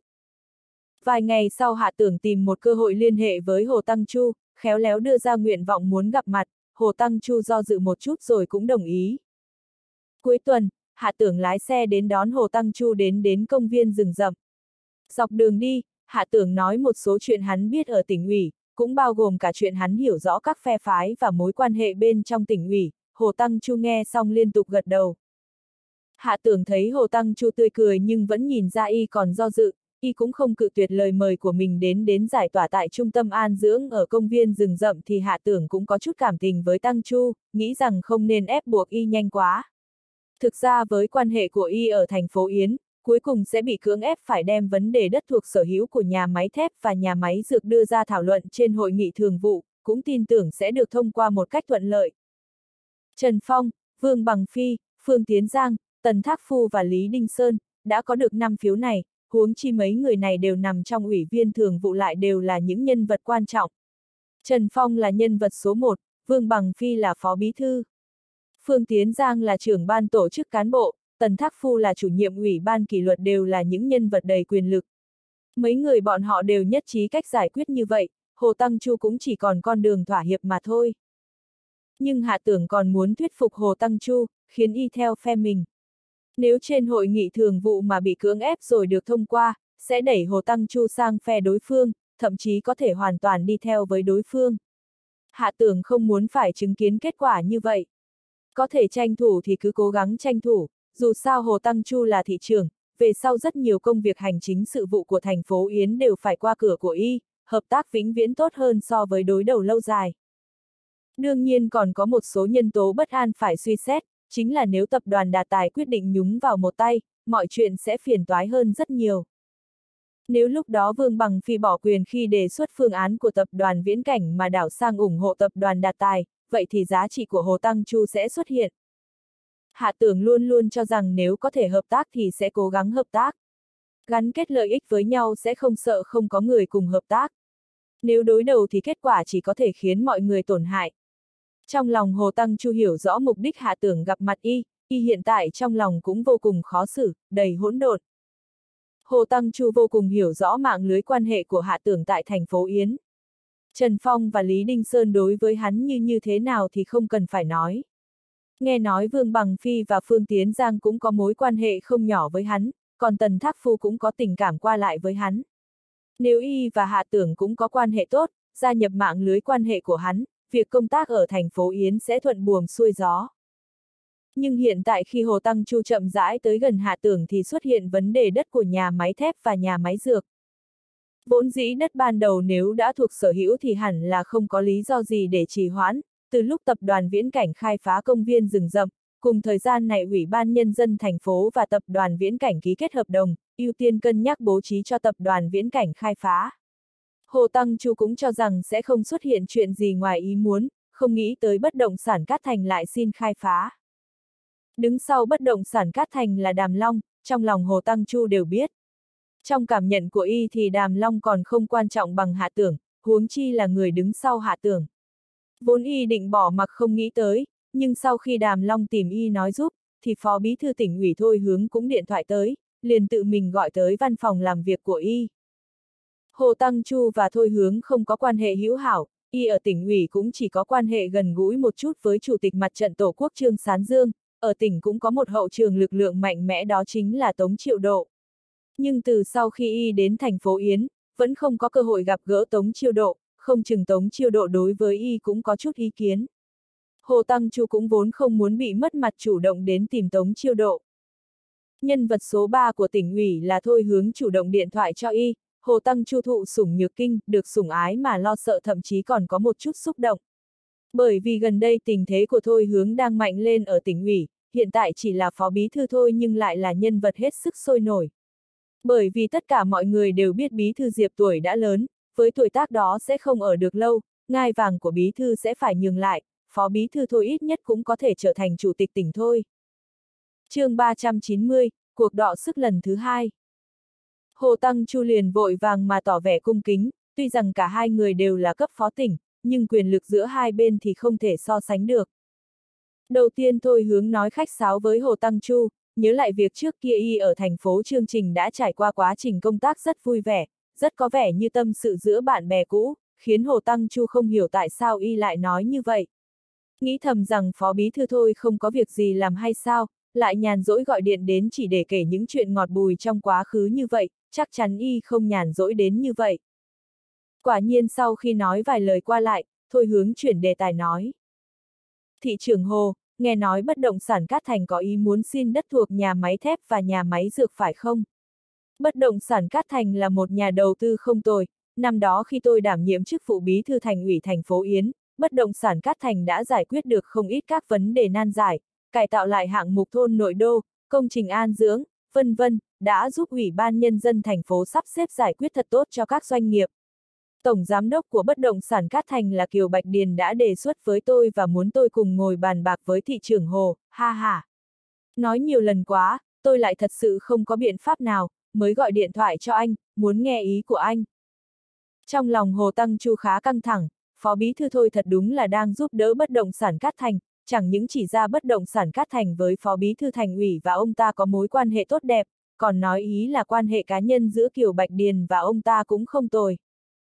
Phó Bí Thư Thôi mở miệng mời cùng ngồi bàn bạc, nếu đồng ý thì tương đương với việc ngấm ngầm phải ủng hộ bất động sản Cát Thành. Nếu không đồng ý thì tương đương với việc bỏ lỡ một cơ hội kết bạn với Phó Bí Thư thôi. Hồ Tăng Chu Lâm vào thế khó xử, cuối cùng không biết là có nên đồng ý hay không, chỉ nói là chờ y sắp xếp thời gian tốt sau đó sẽ gọi lại cho Phó Bí Thư thôi. Hiện tại thôi hướng rất mạnh, cứng rắn và ở thế đang bay lên, có thể trở thành chỗ dựa vững chắc cho y, coi như là cũng có một người đứng sau ở tỉnh. Tự nhiên Hồ Tăng Chu suy nghĩ sao động, hơn nữa việc hạ tưởng bị điều đến văn phòng tỉnh ủy, nghe đồn cũng là do ý của Phó Bí Thư thôi, lại ngay lập tức có thể chứng minh được quyền uy của Phó Bí Thư thôi ở tỉnh ủy, chứng minh rằng ở đó ông ta cũng có tiếng nói. Hồ Tăng Chu do dự hai ngày, thiếu chút nữa gọi điện thoại cho Thôi Hướng, không ngờ lại nghe được tin tức khiến y tạm thời bỏ đi suy nghĩ ở trong đầu. Chính là có tin phong thanh truyền ra từ tỉnh ủy, nói là trong ngày đầu tiên hạ tưởng đi làm, Bộ Ngoại thương đã ra công hàm tuyên chuyển công tác gửi tới tỉnh ủy. Hồ Tăng Chu vội thở một hơi, vốn y nghĩ đến việc thôi hướng ở trong tỉnh ủy thật sự là có tiếng nói, nói một là một. Nhưng không nghĩ tới năng lực của hạ tưởng cũng không phải bình thường mà rất lớn, không ngờ có thể kinh động tới Bắc Kinh, trực tiếp khiến Bộ Ngoại thương ra công hàm tuyên chuyển công tác muốn điều hắn tới Bắc Kinh, làm vậy không phải là khiến thôi hướng khó chịu sao. Ông có bản lĩnh điều động hạ tưởng đến tỉnh ủy để đó không trọng dụng, tôi cũng liền có năng lực điều hắn tới Bắc Kinh để trọng dụng. Quả thực chính là một bước cũng không nhường, hơn nữa còn gửi công hàm đến vào ngày đầu tiên hạ tưởng đi làm, đúng là có ý khiêu khích rất rõ ràng. Hồ Tăng Chu lập tức có suy nghĩ là sẽ không hướng về phía thôi hướng nữa, mà chờ một thời gian nữa, không cần kích động mà làm vậy, chỉ khiến mất nhiều hơn được, cứ để mọi việc diễn ra. Hạ tưởng cũng rất thân thiết với tập đoàn viễn cảnh, cho dù mình ủng hộ bất động sản Cát Thành, cũng không chắc có thể thông qua hội nghị thường vụ. Đến lúc đó lại làm phó bí thư thôi mất hứng, không phải mất cả trì lẫn trài sao. Hiện tại mấu chốt là phó bí thư thôi có thật sự nắm trong tay quyền uy đối với cục diện này không, nếu có liền khiến phó bí thư thôi vui vẻ. Nếu không có, rất xin lỗi, trước tiên phải chờ bí thư Trần và mấy ủy viên thường vụ vui vẻ rồi sẽ nói sau. Cho nên khi hạ tưởng đề nghị muốn y đến công viên rừng rậm để giải sầu, Hồ Tăng Chu do dự một chút rồi đồng ý. Hạ tưởng nhiều ít cũng có thể đoán được thái độ Hồ Tăng Chu do dự chắc là có người tạo áp lực cho y, nhưng không dám khẳng định chính là thôi hướng. Hắn cũng không nói nhiều về chuyện đất đai, chỉ cùng với Hồ Tăng Chu đi vào trung tâm an dưỡng và trung tâm hội nghị, mời y đi thăm một vòng sau khi công trình được hoàn thành. Hồ Tăng Chu là lần đầu tiên thấy một trung tâm hội nghị và viện an dưỡng vừa đẹp vừa thoải mái đến như thế, sau khi đã cưỡi ngựa xem hoa một vòng, liền tán dương không dứt lời, luôn miệng tấm tắc khen. Sau này thành phố mà có bất cứ hội nghị nào, nhất định phải tổ chức ở đây, tốt quá rồi, hoàn cảnh sống rất thoải mái, các thiết bị ở đây đều là loại một, đúng thật là tuyệt vời. Hạ tưởng khẽ cười, nhân cơ hội nói. Thị trưởng Hồ nhân dịp Tết có thể đến viện an dưỡng ở mấy ngày. Có một số cán bộ ở ngoại thành, lễ Tết không trở về nhà, đều đến viện an dưỡng đặt phòng. Do chỉ mới bắt đầu kinh doanh, nên trước mắt, viện mới chỉ hoạt động thử nghiệm, chỉ cần là những cán bộ cấp cục trở lên của tỉnh thành đều có thể ở miễn phí một tháng nhân dịp lễ Tết. Hồ Tăng Chu không khỏi xúc động, nhà ông ta ở ngoại thành, trong nhà lại chẳng có bao nhiêu thân thích, cho nên chẳng mấy khi lễ Tết nào ông ta lại muốn trở về nhà. Con cái đang học xa nhà, nói rằng muốn đi du lịch với bạn bè, cũng không về, chỉ có ông ta cùng vợ nên khó tránh khỏi buồn tẻ. Đến viện an dưỡng sống có khi lại tốt, vừa thanh tịnh lại thoải mái, việc gì cũng không cần bận tâm. Trong thời gian sống ở đây, các vị còn được cung cấp các dịch vụ miễn phí, tất cả là vì muốn nâng cao chất lượng phục vụ sau này. Đồng thời cũng mời thị trưởng Hồ đề xuất những ý kiến quý báu, nhằm cải tiến chất lượng phục vụ ở đây. Hạ tưởng nhìn thấy Hồ Tăng Chu đang giao động, liền tiếp tục nói. Đồng thời tôi cũng có mời Bí Thư Trần, Phó Bí Thư Vương, trưởng ban phương cùng chủ nhiệm Tần vào dịp Tết đến đây ở mấy ngày, một mặt góp phần thêm náo nhiệt, mặt khác tìm thêm những chỗ còn thiếu sót. Ngoài ra, trong tỉnh cũng có một bộ phận lãnh đạo tỉnh đến dự, hiện giờ vẫn chưa có thể xác định cụ thể là những vị nào, nhưng khẳng định có được hai, ba người đến tham quan. Một bữa tiệc thịnh soạn. Hồ Tăng Chu đột ngột thở một cách khó khăn. Hạ tưởng ra ám hiệu, nếu Hồ Tăng Chu tham gia bữa tiệc, sẽ có thể lấy thân phận cá nhân có thể được một lần tiếp xúc ở cự ly gần trên mọi phương diện với các lãnh đạo ở hai cấp tỉnh và thành phố. Không chỉ có thể thành công trong việc cùng với một vài nhân vật trọng yếu ở thành phố Yến thiết lập quan hệ, còn có thể tiến thêm một bước tiếp cận với các vị lãnh đạo trong tỉnh, thể hiện ý muốn được sát nhập vào đội ngũ của họ. Nếu đem so sánh thì sự thu hút của Phó Bí Thư Thôi hướng kém hơn nhiều so với các cán bộ ở hai cấp tỉnh thành của Hạ Tường. Có điều Hồ Tăng Chu vẫn còn hoài nghi, cái quan trọng là, trong tỉnh sẽ có ai đến dự. Hạ tưởng gần như đoán được tâm tư của ông ta, mỉm cười và tiếp tục nói. Trong tỉnh chính xác sẽ có Phó Chủ tịch tỉnh Tống và Phó Chủ tịch tỉnh Cao, trưởng ban mai do phải quay về thủ đô nên không biết chính xác ngày nào, có điều ông ấy cũng tỏ ý chắc chắn sẽ đến xem, chắc hẳn rất náo nhiệt. Còn có phó chủ tịch tỉnh Mã cũng đã nhận lời đến dự, nhưng chưa quyết định có ở lại hay không. Nếu thị trưởng Hồ có quen biết với những lãnh đạo trong tỉnh, tất nhiên cũng có thể mời đến, Tết mà, càng náo nhiệt càng vui.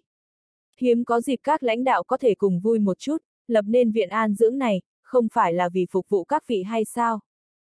Đủ rồi, cũng đủ phân lượng rồi, Hồ Tăng Chu trong một thoáng đã hạ quyết tâm. So sánh với với việc hợp tác với với phó bí thư thôi còn chưa hiểu rõ tính tình thì tốt nhất là bắt tay với hạ tưởng. Chỉ riêng việc hắn ta có thể mời bao nhiêu nhân vật quan trọng trong số những lãnh đạo hai cấp của tỉnh thành đến, tin tưởng rằng cho dù thế lực của phó bí thư thôi có tăng mạnh hơn nữa, cuối cùng cũng không làm gì được hạ tưởng. Hồ Tăng Chu lại càng không muốn vì dựa dẫm vào phó bí thư thôi mà trở nên bị cô lập trong thành phố Yến. Nghĩ lại, trong vấn đề đất của nhà máy thép và nhà máy dược, rõ ràng hạ tưởng có thể mạnh mẽ cưỡng ép thành phố Yến thông qua, vậy mà vẫn phải nhọc lòng mời ông ta đến tham gia viện an dưỡng, mượn cớ đề xuất một bữa tiệc giao lưu trong dịp này, cũng là một thái độ cung kính đối với ông ta. Hồ Tăng Chu lại đánh giá hạ tưởng cao thêm vài phần. Chàng trai trẻ này rất không tồi, hiểu được thế nào là tạo thế lực và càng biết cách mượn thế lực của người khác, điểm mấu chốt là rất để ý tới tâm tư của người khác, làm việc luôn để lại đường lùi, không biết chính xác thì không làm bừa, đây đúng là một mầm non tốt. Hồ Tăng Chu vỗ mạnh vào vai hạ tưởng. Tiểu hạ, cậu đã rất có thành ý. Trong Tết này, tôi đến đây để góp thêm phần náo nhiệt, đừng ghét bỏ tôi tới gây thêm phiền toái nhé. Không thể nào, không thể nào, thị trưởng Hồ đến, tôi vui còn không kịp. Tảng đá đang đè nặng trong lòng hạ tưởng rơi xuống, hắn bèn nhân cơ hội tăng thêm chút lửa. Tôi vẫn luôn có một cảm giác thân thiết khó diễn tả với thị trưởng Hồ, trước đây không nói được nguyên nhân là gì, cho đến khi nhận được lễ vật của ngài, mới biết được rằng một thư pháp gia mà tôi đã biết từ lâu ngờ đâu chính là thị trưởng Hồ, đúng là làm cho tôi vừa kinh ngạc vừa vui mừng. Một trong những thư pháp gia mà tôi yêu thích nhất, chữ của thị trưởng Hồ vẫn luôn khắc sâu trong tim tôi, tôi đã từng tỉ mỉ mò mẫm một thời gian. Chỉ tiếc rằng thư pháp của tôi chẳng có lấy một chút tài năng thiên bẩm, nếu không có cơ hội tôi cũng muốn học ở ngài cách viết thư pháp. Hồ Tăng Chu lập tức vui vẻ ra mặt. Nói tới tình yêu đối với thư pháp, Hồ Tăng Chu gần như đã đạt đến trình độ si mê. Hạ tưởng hầu như là người đầu tiên tán thưởng thư pháp của ông ta, cũng là người đầu tiên mà ông ta đích thân ký tặng. Lời khen của hạ tưởng làm cho ông ta rất vui mừng, liên tục nói, tiểu hạ, không cần tự ti, trong đạo của thư pháp, tài năng là một chuyện, phấn đấu cần cù cũng là một phần rất quan trọng. Tôi lại cảm thấy cậu rất tài năng, trong dịp lễ lộc như thế này, khi có thời gian chúng ta cùng nhau trao rồi giao lưu đạo thư pháp, cậu thấy thế nào? Còn có chủ tịch trương ở tỉnh ủy cũng rất thích thư pháp, hay là đến dịp Tết này, tôi cũng sẽ mời ông ấy đến, cả ba chúng ta cùng ngồi luận đạo. Chủ tịch mặt trận Tổ quốc tỉnh ủy Trương Sán Dương. Hạ tưởng nghĩ thầm, thị trường Hồ đúng là rất lợi hại, hạ tưởng giờ mới biết được kẻ hậu thuẫn sau lưng của ông ta trong tỉnh chính là Trương Sán Dương. Đối với nhân cách của Trương Sán Dương, hạ tưởng càng không hiểu rõ. Nhưng Hồ Tăng Chu đã mở miệng đề nghị, hắn ta cũng nhanh miệng đáp lại. Thế thật là tốt, Chủ tịch Trương có thể đến, Viện An dưỡng đúng là vinh hạnh cực kỳ. Tôi vẫn còn có một yêu cầu hơi quá, nếu lúc đó thị trưởng Hồ và chủ tịch Trương có ngẫu hứng, có thể viết ra những bức thư pháp tuyệt vời, cũng xin được treo trong viện an dưỡng, để làm tăng thêm mấy phần hơi thở văn hóa cho viện an dưỡng. Hồ Tăng Chu cười lớn và nhận lời, tuy nhiên đưa ra một điều kiện. Không ký tên, không thu tiền nhuận bút danh nghĩa. Sau đó ông ta lại nhìn đầy thâm ý hạ tưởng. Còn nữa tiểu hạ, việc tôi tặng chữ cho cậu là chuyện bí mật của chúng ta, không được tùy tiện lan truyền ra ngoài. Hạ tưởng mỉm cười hiểu ý. Thị trưởng Hồ nói không được tùy tiện lan truyền ra ngoài, không phải thật lòng không tiết lộ ra bên ngoài mà là làm cho hạ tưởng xem xét thời thế, nói ra một cách khéo léo. Người có lợi có thể biết, người thưởng thức có thể biết, người không biết thưởng thức hoặc không có lợi đương nhiên không cần phải biết. Cùng một lý lẽ, đối với những bức thư pháp sau này được treo trong viện an dưỡng, cũng cùng một cách nhận định như vậy. Nếu có vị lãnh đạo tỉnh nào thích chữ của thị trưởng Hồ, chữ đó sẽ trở thành một tác phẩm thư pháp của thị trưởng Hồ. Nếu như bị một vị lãnh đạo tỉnh nào đó phê bình, chữ đó sẽ chỉ là chữ của một kẻ vô danh tiểu tốt, chẳng phải là một tác phẩm thư pháp nào cả. Giữa trưa, Hạ Tưởng mời Hồ Tăng Chu ở xâm Lâm cư ăn cơm, sở tử cao tự mình ra đón. Hồ Tăng Chu rất cao hứng không ra ám hiệu bảo sở tử cao tránh ra, mà còn nói cười vui vẻ, cùng Hạ Tưởng và sở tử cao nói chuyện trên trời dưới đất. Sở tử cao sao có thể không biết tân thị trưởng của thành phố Yến. Mặc dù có chỗ còn kinh sợ, tuy nhiên bởi vì cơ duyên của Hạ Tưởng, hắn hiện tại cũng gặp nhiều quan lớn thị thành, vẫn có thể thản nhiên ứng đối, để lại cho Hồ Tăng Chu một ấn tượng không tồi. Ngày đầu tuần, mới vừa đến nơi làm việc, Hạ Tưởng đã nghe thấy một việc làm cho người ta kinh ngạc. Bộ Ngoại thương trước đó đã triển khai một hội nghị nội bộ, chính là báo cáo tình hình kinh tế của cả nước. Trong hội nghị, Bộ trưởng Dịch Đích Thân nói, trong việc nhận định cơ cấu kinh tế và cơ cấu sản xuất công nghiệp của các tỉnh, đối với sự phát triển của các tỉnh ở Tây Nam và Tây Bắc rất đáng được tuyên dương. Đồng thời, đối với nguồn lực điều chỉnh cơ cấu kinh tế của tỉnh Yến không đủ, cơ cấu sản xuất công nghiệp không hợp lý thì đưa ra ý phê bình một cách khéo léo. Đương nhiên Bộ Ngoại thương không có quyền quản lý đối với tỉnh Yến. Đề ra kiến nghị cũng là chỉ đạo của cấp trên, và đề xuất phê bình cũng chính là do những hệ lụy do sản xuất công nghiệp lạc hậu của tỉnh Yến, có thể nói là điểm chúng mấu chốt. Hội nghị nội bộ của Bộ Ngoại giao cũng không có bất kỳ ảnh hưởng nào đối với những quyết sách của tỉnh Yến, nhưng thường phải báo cáo với Quốc vụ viện, mời Phó Thủ tướng chủ quản xem qua. Vốn dĩ bình thường các bộ ngành chủ quản đều có thể kiến nghị và phê bình các tỉnh, nhưng mà Bộ Ngoại giao đã chọn phải một thời cơ rất nhạy cảm. Sau khi biết được tin này Diệp Thạch Sinh giận tím mặt, cho rằng dịch hướng sư cố ý thị uy với mình, lúc này gọi điện thoại cho dịch hướng sư, cùng ông ta tranh luận một phen. Kết quả đương nhiên là ai cũng cũng không thể thuyết phục ai. Ngay sau đó Diệp Thạch Sinh liền nhận được điện thoại của Phó Thủ tướng Hà Đông Thần phân công quản bộ ngoại thương. Giọng Hà Đông Thần nói tiếng phổ thông rất sỏi, cách nói chuyện chậm rãi, hơn nữa không có gì uy nghiêm, có vẻ giống như đang kể chuyện nhà hơn là đang bàn chuyện chính sự. Thạch sinh, dịch hướng sư báo cáo cho tôi, tôi đã xem qua. Đối với kiến nghị về việc điều chỉnh cơ cấu sản xuất công nghiệp ở tỉnh Yến, ông ta có một cách giải thích khác, ông có thể tham khảo một chút, xem coi có thể từ đó vận dụng kinh nghiệm giải quyết thực tế khác hay không. Hà Đông Thần là người được xếp hạng rất cao trong những phó thủ tướng, hơn thế nữa ông ta là người trẻ nhất trong số đó, là lực lượng trung kiên chủ chốt của nhóm bè phái trẻ trong quốc vụ viện, nghe đồn rằng chỉ một nhiệm kỳ nữa sẽ nắm quốc vụ viện. Tuy giọng của ông ta không được uy nghiêm, nhưng những kẻ quen biết ông ta đều biết rằng, những chuyện mà Phó Thủ tướng Hà đã quyết định thì nhất định phải làm đến cùng. Bởi vì ông ta có nhiều thủ đoạn và hiện đang nắm giữ một lớp trí thức anh tài chính trị.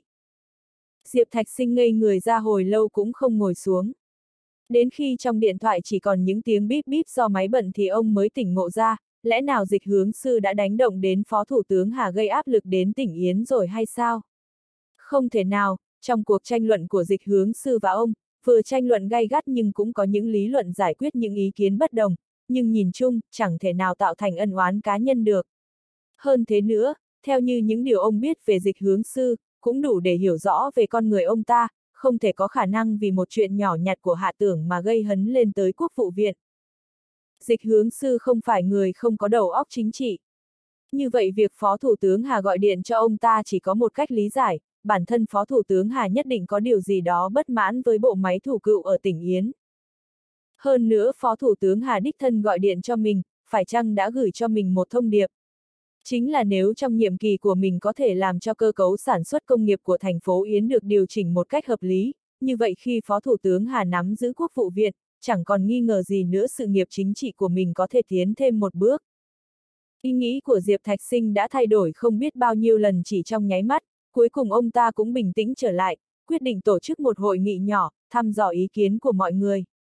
Suy cho cùng tỉnh Yến đã quen thói bảo thủ rồi, ông ta chỉ có một mình, chỉ mình ông ta có muốn thúc đẩy cải cách, cũng chỉ là một cây cột không chống vững nhà. Hạ tưởng vẫn còn chưa biết cuộc chiến đấu lần thứ hai đã bắt đầu, dịch hướng sư đã tìm được một cái cỡ, mượn cơ hội này làm khó dễ Diệp Thạch Sinh. Cũng chẳng phải do ông ta có ân oán riêng tư với Diệp Thạch Sinh, cũng chẳng phải là do dịch hướng sư bất mãn đối với sự lạc hậu và ảo thủ của chính quyền tỉnh Yến. Ông ta cảm thấy tỉnh Yến chỉ như một con thuyền lớn cũ kỹ đã mục nát, loang lổ không kham nổi, lại thêm chẳng ai tu sửa, chỉ miễn cưỡng lắc lư cầu may hướng về phía trước. Thực ra tỉnh Yến có rất nhiều ưu thế có thể tận dụng, nhưng mỗi một bí thư và chủ tịch tỉnh ở đây đều bảo thủ. Ngoại trừ việc xây dựng rầm rộ thì việc phát triển kinh tế, điều chỉnh cơ cấu sản xuất công nghiệp dường như từ trước tới nay vẫn chưa có được một thành tựu nào có thể gọi là thành công. Bất kỳ thành công nào được nhắc tới, hầu như chỉ là ra vẻ mà thôi. Nhân cơ hội này, dịch hướng sư muốn mỉa mai Diệp Thạch Sinh, xem coi ông ta có dám thúc đẩy một cuộc cải cách lớn ở tỉnh Yến hay không. Trong cuộc tranh luận năm đó, Diệp Thạch Sinh rất khẳng khái, hùng hồn, ai nấy đều biết, nhưng sau khi đến làm chủ tịch tỉnh mấy năm, ngược lại bạt tăm bạt tích. Đối với những cuộc tranh chấp của những kẻ quyền thế, hạ tưởng không tiếp xúc tới, cho dù có biết cũng không có lợi ích gì. Hắn ta hiện nay ngoài việc làm công việc ở phòng tin tức ra, thì chỉ dốc tâm dốc sức làm tốt việc di rời đất công ở nhà máy dược và nhà máy thép. Chớp mắt đã thấy sắp tới Tết, thành phố cũng đã quyết định trước Tết sẽ định ra quyền sở hữu những khu đất này, việc này cần thời gian không thể qua loa. Rất nhanh lại đến giờ tan sở, Hạ Tưởng bất ngờ nhận được cuộc điện thoại của Khâu Tự Phong. Khâu Tự Phong đang ở tại thành phố Yến, sau khi làm xong công việc muốn cùng Hạ Tưởng gặp mặt, nên gọi điện hỏi xem Hạ Tưởng có thời gian không. Hạ Tưởng cười liền gật đầu đồng ý. Quan hệ của Khâu Tự Phong và hắn ta càng ngày càng thân thiết hơn, Khâu Tự Phong là một người có thể hợp tác được. Do muốn kịp giờ cơm, cả hai hẹn nhau ở nhà hàng Đông Pha gần đó. Nhà hàng Đông Pha cách thành ủy không xa, cách tỉnh ủy chỉ có một đoạn, hạ tưởng lái xe đi được khoảng nửa tiếng thì tới nơi. Khâu tự phong đã đến đó trước và đợi hắn ta từ lâu. Khâu tự phong nhiệt tình bắt tay hạ tưởng, cả hai cùng hàn huyên. Xem ra, nụ cười của y cũng có vài phần chân thành. Sau khi đã ngồi yên ổn, hạ tưởng khách khí nói. Bí thư khâu đến thành phố làm việc à? Khâu tự phong không nói lời nào, chỉ nhìn hạ tưởng một cách đầy hứng khởi trong một lúc, sau đó cười một cách thâm sâu. Trưởng phòng hạ, tôi đã phát hiện ra, cậu thật sự không đơn giản, đến nơi nào cũng có thể trở thành trung tâm quyền lực. Hạ tưởng liền cười. Bí thư khâu, lời nói có thể làm người ta vui nhưng cũng có thể mang lại tai họa, tôi hiện đã quá quen rồi, anh còn cười được à, đúng là không phải bạn bè. Khâu tự phong cười ha hả. Cái khác không nói, tính cách của cậu, tôi còn chỗ nào mà không hiểu, làm gì có chuyện nào làm cho cậu chán nản được. Đây cũng là điều tôi khâm phục nhất ở cậu, đến đâu cũng tìm được điểm cân bằng. Y không hề vòng vo, nói thẳng ra suy nghĩ của mình. Tôi tới tìm cậu, có hai chuyện tôi muốn nói với cậu. Mời anh nói. Hạ tưởng nói một cách trịnh trọng với khâu tự phong, ra vẻ chân thành đáp lại. Vương Bằng Phi bí thư sắp sửa bị điều đi, cậu có nghe nói chưa? Vương Bằng Phi có hy vọng sẽ được chuyển tới làm bí thư thành ủy ở thành phố Vĩnh Hằng của tỉnh Yến, hạ tưởng nghe thấy liền ngạc nhiên nhưng cũng không biểu hiện ra mặt. Với lai lịch của Vương Bằng Phi, ông ta hẳn cũng nên chủ quản một phương. Hạ tưởng liền gật đầu. Có nghe qua, như thế nào, còn có nội tình gì nữa à? Hắn ta biết khâu tự phong chẳng tốt bụng gì mà nói cho hắn biết tin khâu tự phong bị điều đi, chắc chắn còn có chuyện cần nói. Khâu tự phong lắc đầu cười. Thì tôi muốn biết cậu có thể đoán được tới đâu, đối với cậu mà nói, đây chẳng phải là một tin tốt sao. Sắp tới thủ đô sẽ giáng một người xuống làm phó bí thư, anh ta là phó tiên phong. Hạ tưởng lập tức hiểu ra. Phó gia. Không sai, người nổi bật trong thế hệ thứ ba của phó gia. Khâu tự phong cảm khái nói. Năm nay mới 36 tuổi, chẳng lớn hơn tôi bao nhiêu, mà đã làm giám đốc sở rồi. Hạ tưởng cực kỳ kinh ngạc, 36 tuổi đã làm giám đốc sở thì không có gì ngạc nhiên, nhưng làm tới phó bí thư của thành phố Yến thì thật sự đáng kinh ngạc. Phó gia không ngờ rất có thế lực, lại có thể nắm được vị trí phó bí thư thành ủy của thành phố Yến. Nghe nói, cậu và phó gia có chút mâu thuẫn. Sau khi phó tiên phong đến đây, có thể gây bất lợi cho cậu. Anh ta có thủ đoạn hơn tôi, lại kiên quyết hơn rất nhiều, cậu cần phải cẩn thận hơn. Lời nói của khâu tự phong là thật lòng, mối quan hệ giữa khâu gia và phó gia khá tốt, nhưng chưa thể coi là thân thiết, nếu đem so sánh, anh ta càng coi trọng mối quan hệ tốt đẹp giữa hạ tưởng và ngô gia cùng với mai gia. Đương nhiên, còn có bản thân hạ tưởng. Sau khi hạ tưởng cảm tạ, cũng chẳng mấy bận tâm việc phó tiên phong sẽ đến, liền hỏi. Chuyện thứ hai là gì? Khâu tự phong ngây người sửng sốt, cười ngượng ngùng. Tôi nghe nói Bộ Ngoại thương sẽ điều cậu đến thủ đô, nếu như cậu không muốn ở lại tỉnh ủy của tỉnh Yến mà cũng không muốn đi đến Bộ Ngoại thương, tôi có một kiến nghị như thế này, cậu nghe thử như thế nào. Hạ tưởng nhìn chăm chú vào khâu tự phong, bản thân cũng hiểu được vài phần, khâu tự phong đang thừa cơ lôi kéo hắn ta theo, liền phì cười. Nói thử xem. Khâu tự phong thấy hạ tưởng không phản đối, thở phào nhẹ nhõm, hắn ta sợ hạ tưởng sẽ nhìn thấu mục đích của hắn, sợ hạ tưởng từ chối thẳng thừng, chẳng ngờ rằng hạ tưởng còn có vẻ hứng thú đến như vậy. Khâu ra ở thủ đô thế lực không lớn, ở phía nam thì còn có thể, tôi tưởng là Mai Hiểu Lâm đã nói qua cho anh rồi chứ. Nhưng ở một số bộ ủy ở thủ đô hay cơ quan trung ương, khâu ra cũng có một ảnh hưởng nhất định. Nếu trưởng phòng hạ không thích bộ ngoại giao, muốn đi đến bộ xây dựng hoặc trung ương đoàn, tôi đều có thể giúp đỡ. Thái độ của khâu tự phong rất chân thành, nghe có vẻ không có ý xấu, cố gắng không để hạ tưởng phát sinh hiểu lầm, cho rằng hắn ta đang thừa cơ lôi kéo. Hạ tưởng hiện đang phân vân việc có nên rời khỏi thành phố Yến hay không, ở lại cũng được, đi cũng tốt, hắn ta cũng có thể thong dong đối mặt. Chỉ là đột nhiên lúc này Khâu Tự Phong lại đề nghị giúp đỡ hắn ta đến làm việc ở Bộ Xây dựng hay Trung ương đoàn làm cho trước mắt hạ tưởng sáng ngời. Bộ Xây dựng thực ra chẳng đến nỗi nào, từ sau chiến tranh nó được đổi thành Bộ Xây dựng quê hương và phòng ốc, phạm vi chức trách khá lớn, quyền lực lại càng lớn, có điều, nó không làm cho hạ tưởng chú ý, cái làm cho hạ tưởng trước mắt sáng ngời chính là Trung ương đoàn. Theo dòng thời gian, chính đàn trong nước ngày càng có nhiều cán bộ đoàn trổ hết tài năng, đảm nhiệm nhiều vị trí chủ chốt. Mọi người đều tung hô Trung ương đoàn chính là cái nôi của cán bộ. Nếu như hiện nay có thể gia nhập vào Trung ương đoàn, nói không chừng sau này có thể quen biết được nhiều nhân vật lớn của Trung ương. Ít nhất cũng có thể quen được một vài quan lớn, tướng soái. Nói thực lòng, hạ tưởng cũng đang dao động. Trải qua kinh nghiệm ở Trung ương đoàn tuyệt đối có lợi cho sự phát triển về sau, có thể nói là bước đầu của việc được đề cử làm ủy viên Trung ương Đảng, hơn nữa Lý Đinh Sơn cũng có mối quan hệ khá tốt với các cán bộ Trung ương đoàn bậc trung, suy cho cùng ông ta cũng có hơn 10 năm kinh nghiệm làm phóng viên báo đoàn. Dần tỉnh táo lại, Hạ Tưởng vẫn cảm thấy hiện tại mình vẫn không thể rời khỏi tỉnh Yến được. Trong giai đoạn này tỉnh ủy nhất định không chịu thả người, khâu ra một khi lộ mặt, Diệp Thạch Sinh sẽ liền thỏa hiệp. Hiện nay đây không còn là vấn đề đi hay không đi của một cán bộ cấp cục, mà là vấn đề tỉnh Yến. Hạ tưởng lắc đầu và cười. Tôi cảm ơn ý tốt của bí thư khâu, có thể có người sẽ cho rằng có tôi ở bên cạnh thì người đó sẽ yên tâm hơn, cho nên tôi dự tính tạm thời không muốn đi khỏi tỉnh. Nếu như thực sự có cơ hội, tôi muốn được đến Trung ương đoàn làm việc một thời gian, chỉ là hiện tại. Hay là để sau vậy, hiện nay thêm một chuyện chi bằng ít một chuyện. Khâu tự phong hiểu được tâm tư của hạ tưởng, khoát tay nói. Không phải lo lắng vì phản ứng của tỉnh ủy tỉnh Yến. Nếu như cậu muốn đến Trung ương đoàn, khâu ra sẽ có biện pháp để tỉnh ủy tỉnh Yến thả người, chủ yếu là cậu bây giờ có thể không muốn rời xa tỉnh Yến. Cũng được, ngày tháng còn dài mà, chúng ta rồi sẽ còn có ngày lại bắt tay hợp tác, có phải không? Khâu tự phong nói đúng, hạ tưởng cảm thấy trước mắt vẫn nên ở lại tỉnh Yến thì tốt hơn, ở đây sẽ học được không ít kiến thức từ tỉnh ủy. Điểm mấu chốt chính là hắn muốn xem xem, câu chuyện sẽ phát triển đến một kết cục như thế nào. Nếu khâu ra lại vô tình xen vào, dùng một sức mạnh nào đó điều hắn đến trung ương đoàn, về lâu về dài sẽ là chuyện tốt với hắn, nhưng nếu trong thời gian ngắn thì có thể cực kỳ bất lợi cho sự phát triển của hắn. Đầu tiên sẽ để ngô gia và nhà họ Mai nghi ngờ hắn và nhà họ khâu thân thiết với nhau, tiếp đó thực lực của hắn hiện giờ chưa đủ mạnh, đến trung ương đoàn rồi bắt buộc phải tham gia đội, nếu không kết bè sẽ dễ bị bài xích xa lánh. Nếu kết bè hội thì dễ trở thành vật hy sinh.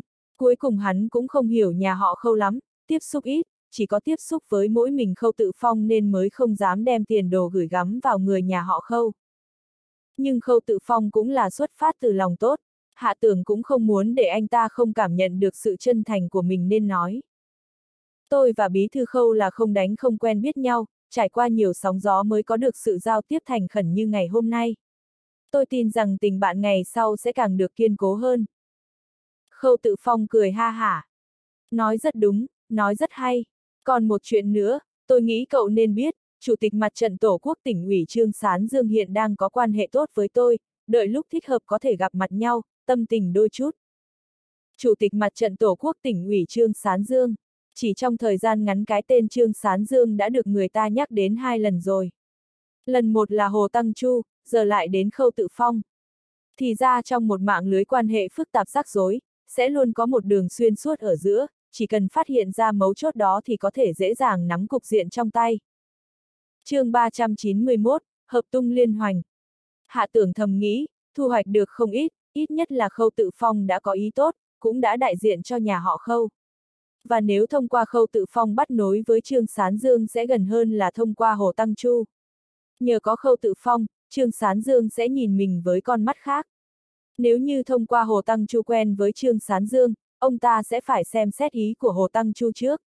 Bây giờ thì tốt rồi, Trương Sán Dương sẽ suy xét về mối quan hệ giữa mình và Khâu Tự Phong trước, tương tự như vậy Hồ Tăng Chu cũng sẽ vì sự xem trọng hạ tưởng của Trương Sán Dương mà càng kéo gần hơn mối quan hệ giữa hắn và Hồ Tăng Chu.